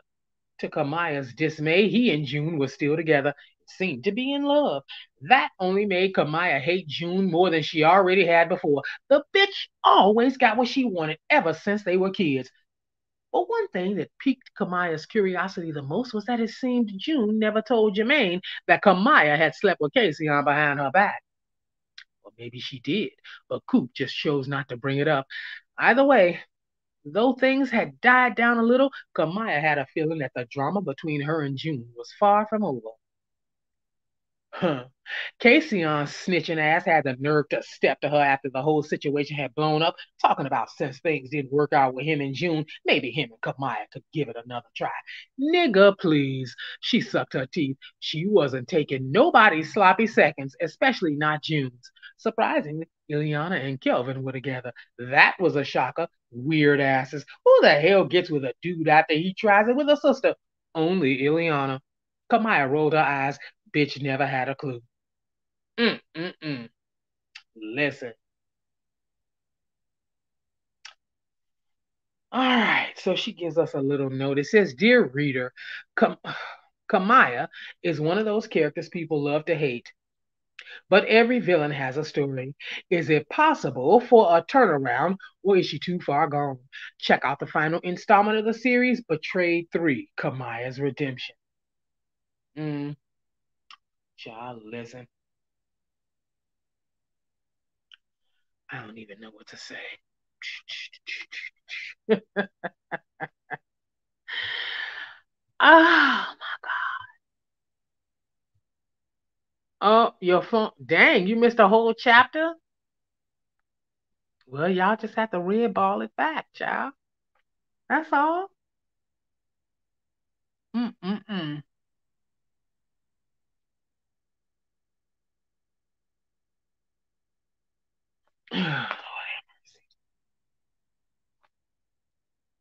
This is uh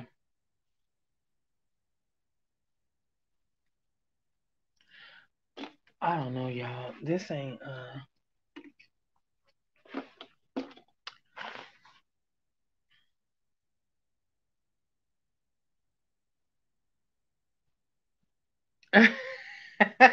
not we like live soccer. Listen. Mm-mm. a mess. I hear y'all, but uh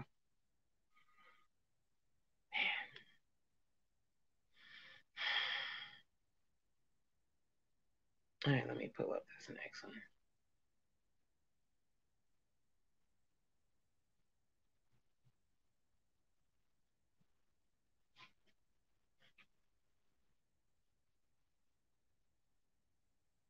Okay, it's saying an hour and 22 minutes. All right.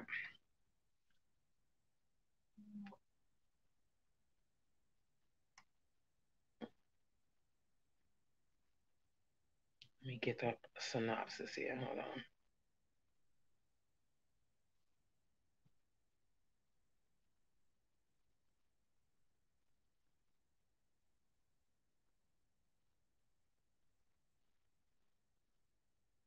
All right.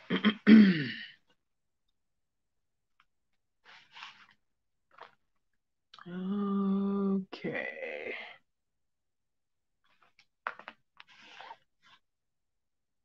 I'm give y'all the synopsis for this one. Hey, watch it.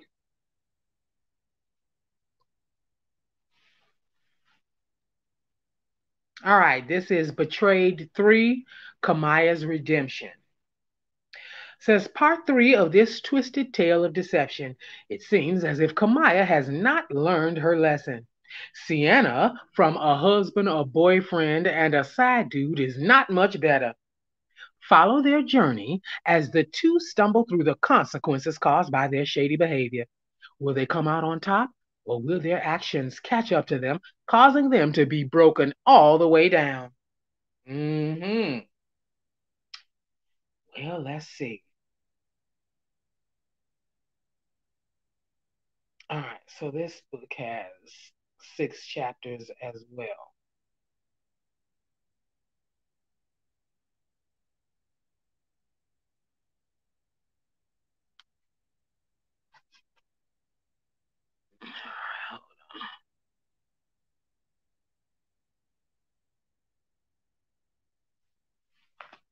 Write down my timestamps here.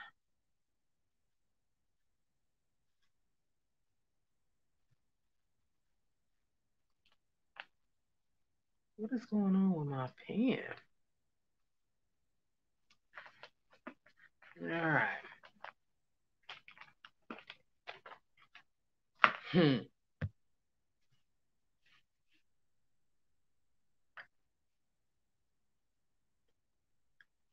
Yeah, y'all are going to miss me tomorrow, tomorrow, tomorrow. Hmm. Cause I know you lying if you think y'all gonna be just using me to sing hooks and shit. Who I look like Patti LaBelle or somebody? Shout out if you're old enough to know what song that came from. All right, chapter one. Camaiyah pulled out of the parking lot of R&R Spa, where she'd been working as a masseuse for the past five years. She was so tired and burned out. I need a drink, she muttered with a sigh. She turned down a side street to the package store in search of some liquid comforts. The package store. Today marked six months since she, June, and Iliana broke off their friendship. She hated to admit it to herself, but she kind of missed them. Well, at least Iliana. She'd stopped liking June a long time ago. She sucked her teeth when she saw that nearly every space was taken in the parking lot of the liquor store. I'm just trying to get in and out today, she yelled at the world through clenched teeth, and nobody better try to holler either. She quickly pulled into a space way at the end after someone else pulled out of it. Another driver who had been eyeing the spot from the opposite direction threw up her hands in frustration. Bitch, I know you ain't taking my spot, the other woman yelled through her open window as she drove at a crawl past Camaiyah's car to circle around and hunt for a new spot. Camaiyah cocked her head out of the window. Yes, I am. And most girls were scared of her because of her size, and the ones that weren't quickly learned to be afraid after catching those hands. Camaiyah often described herself as thick but proportional. She sauntered to the door of the establishment, making sure she shot a final glance at that other driver before she walked in. Huh, she muttered, noticing that the woman was idling near Camaiyah's car as she waited for an empty space. As soon as Camaiyah entered the store, she could feel all eyes on her. It was packed with men of all shapes and sizes. Unfortunately, only the older, fat, balding ones decided to give her any verbal attention. Hey, little baby, said a toothless one, staring directly at her behind. Well, why don't you let me take care of you tonight? Camaiyah curled her lip at him in disgust. Her eyes and attitude said, Let me hurry up and get the hell out of here. She walked as far away from him as she could, which was hard to do in such a small store. She eyed the selections, then quickly grabbed a bottle of Henny, her go to after a long, stressful day. When she got in line, the toothless old man was still in the same spot staring at her. He immediately cut back into the conversation as if she never left. So, what you think about that? He licked his lips. Camaiyah fought her urge to vomit as she focused on the back of the t-shirt of the man standing in front of her. All these damn men in here and nobody even comes to my rescue. Hey, he said again, then had the nerve to touch her to get her attention. I'm talking to you. This nigga did not just try to put some bass in his voice. She mustered up as defiant a look as possible, but at the same time, she was feeling kind of nervous. Hey, man, said the cashier, noticing what was going on. If you not going to buy anything, you got to leave.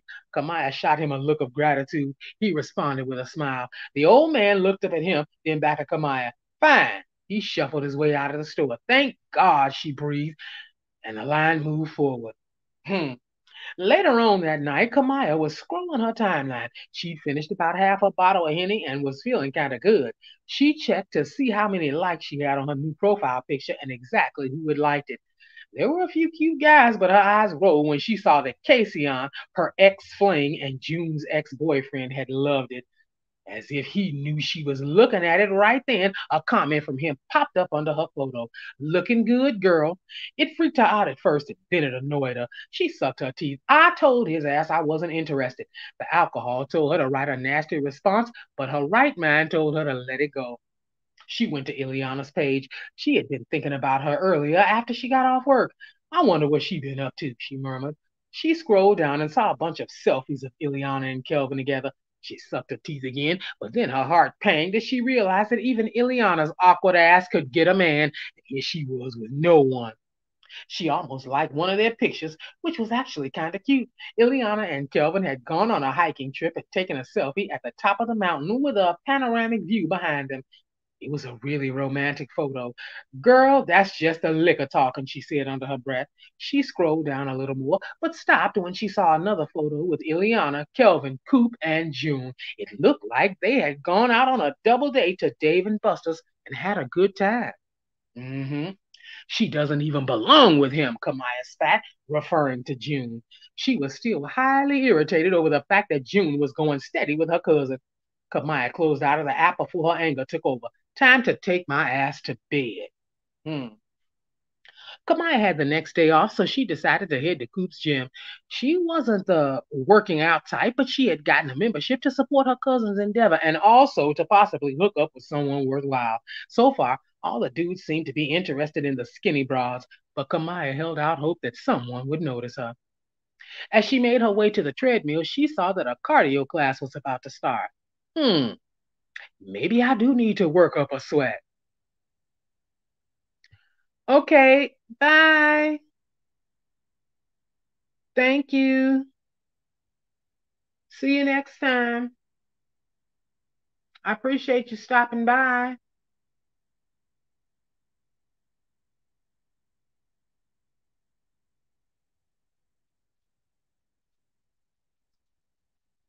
All right, let me get back at it, y'all. Get to where I left off. Mm-hmm. Hang on. Sorry about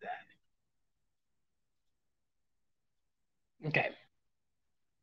She entered the room and quickly grabbed a spot next to a girl of average build, the kind of person who looked like she would have to put some effort into her workout. Good, I won't feel so big next to her. Hey, said the girl, and gave her a friendly half smile. Hey, Camaiyah said, and smiled back before focusing on the instructor. Okay, let's get started, everybody. The instructor, a woman who looked a few years older than Camaiyah, was a little too upbeat for Camaiyah's liking, but she clearly must have known what she was doing based on her six pack abs. So Camaiyah decided to stick around and endure her exuberance. Camaiyah one of them unhappy hoes that just no matter what is going on, she gonna find something to hate on somebody about something. She just one of them bitches that's just mad at something all the time. She either mad at somebody or something every day. Every day. The class started with a warm up, which was pretty easy, though Camaiyah could definitely feel herself working up a sweat already. By the time they were about five minutes in, things got more intense. Camaiyah felt like she had made a mistake by joining in. She was barely able to keep up with all the jumps, squats, and lunges, and she was literally huffing for breath. At first, she felt like she was the only one struggling, but then she noticed that the girl next to her was doing worse than she was, so she resolved to at least do better than her for the duration of the workout. What the fuck? Always in competition with somebody. Dummy. By the time the 30 minute session was over, Camaiyah was drenched in sweat. Never again, she said on a long exhale, though she actually felt kind of good. I know that's right, said the girl, panting for breath. Camaiyah shot her a glance. I'm Sienna, she smiled. Camaiyah, she said, deciding it wouldn't hurt to return the friendliness. The girls walked together to the locker room to freshen up. So, how long have you been a member? said Sienna after splashing her face with some water. She wiped it with a towel. I joined when it opened, said Camaiyah. My cousin is one of the owners. Really? Sienna looked at her in the mirror. That's great. They made their way back into the gym just as Coop walked through the front doors. That's him right there. Camaiyah gestured toward him. Hey, cuz, she said, and they hugged. We still on for tonight? Sure, he smiled and looked at Sienna. This is Sienna, Camaiyah said, not missing a beat. She just took the cardio class with me. Oh, really? Coop said. How was it? It was hard, but I enjoyed it. Me too, said Sienna. She gazed at Coop, then broke eye contact out of nervous attraction. She's feeling him, Camaiyah observed. This could be good. Well, I won't hold you, lady, said Coop. I have a meeting. I'll see you later, Camaiyah. They watched him walk away. I imagine a lot of females join this gym, Sienna remarked, staring a little too long at his broad shoulders and backside. The wheels were already turning for Camaiyah. Indeed, they do. Hmm. Now here she probably gonna try to set her up with Coop, knowing that uh what you call it, this bitch. She need her ass beat, y'all. Anyway. Later on that night, Camaiyah and Coop were watching movies at her apartment. Despite the fact that he had hooked up with June, Camaiyah really loved having her cousin around again. This is crazy, Camaiyah said after a particularly riveting scene in the latest Fast and Furious movie. Right, said Coop. I need a whip like that. He stuffed another handful of popcorn into his mouth, and right then his phone rang. He placed his popcorn bowl on the coffee table and grabbed his phone. One second, I gotta get this. He hopped up and went to the kitchen. Camaiyah rolled her eyes and paused the movie. Must be June on the phone. Little Miss Precious Perfect. If it was Vale or Drew, his business partners, he would have stayed in the living room. Camaiyah impatiently scrolled her timeline until Coop returned. Is she going to be calling you all night? She snapped when he came back into the room. Coop shot her a pained look. Camaiyah, why you tripping? I'm not tripping. Why does she have to be all up under you? She knows you're over here, right? Coop sighed. Can we just get back to the movie, please? Yeah, as long as she doesn't keep blowing up your phone. Coop looked like he'd had enough. Look, Camaiyah, I don't understand how you can't stand her so much. Wasn't y'all best friends since like kindergarten? I've been stopped liking her. So why did you continue to be friends with her for all those years? I never knew you to be fake. Camaiyah's ears grew hot. Nobody was being fake. It's just, just what? Coop crossed his arms. Camaiyah paused. Let's get back to the movie. She pressed play before he could say anything else, but his words stuck with her through the rest of the movie and long after he left for the night. Was I being fake? Duh, bitch. That's the end of that chapter. Child, listen. This girl is a piece of shit. Anyway. I can't with girls like her. Mm-mm-mm. It's horrible. Chapter 2 The morning sun filtered through the blinds in Sienna and Cameron's bedroom, waking her up. She groaned and rolled over and lay there a few minutes more to convince herself to get up to go to the bathroom. It had been two days since the cardio class, but her legs still felt like they could barely move after all those squats and lunges. I really need to get back in shape, she muttered. She yawned, stretched, and made herself trudge to the bathroom. When she came back into the bedroom, Cameron was still snoring. She decided to let him sleep a little longer. I might as well make breakfast. She grabbed her robe from the back of the bedroom door and made her way to the kitchen. Even though it had been three years, it seemed like just yesterday that she had been in the kitchen cooking breakfast for Trent. Their divorce still pained her, though it had long been finalized. Her lost friendship with her two besties, Natasha and Rachel, also still deeply affected her. But two very good things had come into her life after her divorce from Trent her son, Trent Jr., and her new husband, Cameron. She hummed as she entered the kitchen and turned on the radio they kept on the counter. She found an upbeat station and got busy cooking. Soon the house was filled with the delicious aromas of pancakes, sausage, and grits with cheddar cheese. Good. Google it. Google it. Ooh wee, girl, said Cameron as he entered the kitchen wearing his robe. I knew I put it on you last night, but I ain't know it was like that. He wrapped his arms around Sienna from behind and kissed her neck as she stood at the stove fixing their plates. Boy, stop, she mock scolded with a teasing grin. You know I cook every Saturday. Every Sat. Anyway. he took his seat at the breakfast table as she set his plate and utensils in front of him, then went to get her own. She poured, or he poured himself, sorry, some orange juice from the pitcher she had put on the table, then filled her glass. Thanks, babe. She took a bite of sausage. Oh, man, this is good if I don't say so myself. You know it. Cameron dug into his cheese grits. So, little man staying with Trent for the whole weekend? A dark look crossed Sienna's face for a split second. She couldn't stand Trent's wife being around her son. Yeah, and he's bringing him to daycare on Monday as well. We'll pick him up on our way home. She and Cameron taught at the same elementary school, which was kind of awkward at times, but also beneficial because it saved gas and mileage. Maybe we can try for a little one of our own soon, Cameron said. She tensed. She had been dreading this conversation, though she knew it was coming. It was almost like deja vu. When she and Trent were married, he had pressured her to have a child. Right, maybe one day soon. She hoped her fake agreement was enough to keep him at bay for a while. She allowed her mind to wander as she and Cameron ate the rest of their breakfast in silence. I wonder what Trent's doing right now, she mused inwardly. When Cameron abruptly pushed his chair back to get up from the table, she startled. I gotta get over him, she muttered. What was that? Cameron said, raising his eyebrow at her as he reached for her empty plate. She shook her head. Nothing. I was just thinking about the lesson I have planned for Monday. He smiled in response. Always on the job. Always. She got up and went back to their bedroom to get ready for the day while Cameron washed the dishes. Cameron decided to spend that Saturday with his boys, so Sienna went to the mall for some spa treatments. She got her nails and feet done first, and then she decided to get a massage before getting her hair done. She walked into R&R Spa and almost breathed a sigh of relief at the calming atmosphere. It was her first time at this spa, and already she liked the ambiance better than the one she usually went to. She was greeted as soon as she walked in, and luckily they had an immediate opening because another client had canceled on one of their masseuses. Sienna's eyes widened when she saw that her masseuse was Camaiyah, the girl she had met at the gym. Hey, she exclaimed, I didn't know you worked here. Hey, Camaiyah's expression was unreadable at first, then she smiled. I guess I'll be taking care of you today. Sienna followed Camaiyah to one of the back rooms where she changed into the robe Camaiyah supplied her before they entered the massage room. She lay face down on the massage table. Camaiyah knocked on the door. All set? Yup. Camaiyah entered, then closed the door behind her and dimmed the lights. She turned on some soothing instrumental music. So, you signed up for a 60 minute full body massage today, correct? Her tone was so professional that she sounded like a different person. Sienna almost looked up to see if someone else had taken Camaiyah's place. Yes, thank you. Okay, I just wanted to verify before we began. Camaiyah explained to her the various pressure points she was going to hit and let her know that if anything felt uncomfortable, she was free to speak up.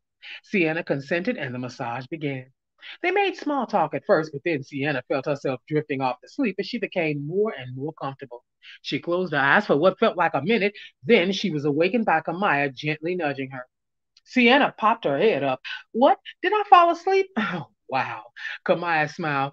You must have been very comfortable. Sienna blushed. I'd never fallen asleep doing a massage before. Usually I would be too afraid to. Camaiyah's smile widened as she finally broke her professional tone. Guess I got the magic touch.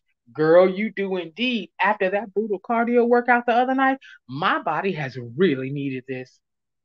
Sienna changed into her clothes, then paid at the front desk, making sure to give Camaiyah a huge tip. She went back out into the busy mall to get her hair done. After her hair was styled, she was ready to go home. She began the long trek to the opposite end of the mall where her car was parked when she saw someone she never expected to see on a random Saturday like today. She stood still and watched as he approached, trying not to look too happy to see him, but she could feel herself smiling. Wow, hey, she said, sounding a bit too eager before she could stop herself. It had been almost three years since she had seen Xavion in person, but he looked even better than he did when they were fooling around. His dreads were freshly twisted and cascading down his back.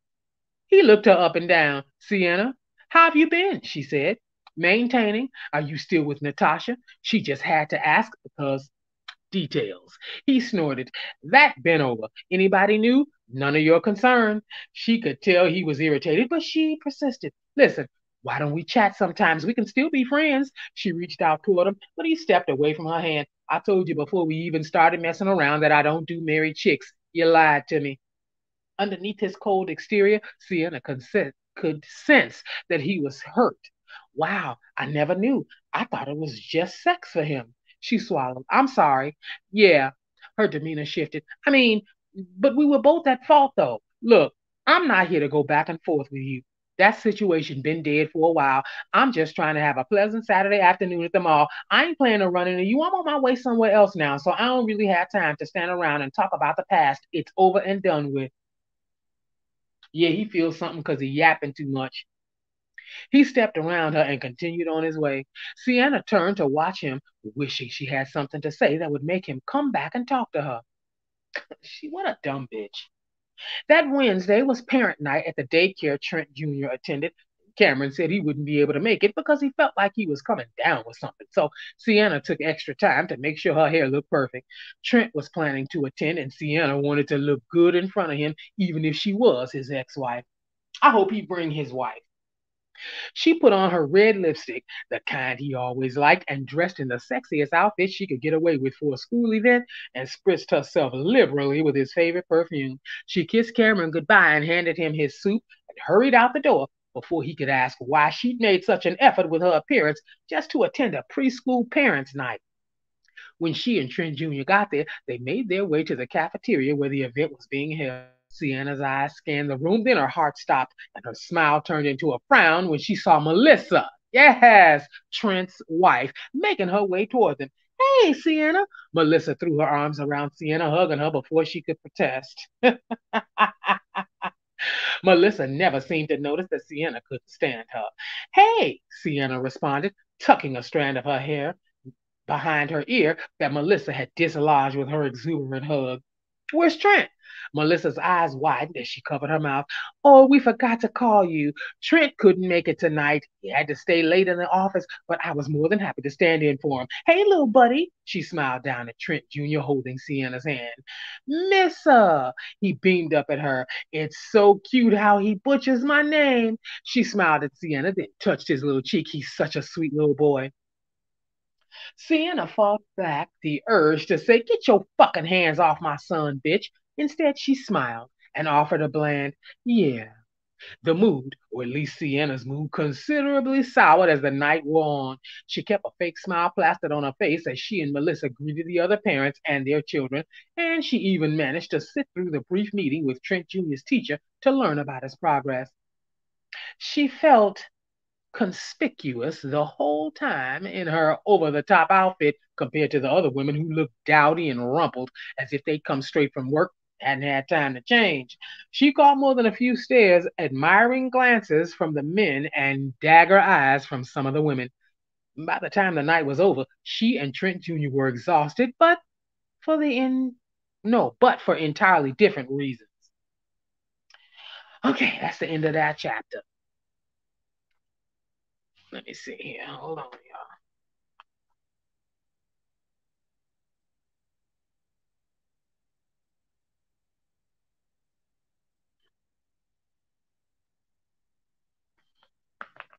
y'all. Okay. Y'all good? Because I can stop if y'all getting tired. Because it's going to be one of those. Uh, seem like we got a, a ways to go. Well, we halfway through the book.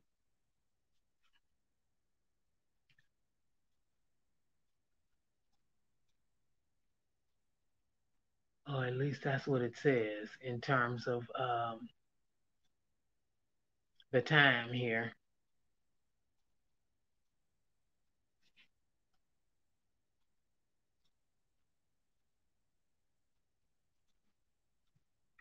Okay.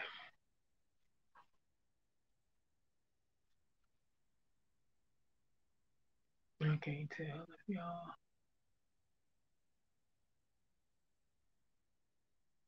All right. Oh, you good? Okay. Okay. Thank you for letting me know.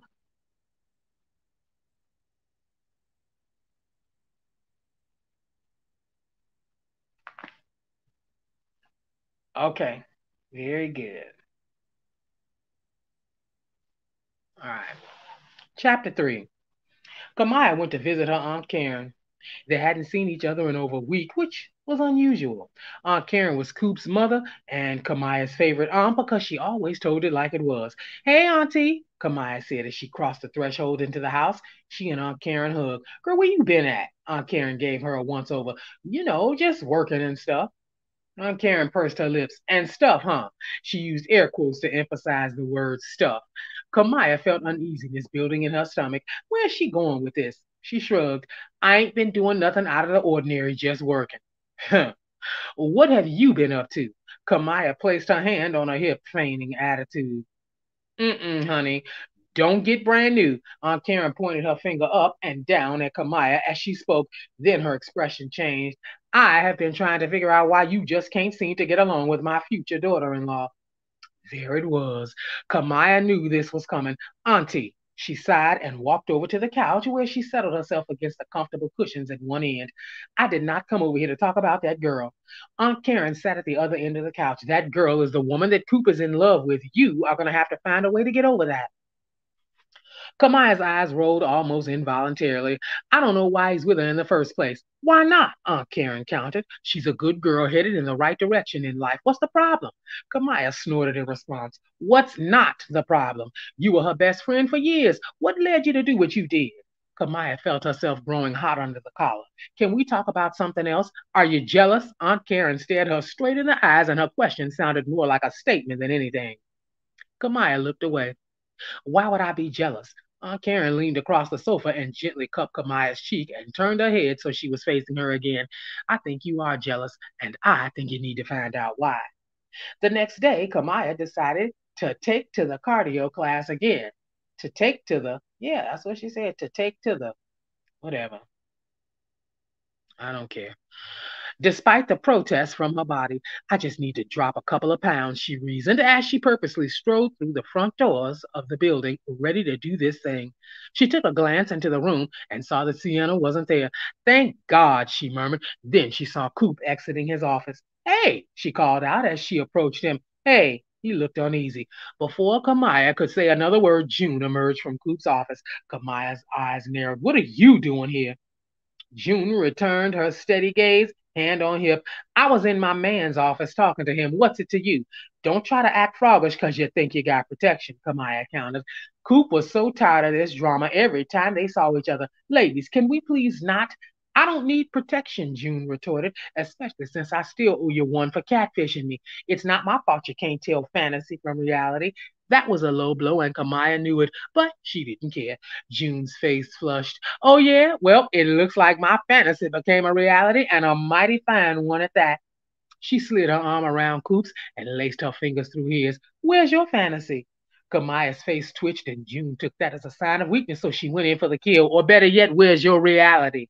Camaiyah lunged, but Coop blocked it. Camaiyah, chill. This is a place of business. His eyes pleaded, and that was the only thing that kept Camaiyah from unleashing her rage. Whatever, she shrugged and glared at June. If I see you on the streets, I got something for your ass. Coop just shook his head, and June didn't acknowledge the threat. She and Coop walked hand in hand out of the gym and left Camaiyah standing there, fuming.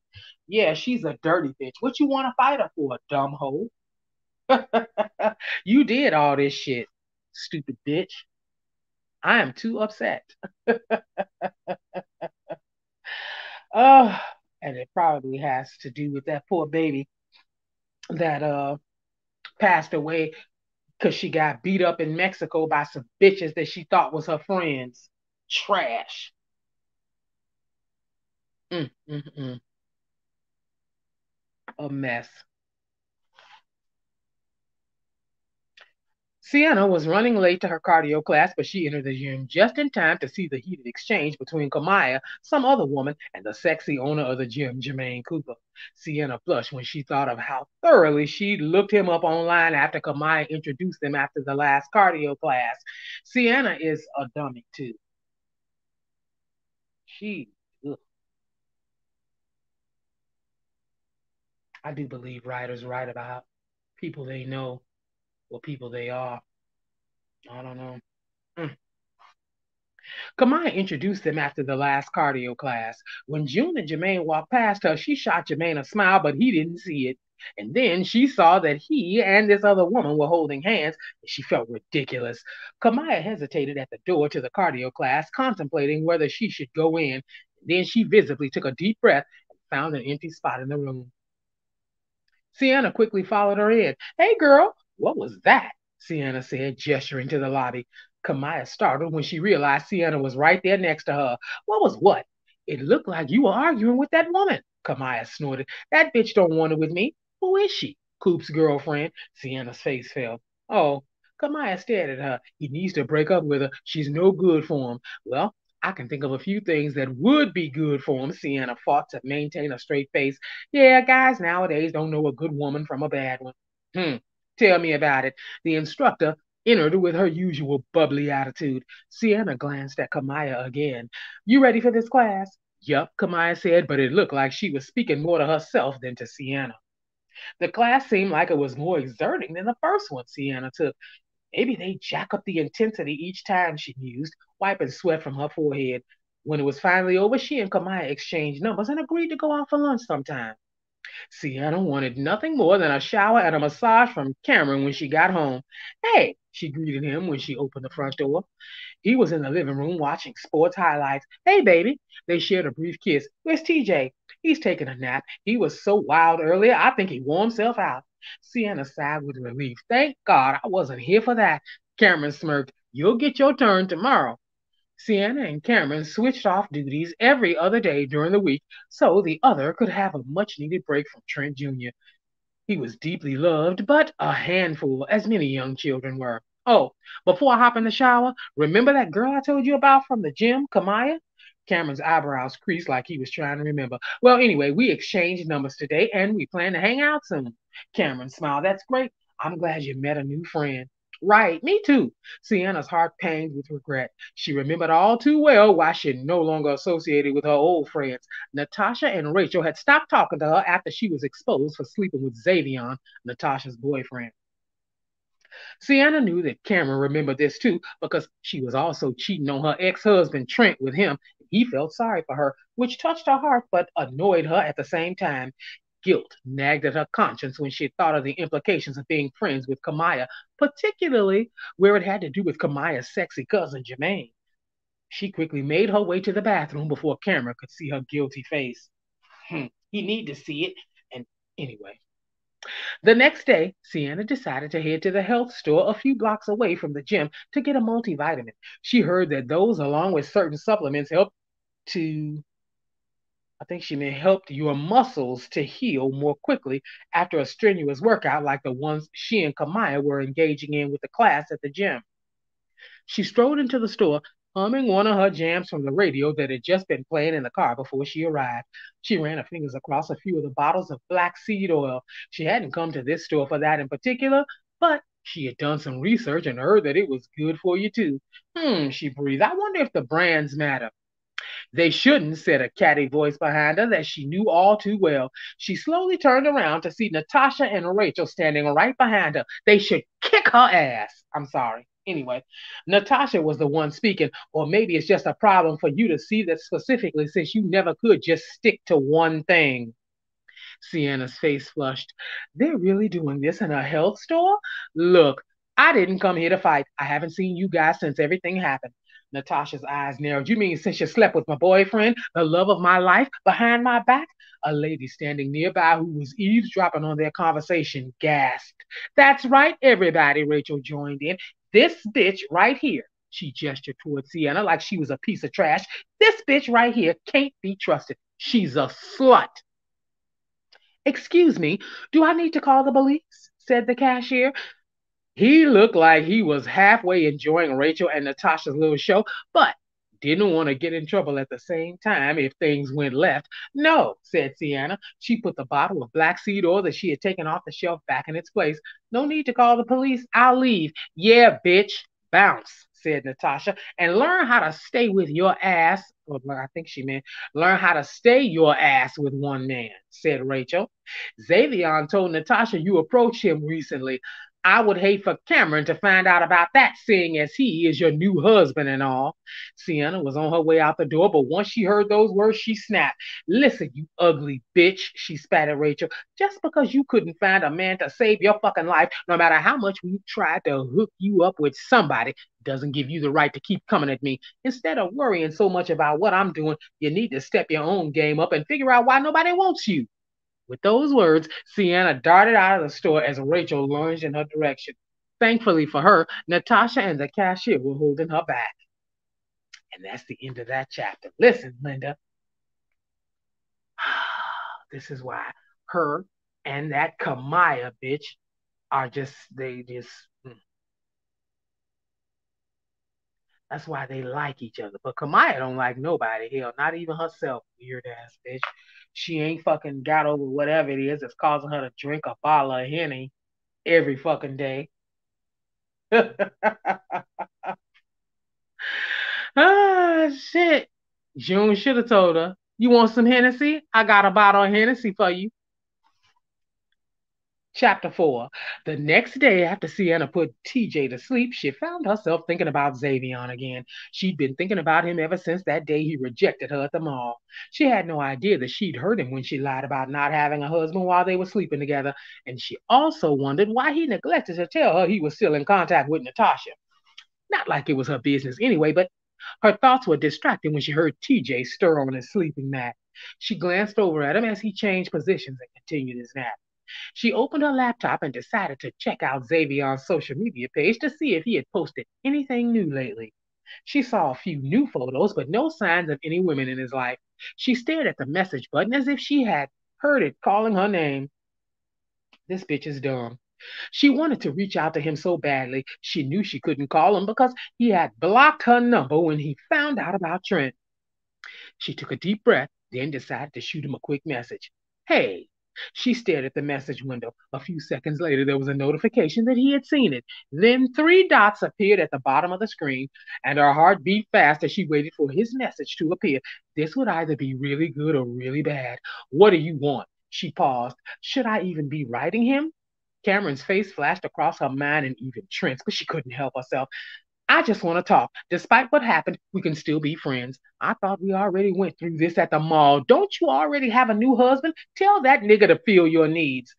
Though Xavion was clearly rejecting her, Ce'Anna felt herself growing desperate. She missed him, his touch, his aggressive edge, his hands all over her body. She snapped out of it and sent him another message. Can I just come over so we can talk about this in person? Ce'Anna stared at the screen, waiting for his response. At first, it looked like he wasn't going to write back, but then the three dots appeared again. Look, I already told you my position in this situation, but you don't seem to know how to take no for an answer. I already told you I don't do married chicks. Stick with your husband. I ain't got shit for you over here. She felt like she almost had him. Why else would he still be responding? Why can't we just talk? Come on, Zay, she whined in frustration. Then her frustration quickly dissipated when her eyes scanned his next response. Bitch, can't you read? I already told you I had no words. If you want to come over, you can top me off, but that's about it. Other than that, I got nothing for you. Ce'Anna stared at the screen in disgust. This is how he feels after our whole situation. She knew she was wrong, but he didn't have to be rude. She closed the message app in frustration, blowing out a deep breath. Then she went back in to block Xavion's profile before shutting down her laptop. Guess we're done for good. After her failed conversation with Xavion, Ce'Anna couldn't think of anything else to do with herself, so she turned on the TV. So bitches be hoes because they're bored.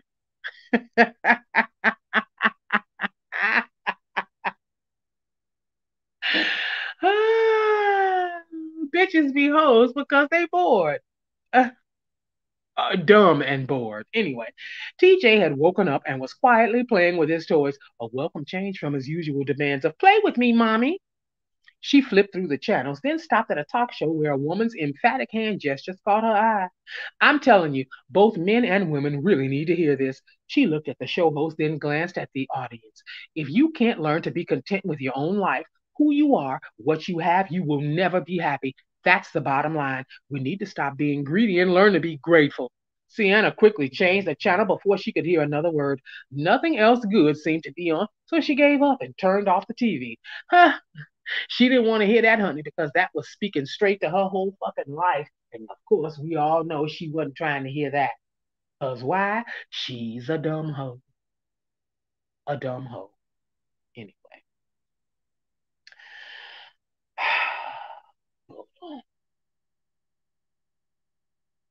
She decided to play with her son until Cameron came home. Later that night, when she was wide awake at two in the morning, she couldn't get that woman's words out of her head. Ce'Anna decided to go to the gym early the next morning to blow off some steam. She was still upset about Xavion's refusal to talk to her. She only had about 30 minutes before she had to get back home to get TJ ready for daycare, but she figured that was enough time to work up a sweat. When she entered the gym, she noticed it was mostly empty. Empty. Empty. I guess most people don't wake up this early, she murmured, and made her way to the treadmills. Her heart rate increased when she saw Jermaine Cooper using one of the treadmills. I'm sorry. Felt like a spider was on me. Y'all know I'd be scared. it suddenly occurred to her that this was probably the only time he had to work out before the day got busy, and she filed that away in her memory as useful information. She set up shop at the next machine. No, at the machine next to his. Hey, she said with a smile. He appeared to be deep in thought. After a beat, he finally noticed her. I'm sorry, did you say something? I was just saying hi, I'm Ce'Anna. We met a few weeks ago. You might remember. He paused, then smiled in recollection. Yeah, you're friends with my cousin, Camaiyah, right? Yup. She turned on her machine to match his stride and secretly worried that it was a quicker pace than she was used to. I hope I'm not sweating and puffing within five minutes at this brisk pace, she mused. So, how do you like the gym so far? I know you and Camaiyah are taking the cardio class. It's great. She took a deep breath to hide the fact that she was actually panting a bit already. I really liked the class. He looked pleased with her response, so she decided to venture a little further to see if he would take the bait. I mean, it's not the type of workout I usually prefer to get my heart rate pumping, but I guess it will do for now. She shot him a coy glance to ensure he got the message. He blushed. He wasn't sure what to say in response, so he let it slide. She sensed his discomfort and backed off a little. So, have you always wanted to own a gym? Not really. I've always been into fitness, but the idea for the gym kind of came to me one day while I was talking with my boys Val and Drew about how we needed to expand our personal trainer business. They agreed, and we all went in together for this place. She stared at him in admiration. What? He blushed again. That is so sexy when a man knows what he wants. Jermaine opened his mouth to respond, but Ce'Anna's alarm went off on her cell phone. Oh, shoot. She quickly turned off her treadmill. I need to, I've got to go get, uh, I've got to get to an appointment.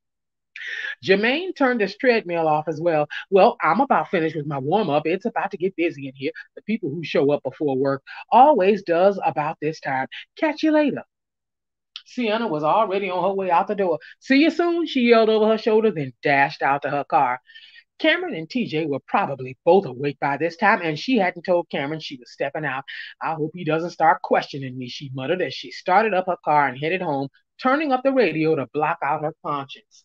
That's a fucking problem there, using people and music to block out her conscience instead of clearing it of all the crud in there. Dumb slut. Anyway, I'm not slut shaming either. This is a book. Camaiyah had a good day at work. She breezed through all of her clients and everyone left her a hefty tip. If there wasn't anything else she was good with, she was good with her hands. Yes, she sucks as a human being otherwise, though. She hummed as she made her way to her car, ready to go to the liquor store to end her day just right. this girl drinks like a fucking fish. Oh, mercy. On her way to the store, she got a call. When she saw the caller ID, she was instantly annoyed. Ce'Anna, she wrinkled her nose. Ugh, I hope she don't kill my vibe. She answered the call before the ring ran out. Hello? Hey, Camaiyah, how are you? Camaiyah readjusted herself in her seat before she answered, I'm good, and you? Ce'Anna let out a deep breath. I need to talk to someone. Camaiyah almost blurted, Bitch, who said I was a therapist? But then she remembered that she and Ce'Anna were supposed to be starting a friendship. Oh, wow, what's going on? She hoped she sounded more concerned than she felt. I really just need to get some things off my chest. About, I would rather talk in person. Camaiyah rolled her eyes and let Ce'Anna prattle on. How about we stop for coffee at the next cardio class? You're going, right? Camaiyah mustered up a chipper response. Yep, I am most definitely going. Whatever Ce'Anna had to tell her must be big, and Camaiyah was kind of proud of herself for sticking with the cardio class. She'd actually lost a few pounds. Hadn't done much to reduce her size yet, but at least it was a start. She had to admit she felt more energetic lately. Okay, see you then, said Ce'Anna. But Camaiyah barely heard her because she was already ending the call and setting her phone in the cup holder. She pulled into the parking lot of the liquor store and found a space. When she turned off the engine and looked at the entrance, she froze. Casion was standing outside the store smoking a cigarette. I really do not want to deal with him today. She got out of her car after debating whether she should even be drinking tonight and casually made her way to the entrance like she ain't see him. His eyes lit up when he saw her. Camaiyah! His eyes traveled up and down her body. She crossed her arms over her chest. I don't know why I ever messed with his janky ass in the first place. What are you doing in my neighborhood? She demanded. I was about to go in and get some drinks. You want to chill tonight? I already told you I was done with that chapter of my life. I'm saying though, we ain't got to be in a relationship or nothing. We could just fulfill each other's needs, if you know what I mean. And I know you got needs, girl. His eyes made her feel dirty and his words stung. From what June told her a few months ago, Casion had begged her for an actual relationship before she cut him off. But with Camaiyah, he only wanted her for sex. This just made her blood boil, and not in a good way. She didn't need his mess right now. Bye, Casion. Hmm. She pushed past him to go into the store. Camaiyah! She flipped him off and kept walking. Once she got inside, she was happy to see there were no toothless old men trying to holler. She grabbed her bottle of Henny and made her way to the cashier.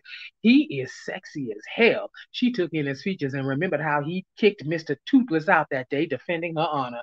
Yes, babe. Come to mama. You're the kind of man I need. He was tall, caramel skinned, and had sexy, rugged features. She placed her bottle in front of him on the counter. He rang it up wordlessly. Then he spoke. Do you drink every night? Damn, can I catch a break today? It seemed like ever since she left work, people were on her back. Ce'Anna wanted to have a heart to heart. Casion wanted her for sex. And now the cashier was trying to down her for drinking, and he bashed her fleeting fantasy of snagging his attention in a good way. She challenged him with her eyes. What's wrong with having a little something to relax? That's a lot of relaxing. Ain't this your third bottle this week? Her face flushed, but she tried not to show it. And why you sweating me? You keep track of all your customers like that? You know too much alcohol is not good for your body. He put it in a paper bag and handed it to her. She snatched it. Don't you work at a fucking liquor store? She gestured around her for emphasis. He held up his hands in surrender. Look, I'm just trying to look out for you. Yeah? Her eyes narrowed. And why would you want to do that? I don't hear you giving sermons to other customers you ring up. She was tired of the games these men played. It seemed like any time anyone she was halfway interested in seemed interested in her, it was only for sex. She was done. She may not be one of these skinny chicks that they all seem to fall all over themselves for, but she still had dignity. Look, I'm not trying to start trouble with you. If you don't want my advice, you don't have to take it. His tone was rough, but it was sexy rough, and it suddenly pierced her offended pride that he cared. He was actually being sincere. And now I've ruined it. Thank you for your concern, she said, all prim and proper. Not sure how else to wriggle out of this awkward encounter. She straightened her back, held her head high, and walked out of the store like a queen departing an audience with one of her courtiers. Hmm. Luckily, Casion was no longer loitering about. As she got in her car and started the engine, the cashier's words echoed in her mind. Part of her wanted to believe that he was genuine and that he might even be interested in her, but her insecurities took over. Bitch, please. He's probably no different from all the other men who want to use you, then dump you for someone better. Hmm. Facts. Try as she might, even a full bottle of Henny later, Camaiyah could not get the cashier's words out of her head. Usually the Henny would get her right, but she felt so bad about the way she handled the situation that it continued to eat away at her despite her efforts to drown it all away with alcohol. she stared at the empty bottle on the table in front of her until her eyes blurred. Then she heard a knock at her door. Who is that? she said to no one because no one was there with her. You're a fucking alcoholic, her mind told her. You just sit here every day alone and miserable because nobody wants to be around you and nobody wants to be with you either.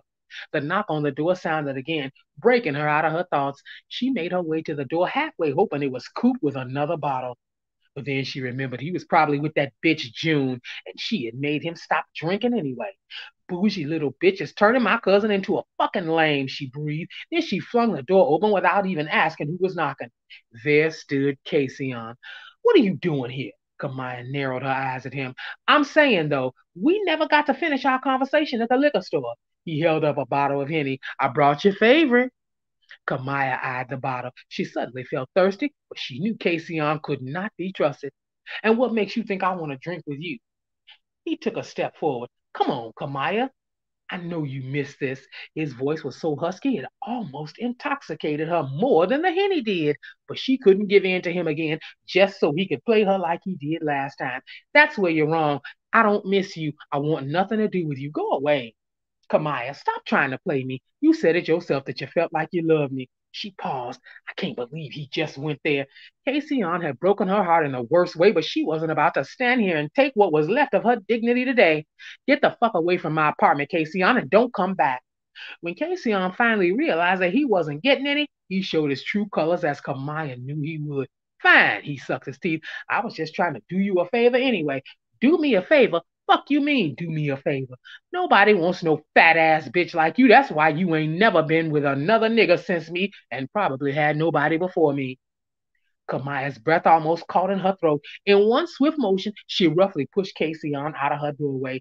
He was caught off guard, so he almost fell. Camaiyah slammed her door in his face and locked it before sinking to the floor.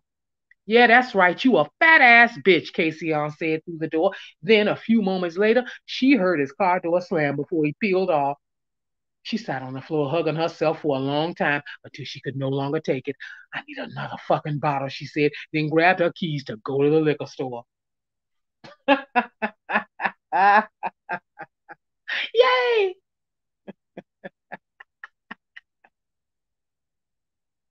Does that make me a bad person? Look at all the fuck shit she did to June. Mm-hmm.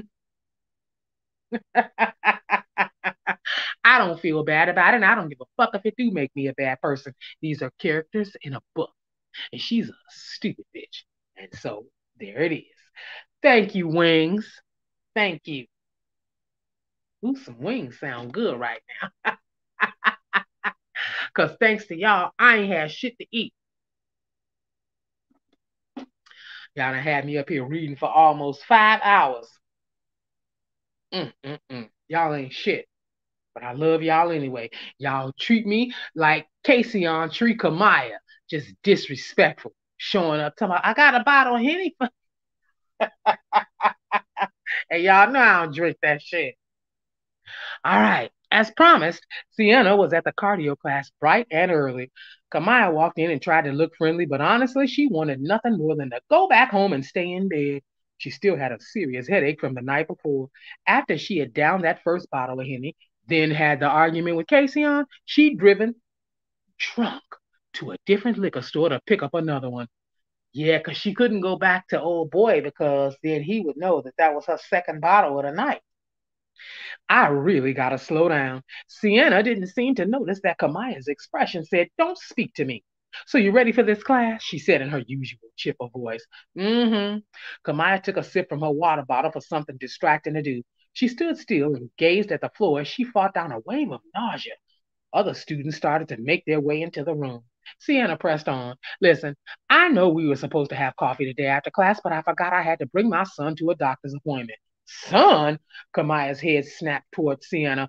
Oh, okay, that's fine. Sorry. Ce'Anna shot her a weak smile. Can we reschedule for another day? Yup. The teacher walked in and the class began. Throughout the workout, aside from trying to make her head stop swimming, Camaiyah kept sneaking glances at Ce'Anna's body. She saw no sign of the usual belly bulge left over from being pregnant. Even after one kid, she's probably never had to struggle with weight, and her perfect body snapped right back as soon as she pushed him out. She rolled her eyes at the thought. To her credit, Camaiyah was able to keep up with the class more than Ce'Anna was, even being hungover. She might be out of shape, but she was blessed with a naturally strong build. At least I got something on her.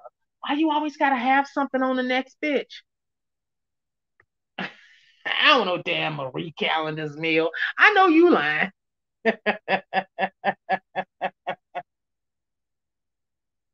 no, no, no, no.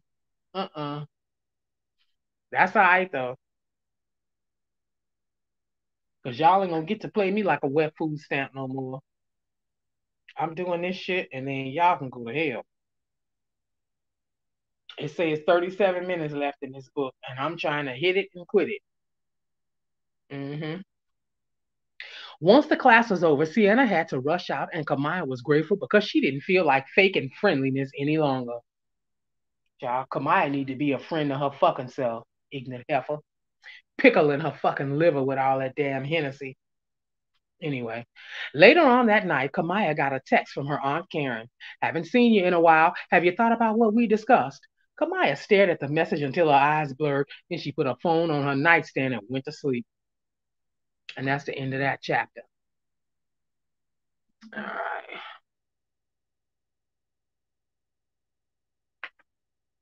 Okay.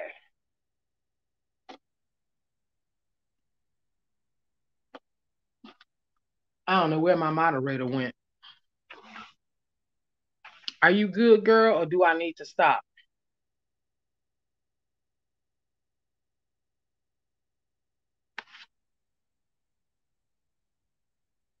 You let me know now. That sounded super sexual, and I don't. I didn't mean for that to sound that way. oh my god, that's horrible. Oh Lord. Mm-mm-mm. I believe in consent. Chapter 5 Camaiyah was sitting in her living room enjoying a drink by herself. The day had gone smoothly thus far. She kept getting the feeling that her peace would be short lived. Almost as soon as the thought crossed her mind, she heard a knock on her front door. She rolled her eyes as she put her drink down to go answer it. Who is it? It's me, Coop called from the other side. She opened the door and watched Coop as he walked past her into the apartment. He sat down on her couch fuming. What's wrong with you? You want a drink? No, I'm still trying to cut back. June doesn't like me drinking like that. Camaiyah sucked her teeth as she made her way to sit next to him. You seem to be dead set on letting that girl run your damn life. Look, Camaiyah, you and June gonna have to come to some kind of agreement. This whole beef between you two is stressing me. Where's this coming from? Don't try to act like you don't know. It seems like every time me and June get together, she complains about you, and every time I see you, you taking shots at her. Well, I wouldn't need to take shots if she would learn to keep her mouth shut. Enough.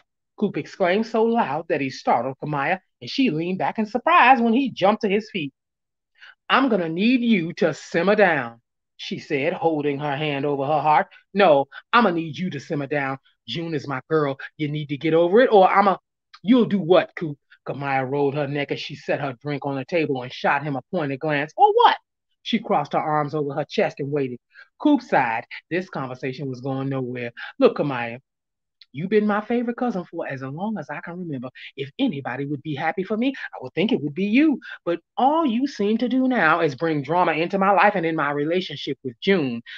Like you're trying to drive a wedge between us. Oh, so now you trying to blame all your problems on me?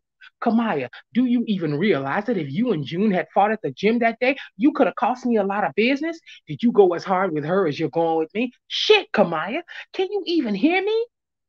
Look outside yourself for once. I'm in love with her. Coop's words hit her like a slap in the face. In love? What the hell does he mean, in love? She tried to collect herself. I can't believe you are even putting her on the same level as me. We are family. You've only known her for months. Well, if we family, you need to act like it. He got up to leave. Where you going? I can't talk to you right now, Camaiyah. You not even hearing me. He opened the front door. Love you. Love you too. He closed the door behind him. Damn. Oh, she texts you and says she's good. Oh, okay. hey, listen, sir. what you and my moderator got going on ain't none of my business, okay?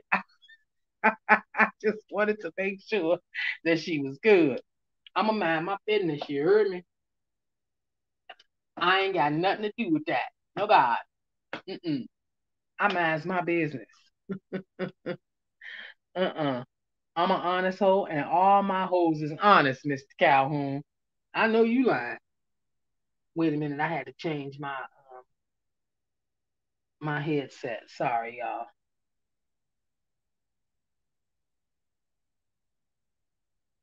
Okay. Here we go. Ce'Anna and Cameron had taken separate cars to work because Ce'Anna had a parent teacher conference and Cameron had to pick up TJ. When Ce'Anna walked in the house, Cameron was sitting in the kitchen with the lights off, a bottle of Heineken on the table in front of him. He took a sip when he saw her, but said nothing. Ce'Anna's heart dropped. What happened? Why are you sitting here drinking in the dark? Where's TJ? Her head started pounding. Lord, please, not my baby. He's upstairs, sleep. Cameron's tone was dry and his words were slow. Ce'Anna's anxiety subsided. Okay, then, what's up? He sighed and sat back. Why don't you tell me, Ce'Anna? She stared blankly. I'm not following. Oh, yeah? His voice slurred slightly. He pulled out his phone and unlocked it. Let's see the messages I got from Xavion today.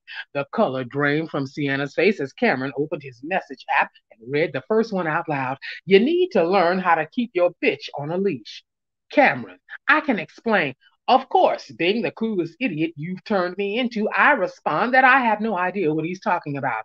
Cameron, but wait, it gets better. He actually sent me some screenshots. Ce'Anna stood there feeling sick to her stomach as Cameron read the messages between her and Xavion the day he rejected her, and she blocked him for good.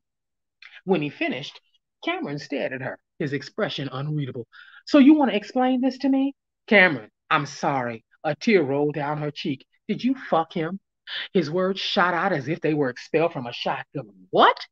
He stood up and walked over to where Ce'Anna stood frozen in place. He got right in her face and said, Did you go over his house that night and did you fuck him? Of course not. Of course not. Why the hell would I be surprised if you did? It's not like you weren't fucking him while we were together before we got married. Cameron was standing so close that flecks of spit landed on her face as he spoke. She could smell the alcohol on his breath. Look, we need to talk about this later. She wiped her face. Right now, you're drunk. Cameron grabbed his coat. I can't stay in this house with you. Where are you going? My parents' house. They already know I'm coming. How are you going to get there? You're drunk. I'm capable of thinking for myself, Sienna. I ordered a lift. It's already outside. He walked past her and grabbed a suitcase from the floor near the front door. Sienna hadn't noticed it. How long are you staying? Who knows, Sienna? If you didn't want me, you shouldn't have married me. His voice broke. I heard him. Her heart gripped her throat. Cameron, don't say that. She watched him open the door and stumble down the front steps to the waiting car. Cameron, she yelled, but it was of no use. They were already driving off. She slowly made her way back into her house as the gravity of the situation finally sank in. She was losing everything again. Yeah, well, that's what happens when you're a dumb bitch. All right. Camaiyah was stewing after her argument with Coop. I can't believe he's trying to take that bitch's side over mine. She could admit that she was wrong for catfishing June, but that didn't give June any right to try to break up Camaiyah's friendship with Coop. I mean, he was her cousin. Camaiyah jumped when her cell phone rang. Hello? Camaiyah. She could hear Sienna crying through the phone. Girl, what's wrong with you? I really need to talk right now. Are you home? Can I come over? Um, okay, yeah. Are you bringing your son? No, I'm gonna drop him off at my mom's house. I think I need a drink. Damn, she must really be going through it. Oh, okay. Well, come on then. What's your address? I'll text it to you. After they hung up, Camaiyah texted Sienna her address, then threw on her coat to head to the liquor store for more bottles. She didn't know Sienna's preferences, so she decided she would get an assortment. She knew she shouldn't be driving with the slight buzz she already had going, but she had driven under the influence multiple times before. I hope my ass don't get into another accident. She already had two DUIs, and one more meant she would lose her license. She made it to the liquor store in one piece. She quickly found bottles of Bacardi, Grey Goose, Absolut, and Smirnoff, along with her usual bottle of Hennessy. The cashier's eyes widened as she placed the bottles before him. Damn, girl, you want to talk about it? It's not for me, asshole. It's for a friend. He picked up one of the bottles as if he was inspecting it. You know, alcohol ain't the only way to solve problems. Who are you, Dr. Phil? Just ring me up, please. He stared at her more intently. Have you been drinking today already? Look, why are you asking me all these questions? Your demeanor is off. I can tell you a little tipsy. Okay. Are you a cop and this job is your side hustle or something? Are you going to arrest me or what? Because I have to get back home. You know you shouldn't be driving like that. Camaiyah almost had to squeeze her legs together to keep from lunging across the counter at him like a wildcat in heat. The sexiness of his husky voice was almost too much for her. My two DUIs already told me that. Can you ring me up or are these on the house? He stared at her for a second longer, then reluctantly rang up her bottles. She drummed her nails on the counter as he double bagged them with paper and plastic for her, taking more time than he needed to. Thank you, she said in a sing song voice, then turned toward the door. Wait. She turned back. His face was full of concern. Shit, he muttered under his breath. He grabbed a used scratch off lottery ticket and scribbled something on the back of it. Here, he handed it to her. She stared at him as she took it. What's this? Her eyes shifted to his writing. My name is Rashad. Just call me as soon as you get home, okay? Please. Camaiyah almost dropped the bag of bottles. She stared back and forth between him and his name and number. She wasn't sure how to take this. Why? Just do it, okay? Fine. She turned and made her way out to her car. When she got home, she sat in her car for a few moments trying to process what had just happened. Why was he so concerned? She had never before experienced that with a man. Usually it was all about sex, but Rashad had made it clear that he cared about her. But he doesn't even know me, she exclaimed. Camaiyah was confused. Her eyes blurred as they filled with tears. She quickly blinked them back when she realized that she had pulled into a parking space directly behind Sienna's car in her apartment parking lot. Suddenly, she remembered why she returned to the liquor store in the first place. Damn, this bitch here already? She fired off a quick text to Rashad before going inside. Hey, it's Camaiyah. I'm home. He responded within seconds. Good. Stay out of trouble and please don't drive anywhere else tonight. I won't. She got out of her car as Sienna's excited or ex, bleh, as Sienna exited hers. Um, he told her he told her stay out of trouble and please don't drive anywhere else tonight. And she said I won't. Does that mean she won't stay out of trouble or she won't drive anywhere tonight? This bitch is trash. Anyway, it was clear that Sienna had been crying. Thank you for letting me come over. No problem. They walked up to Camaiyah's apartment and went inside. Camaiyah flipped the light switch. Make yourself at home. I'll get us some cups. Sienna sat on the couch as Camaiyah set the bag of bottles on the coffee table next to the half empty bottle of Henny, then made her way to the kitchen. When she returned, Sienna was just sitting there staring into space. I wasn't sure what you liked, so I got a variety, yet didn't get any food. Camaiyah removed the bottles from the bag. Sienna shook her head. Honestly, it doesn't even matter. I'm not much of a drinker, but I need to get plastered right now. Camaiyah stared at her for a second. Okay, so let's start you off with some Grey Goose. she poured about half a cup and handed it to Sienna, then poured herself some Henny. Sienna downed it before Camaiyah had a chance to settle herself on the sofa. Damn, girl, you might need to slow down. Now I sound like Rashad's Dr. Phil ass. She smiled at the thought of him. Sienna shook her head. Oh, don't worry about me. I'm a big girl. She reached for the Grey Goose and poured herself some more. Well, all righty then. So, what's going on? Camaiyah, or rather, Sienna took a sip, then nodded. I think my husband's gonna leave me. Husband? This bitch is just full of surprises. I didn't know you were married. Yeah, I'm sorry I didn't tell you. Well, it's not like it was any of my business or anything. I know, but I was kind of flirting with your cousin. Flirting with my cousin? When? Camaiyah sat up ready to hear this tea. Sienna's face reddened. Oh, I thought he might have told you. No, he didn't. What happened? Camaiyah listened with great intrigue as Sienna spilled the beans. The more she talked, the more she poured Grey Goose, and the drunker she got. She got a little loose as the story wore on, first talking about her crush on Coop, then on her fight with her husband, then her divorce from her previous husband. Camaiyah felt like she had heard the girl's whole life story by the time she finished. Damn, she a thought thought.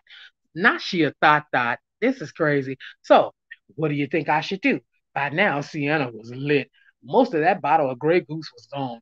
Camaiyah opened her mouth to respond, but in that exact moment, she heard a knock on her door. Who is that? Camaiyah asked, as if Sienna knew. Sienna giggled, Girl, I don't know. Go answer. She gestured with both arms and almost fell off the couch. Camaiyah snickered, Bitch, you lit. She was feeling kind of nice herself, but she was nowhere near as drunk as Sienna. Camaiyah strode to her front door, but tripped on the corner of her carpet before she made it. She and Sienna burst out laughing. Ooh, watch your step, Sienna howled, holding her belly. Shit, I'm about to pee. Tears streamed down Camaiyah's face as she laughed at herself. The knocking was more emphatic this time. Okay, okay, I'm coming. Camaiyah composed herself to open the door. There stood Coop. Cousin, what you doing here? she demanded. Hey, he said, and he smiled as he leaned in and tried to look past her. What's all this craziness going on in here? You realize how loud you are, right? Camaiyah cocked her head at him. Are you high? From the redness of his eyes and the smell that was emanating from his clothes, she already had her answer. I just needed to relax. He held up a bottle of Patron. You want to drink on something? She opened the door to let him in. Boy, I already started. She eyed his drink, and from the looks of that bottle, so did you. He smiled and followed her to the living room. He saw Sienna and stopped in his tracks. Hey, I ain't know you were here. Hey, she waved at him enthusiastically. Come, come join all this craziness. Not clum. Am I lit? I ain't had shit to eat or drink except for coffee and water. Mm-mm-mm. She about to film him she just cannot stand to see June happy. But this technically ain't on Camaiyah if he do something. This will be on him. Huh. But she's setting it up. Mm-hmm. She's setting it up to hurt June. Because she's a rancid bitch. That's why. That's terrible too. Trash. Trash, boo boo, dookie. Lord have mercy. I don't even know what to say. Let me hurry up and finish this book. Listen, Linda. Oh God. Y'all better tip me for this shit. Y'all think I'm playing. I will shut the speakeasy down. I have been up here for five hours. Here, this has turned into a fucking job. I should have left this bitch closed. oh, and now here come Love Jones. After you texting people, letting them know you're good, huh? Now here you come, huh? Let me mind my business, child. Mm. I'm gonna mind my business. Mm-hmm. But you texting folks to let them know you good, huh? Leslie. His eyes widened at the bottles on Camaiyah's table. Damn, y'all is twisted. He slurred his words. No, baby, you is twisted. She directed him to the couch next to Sienna. She returned to her own seat and watched as they eyed each other. Nah, ain't no huh. Uh-uh. Don't tell me to be quiet, Wings.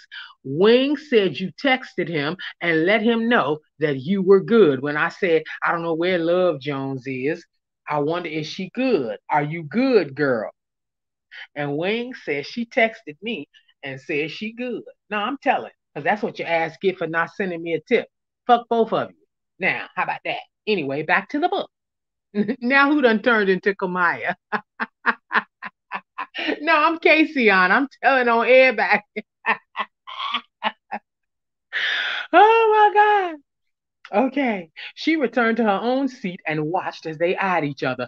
Then a thought occurred to her. Wait, your precious June ain't mad that you drinking and smoking weed. Coop's smile dropped as he shrugged his shoulders. She broke up with me. What? He took a sip from his bottle of Patron. Yup, she said I had to choose between her or you. So I told her that wasn't fair. She can't make me drop my family. I know that's right, Camaiyah said. Though she felt kind of guilty that she had a hand in their breakup. Well, it looks like ain't none of us gonna be in a relationship by the end of tonight, Sienna sang. She looked at Camaiyah. Girl, why don't you put on some music? Sure. Camaiyah tuned her stereo system to the radio, and her favorite station was playing all the party songs. Sienna immediately got up and started dancing, almost causing Camaiyah to spit out her drink at her lack of rhythm. Coop was much less discreet. He did spit out his drink and then he burst out laughing. Ah, shit, ah, shit. He slapped his knee as he rocked with laughter. You can't dance for shit. Sienna was unfazed. Oh, really? Let's see you do better. She gestured for Coop to join her. Bet, Coop replied. He set down his bottle, wiped his mouth with the back of his hand, and joined Sienna. It was a comical sight, and Camaiyah was tempted to take a video of them, but she couldn't do her cousin like that. Though it would definitely fuck with June, and that would be fun. She watched as Coop and Sienna got cozy. She even got up and tried to show Sienna how to twerk properly. Sienna didn't get it. After a little while, the station started playing so slow songs. Say that fast. Slow songs, slow songs, slow songs. And Sienna and Coop slow danced together. Their moves became much more sensual, and Camaiyah had half a mind to tell them to stop. But another side of her felt like this would be the final nail in the coffin for Coop and June's relationship. She had a smug little thought. She would never forgive him if he slept with another girl. Camaiyah excused herself to go to the bathroom, but it was really so Coop and Sienna could be alone together. She heard their muffled voices through the door as she eavesdropped.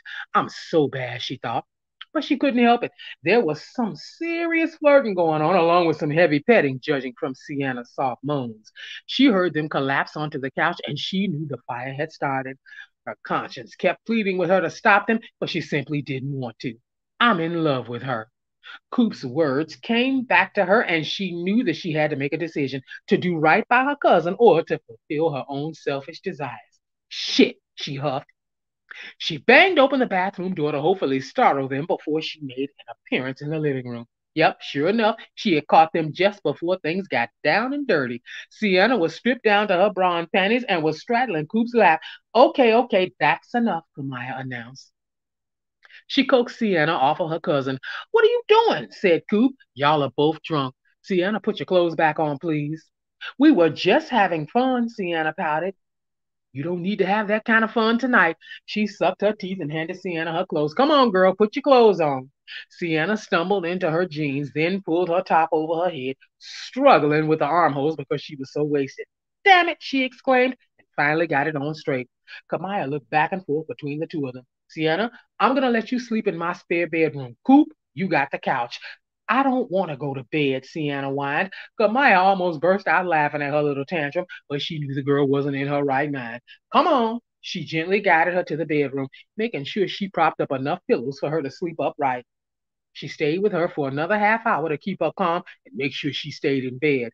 After that, she went out to check on Coop, but he was already asleep on the couch. She returned to the guest bedroom and sat with Sienna until she fell asleep. Camaiyah was so tired and desperate for sleep herself, but she didn't want to leave either of them alone. So she set her alarm to wake up every hour to check on them. Coop woke up first the next morning. Camaiyah was already in the kitchen making breakfast and coffee. Hey, cuz, she mumbled. Hey, I fucked up last night.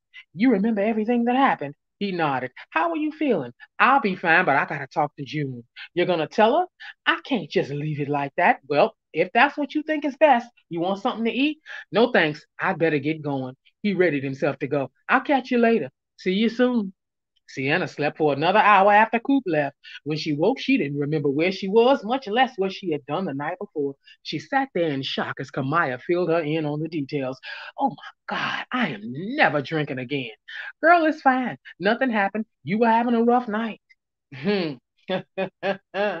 yeah, but I still kissed him and tried to have sex with him. If I tell Cameron about this, he may never take me back. Well, I can't help you with that part, but if you really want to be with him, the best you can do is try.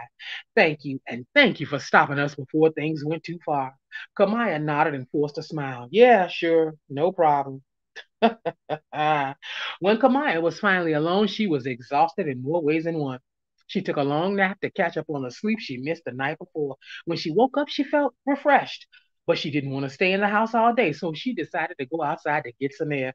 I should have worn my big coat, she mused as she shivered her way home after walking around the block. When she got to her front steps, she heard tires squeal as a car swerved into the parking lot. Her nerves were so frazzled that she whipped her head around in a reflex action to see which direction it was coming from and jump out of the way if she had to. Her jaw dropped when she saw that it was June's car. June threw the car in park and hopped out ready for action. No, this bitch don't think she pulling up on me.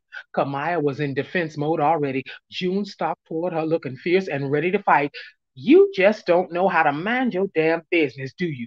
Camaiyah wasn't threatened by her stance. Um, I think you need to simmer down and remember who you are talking to. Bitch, I'm talking to you. She jabbed her manicured nail in Camaiyah's face. I'm sick of you doing stupid shit to try to sabotage me and Jermaine's relationship. First of all, get your finger out of my face. Second, if y'all was such a good couple, what I do shouldn't matter. I'm fucking sick of you. June lunged at Camaiyah and actually caught her off guard. Oh, so she tripping, tripping. June got one hit in before Camaiyah quickly gained advantage, easily blocking her blows and landing a few of her own. When she got sick of June's constant swinging, she grabbed her up in a bear hug and slammed her to the ground. Camaiyah got on top of June, pinning her down with her weight as she pummeled her face and body. Get the hell off my sister. Camaiyah heard Iliana's voice before she felt herself being yanked backward onto the ground by her hair. Before she could take a breath, Iliana was raining blows down on her face. Bitch, bitch, bitch, she screamed in between each hit. Camaiyah was soon defenseless as June and Iliana kicked and stomped her. She tried to grab at their legs to stop them, but they were moving too quickly. Finally, one of her neighbors and his two sons broke them up, each grabbing one of them. So y'all just gonna jump me. Pussy ass bitches, Camaiyah screamed, her nose bloody and her hair all over the place. June's face looked lumped up too. Iliana's face was red, but that was about it. June turned to Iliana. I told you not to come. I can handle this bitch myself. Camaiyah answered that retort. Yeah, right, bitch. You wasn't handling shit. Your fucking baby sister had to save your life. She saw blood fly out of her mouth as she spoke, and that was enough to make her lunge toward June again, but her neighbor's son held her back. Bitch, you need to stay out my fucking relationship, June screamed. You ain't nothing but a snake ass, hating ass bitch. Bitch, if it wasn't for me, you wouldn't even have a fucking relationship. I should have let him fuck her. June lunged toward Camaiyah, but Camaiyah's neighbor firmly held her in place. Look, ladies, said the neighbor's son, who was holding Iliana back. I don't know what's going on with all of you, but we are not going to stand here all day holding you back from each other. You all need to calm down, we're calling the police. Iliana visibly whispered, Come on, June, she's not even worth it. June stared at her sister, steam practically coming out of her ears. Fine, let's go. Camaiyah's neighbor and his son escorted Iliana and June to their vehicles to ensure that another fight didn't break out. They stood on the side of the road watching until both their cars were down the street and out of sight. Okay, can you let me go now? said Camaiyah. Her arms were hurting from being held behind her back. Her neighbor's other son released her. You know, you really shouldn't be out here fighting. He stared at her face. Do you need an ambulance? No, I don't need no fucking ambulance. She knew her tone was a little too aggressive, but she was humiliated. I can't believe those little bitches jumped me. She went back into her apartment to examine her face in the mirror. She had a black eye and a busted lip. When she gazed at her reflection, tears filled her eyes. Look at this shit, she wailed. Anger flared within her, and she had half a mind to pull up on June to finish the altercation, but she knew June was right. She was a snake. And that's the end of that chapter. Listen, Linda, I'm just like, what the hell?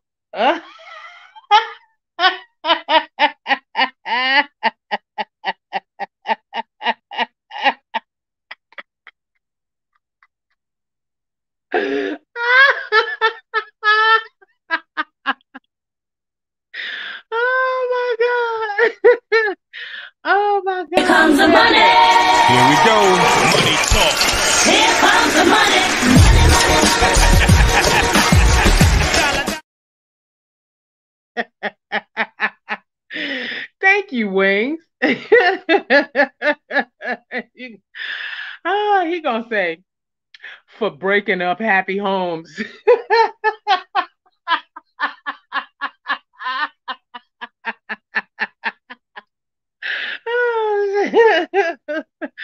Thank you for the cash app. yes, I am tickle pink. oh Lord, have mercy. I am not breaking up anybody's happy home. Not at all. that would be you, good sir, because you said she sent you a text saying she was all right. No, saying she was good. I got the evidence. The evidence is right in the video. You know how kids be talking in the video. Mhm. The evidence is in the video. Mhm. Yep. Yep, you caught. You is caught on video saying it. She can rewind it, red ball it back, Love Jones. It's there. Mm-hmm. Mm. Now, I'm sure she over there blushing. Chapter 6 Mm-hmm. Camaiyah hibernated at home for the next two days, refusing to answer any calls or texts from anyone, including Coop. When he came by her house early that morning, begging her to open the door, she pretended not to hear him. My life is a mess. Ugh, I need a damn drink. She didn't feel like going anywhere, but her urge for alcohol overcame her resistance, and she forced herself to put on some clothes and go to the liquor store. She hoped Rashad wasn't working that day. Her face still wasn't healed from the black eye June and Iliana had given her, and she was in no mood to hear any of his concern. When she pulled up to the store, she sat outside contemplating whether she should go in or go back home. She glanced at the cars in the parking lot and wished she knew which one was Rashad's. Well, I came all the way out here, she muttered, and with a heavy sigh, she got out of her car. As soon as she walked into the store, Rashad's eyes were on her. Damn, girl, who beat your ass? She held her hand up to stop him from talking. Not today, okay? Her eyes filled up as she made her way to the Henny bottles. She trudged to the counter, hoping Rashad wouldn't give her any lip. What's wrong? His demeanor had shifted when he noticed she wasn't in the mood. Camaiyah opened her mouth to answer, but at that moment, two skinny girls walked into the store, giggling and loudly talking. Camaiyah watched Rashad from the corner of her eye to see if he checked them out. Oh, this is a liquor store, said one of the girls. I told you they didn't sell Pampers, bitch, said the other girl, and they howled with laughter as they walked back outside. Dizzy broads, Camaiyah muttered under her breath. Those girls are probably the type you go for, huh? She smirked and slid her eyes at Rashad. Rashad's eyebrow raised. Negative. I like my women full figured. He licked his lips and Camaiyah blushed at his admiration. Well, that's good to know, she said, and gave him a flirty smile. She didn't realize how comical she looked trying to be sexy with a puffy black eye, but Rashad was such a gentleman that he would never make a comment like that. She probably looked a fucking mess. It serves her ass right. uh-uh, no, we ain't moving that part to the clouds. No, sir. Nope, that's gonna stay right there. Sure is. You're caught on film, on video. oh, Lord. I won't bother you today about this, Henny, he said as he rang her up and put her bottle in a small paper bag. But I do got a bone to pick with you about something else. Camaiyah took the bag from him. What could you possibly have a bone to pick with me about? I see you haven't called me or texted me again since that night. She caught herself before her jaw dropped. He likes me? Called or text you? I didn't get any notifications from you either. He shot her a cocky grin. Well, it looks like we're going to have to fix that then, huh? How we going to fix it? She stared into his eyes, her heart pounding with nervous anticipation. Just then, a group of college kids walked into the store. I'll call you tonight, Rashad said. Okay, Camaiyah nodded, then turned to leave as another customer walked into the store. As soon as she got in her car, text pinged her phone. She quickly swiped her screen to check it, thinking it was Rashad, but it was her Aunt Karen. I know you are not at work today. I already called. You have been avoiding me since our last conversation, and I don't like it. I want you at my house within the hour. Hmm. Camaiyah's face reddened as she took in the chastisement. Okay, I'm on my way. Good. She drove the long route to her aunt's house to give herself time to think of what to tell her. She had been avoiding this conversation for a while, just like her aunt said, and she dreaded it.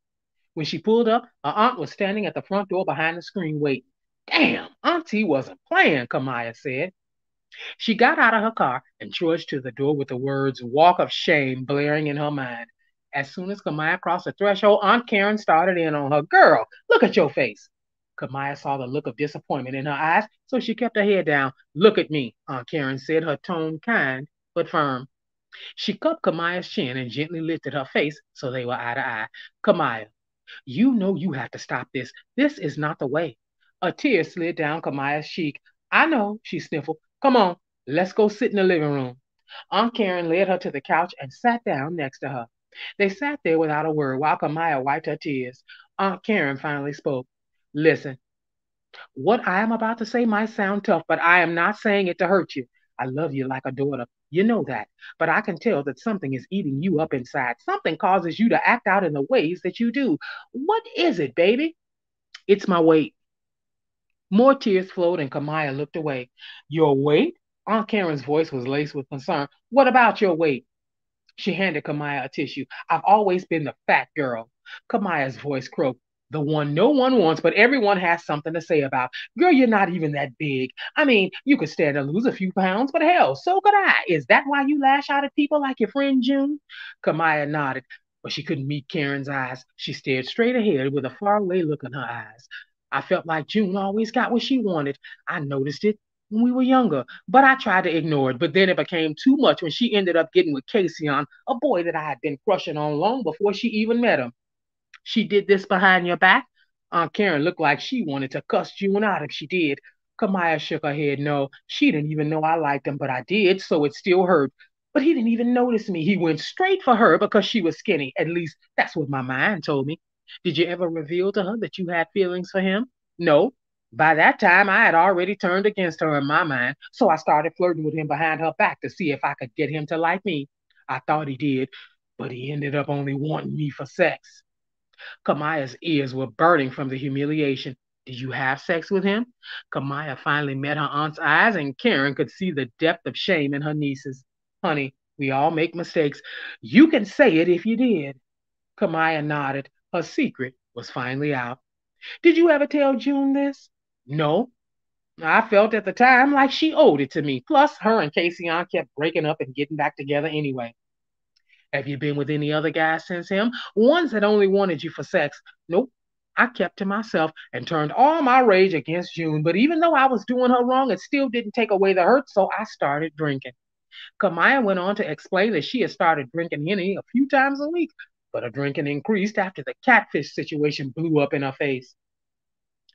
Aunt Karen just listened, her face devoid of judgment. When Camaiyah was finished, she took her time to speak. Do you feel like you might need counseling? Camaiyah shook her head. I thought about it recently, but I think I'm going to just focus on my health instead.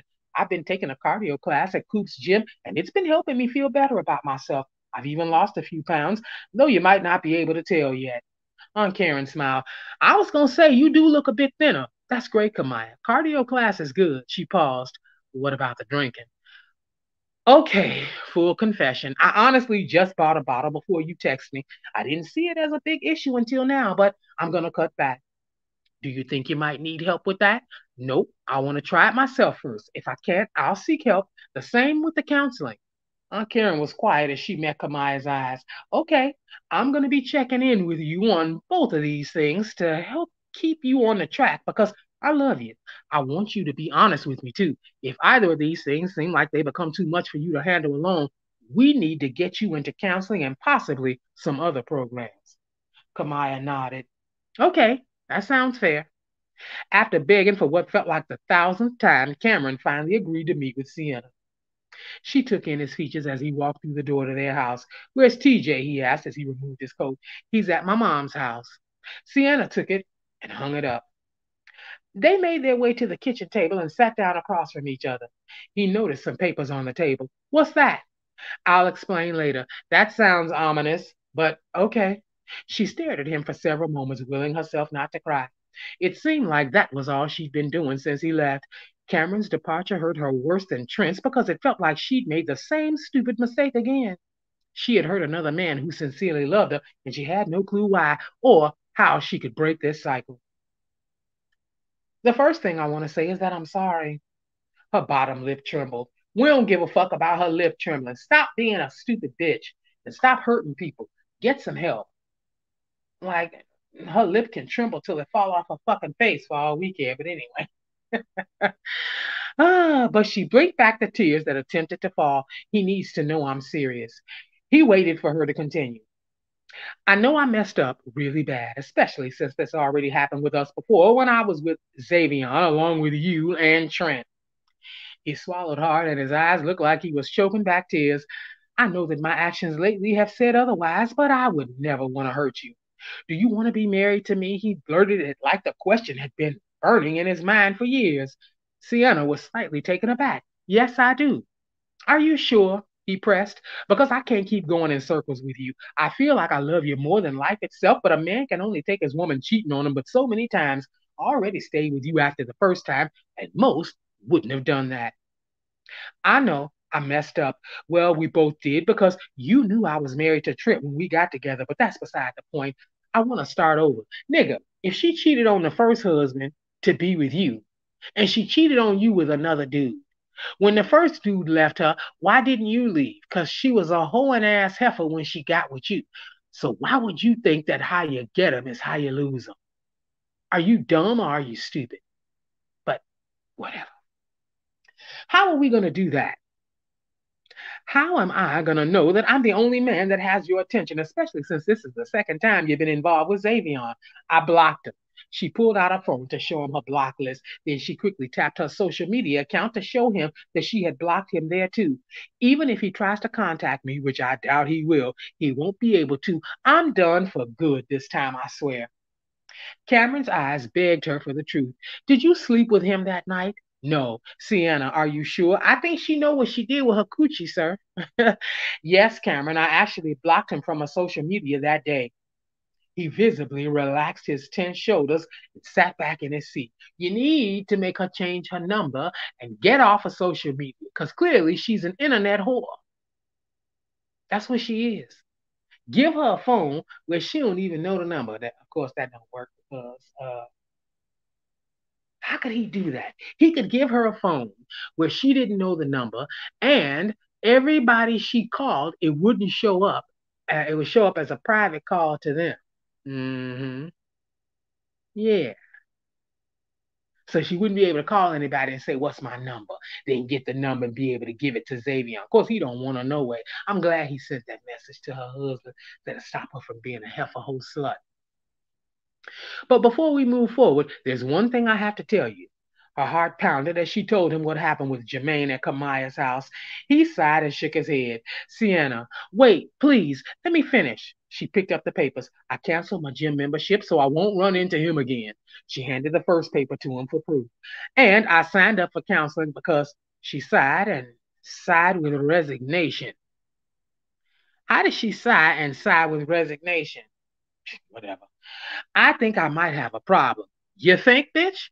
She handed him the papers from her counselor's office. He studied the documents and looked at her. A problem?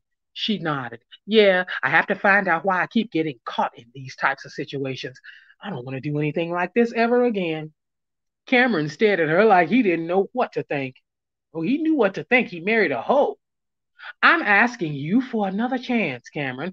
Please, honey. I know what I did was wrong, but I want to get it right. I don't want to lose what we have. He opened his mouth to speak, then shut it. He stood up and grabbed his coat. Sienna's heart sank. You're leaving? He nodded. I need time to think about this, Sienna. This is a lot. I hope you don't come back because she's a heifer. She really is. I'm so bad, but I don't care. I, I feel like, you know, listen, these people do this shit and know they got fucking problems and just keep fucking over people. And that's not fair, y'all. It's not. It's not fair to do to people. Okay? I'm just telling y'all. All right, let me finish this up. We got three minutes left. After another week of seeing Cameron at work, but not being able to talk to him because she wanted to give him some time, she was surprised one day to hear the front door open and see Cameron walk in holding a suitcase. You coming home? He gave her a small smile. I'm coming home. And by the way, I fucked your cousin and all your coworkers. I'm just kidding. That's not in the book. Camaiyah took the conversation she had with Aunt Karen to heart. She continued the cardio classes at the gym and had already dropped a pant size. Okay, well, that's good. That means she lost 15 pounds because 15 pounds is one pants or dress size. All right, girl, good for you. She could finally see her progress when she looked in the mirror and had even sent her on a full body selfie to show off her efforts. She got a big smile and a virtual hug in return, and that encouraged her. She had cut back drinking dramatically and was amazed at her newfound energy. Her skin looked better, and people were commenting that she looked great. Lastly, she sent long apologies to June, Iliana, and even Kelvin for all the things she had done to sabotage their friendship. After sending the messages on social media, she blocked each of them from her account. She did his because even though she needed to apologize, she wasn't trying to start a dialogue and she didn't really want or need their responses. I think she meant she did this, but whatever. Whatever. She also called Coop, but he reassured her before she could get out her apology. I spoke to June, he said. I really appreciate you doing that. How did she take it? I think she took it well. She says she forgives you, but she doesn't think you two could ever be friends again. Well, I wasn't really looking for her friendship. I know, but that was her response. Right. So, what about Kelvin and Iliana? They both were surprised, but they were cool with it. Camaiyah felt herself relax. Good. Right. So, are we good? Coop paused. Of course, Camaiyah. You know we family. I mean, things will be a lot easier now that that situation is over, but I would never cut you off completely. We got history. Right, Camaiyah sighed, relieved. I'm glad to hear that. But listen, if he married June, I don't think that uh June gonna want Camaiyah coming over for a barbecue or some shit. Like, what the hell? After she got off the phone with Coop, she shot a quick response to Sienna, who texted her while she was talking to Coop. They were supposed to be hanging out that weekend. Camaiyah hopped in the shower, then eagerly tried on her new dress, praying it fit. She bought it without trying it on in the store because she was too nervous to see how she looked under those harsh, fluorescent dressing room lights. So now she took a deep breath and murmured, Here we go. She stepped into it, did up the zipper with ease, and looked in the mirror. It was a perfect fit and a whole size smaller than she'd been wearing for what seemed like forever. She smiled at her reflection, posed, and took a great selfie, then fixed her hair and put on some makeup. Everything had to be perfect for her date with Rashad. And that's the end of the book. I wanted Sienna to come over there and fuck the shit out of Rashad just to pay her back and show her how it feels. But of course, that's not how people do things, uh, apparently. They do fucked up shit, but they don't go that far. Or maybe they do. Hmm, I wonder. Anyway, that's it. Yeah. That's it. That's all. So, y'all got four little books out of me today, a total of five and a half hours. Okay. So now I have to get off of here and do my timestamps and get something to eat because I am fucking starving. And it's 5:55. My ancestors are in the building. One moment.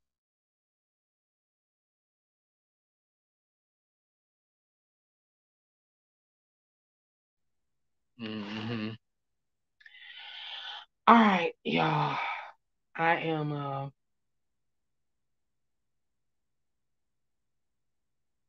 I'm gonna get out of here. Okay. Um. yeah, I see y'all when I see y'all because y'all uh you treating me like a bald-headed stepchild, having me up here slaving. I know y'all missed me and I missed y'all too. But dang. Oh shit. Uh, You done broke up my moderator's happy home. I bet you did miss me. I bet you do appreciate me. You got my moderator now. Thanks, Wings. Done stole my moderator. Child, listen. Mm-mm-mm-mm-mm. A mess. All right, y'all. This was fun. But uh I got stuff to do. And plus it's Wednesday. So I got to get over to the other side of town here. Uh-huh. And look at her laughing. Uh-huh. You sending me hearts and she laughing. Uh-huh. She already know. Y'all ain't slick. It's all right. Mm-hmm. Gonna have me pull a Camaiyah and get everybody in trouble. All of y'all about to be busted and disgusted. Mm-hmm. I'm gonna tell the people that need to be told. Hmm. Yep. Wings coming in here with wings and mumbo sauce and smoked sausages to match. Mhm. Got Love Jones all lovey dovey. Mm-hmm. Uh,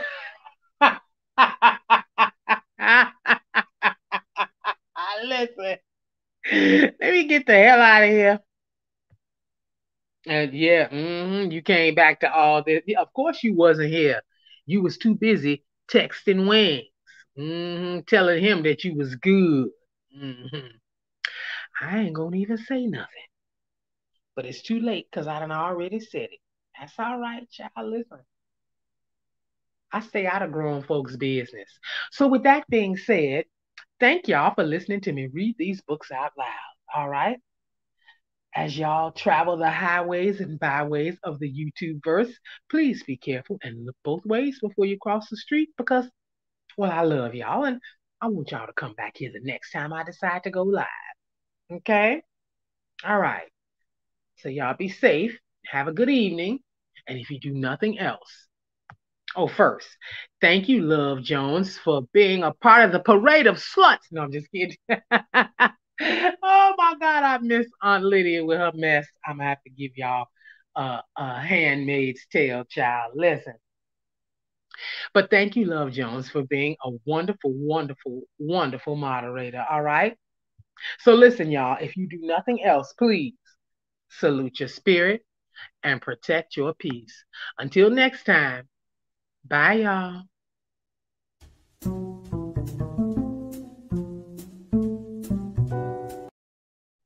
No, you didn't say about time. About time for what? For for Handmaid's Tale? Child, listen. Bye, y'all.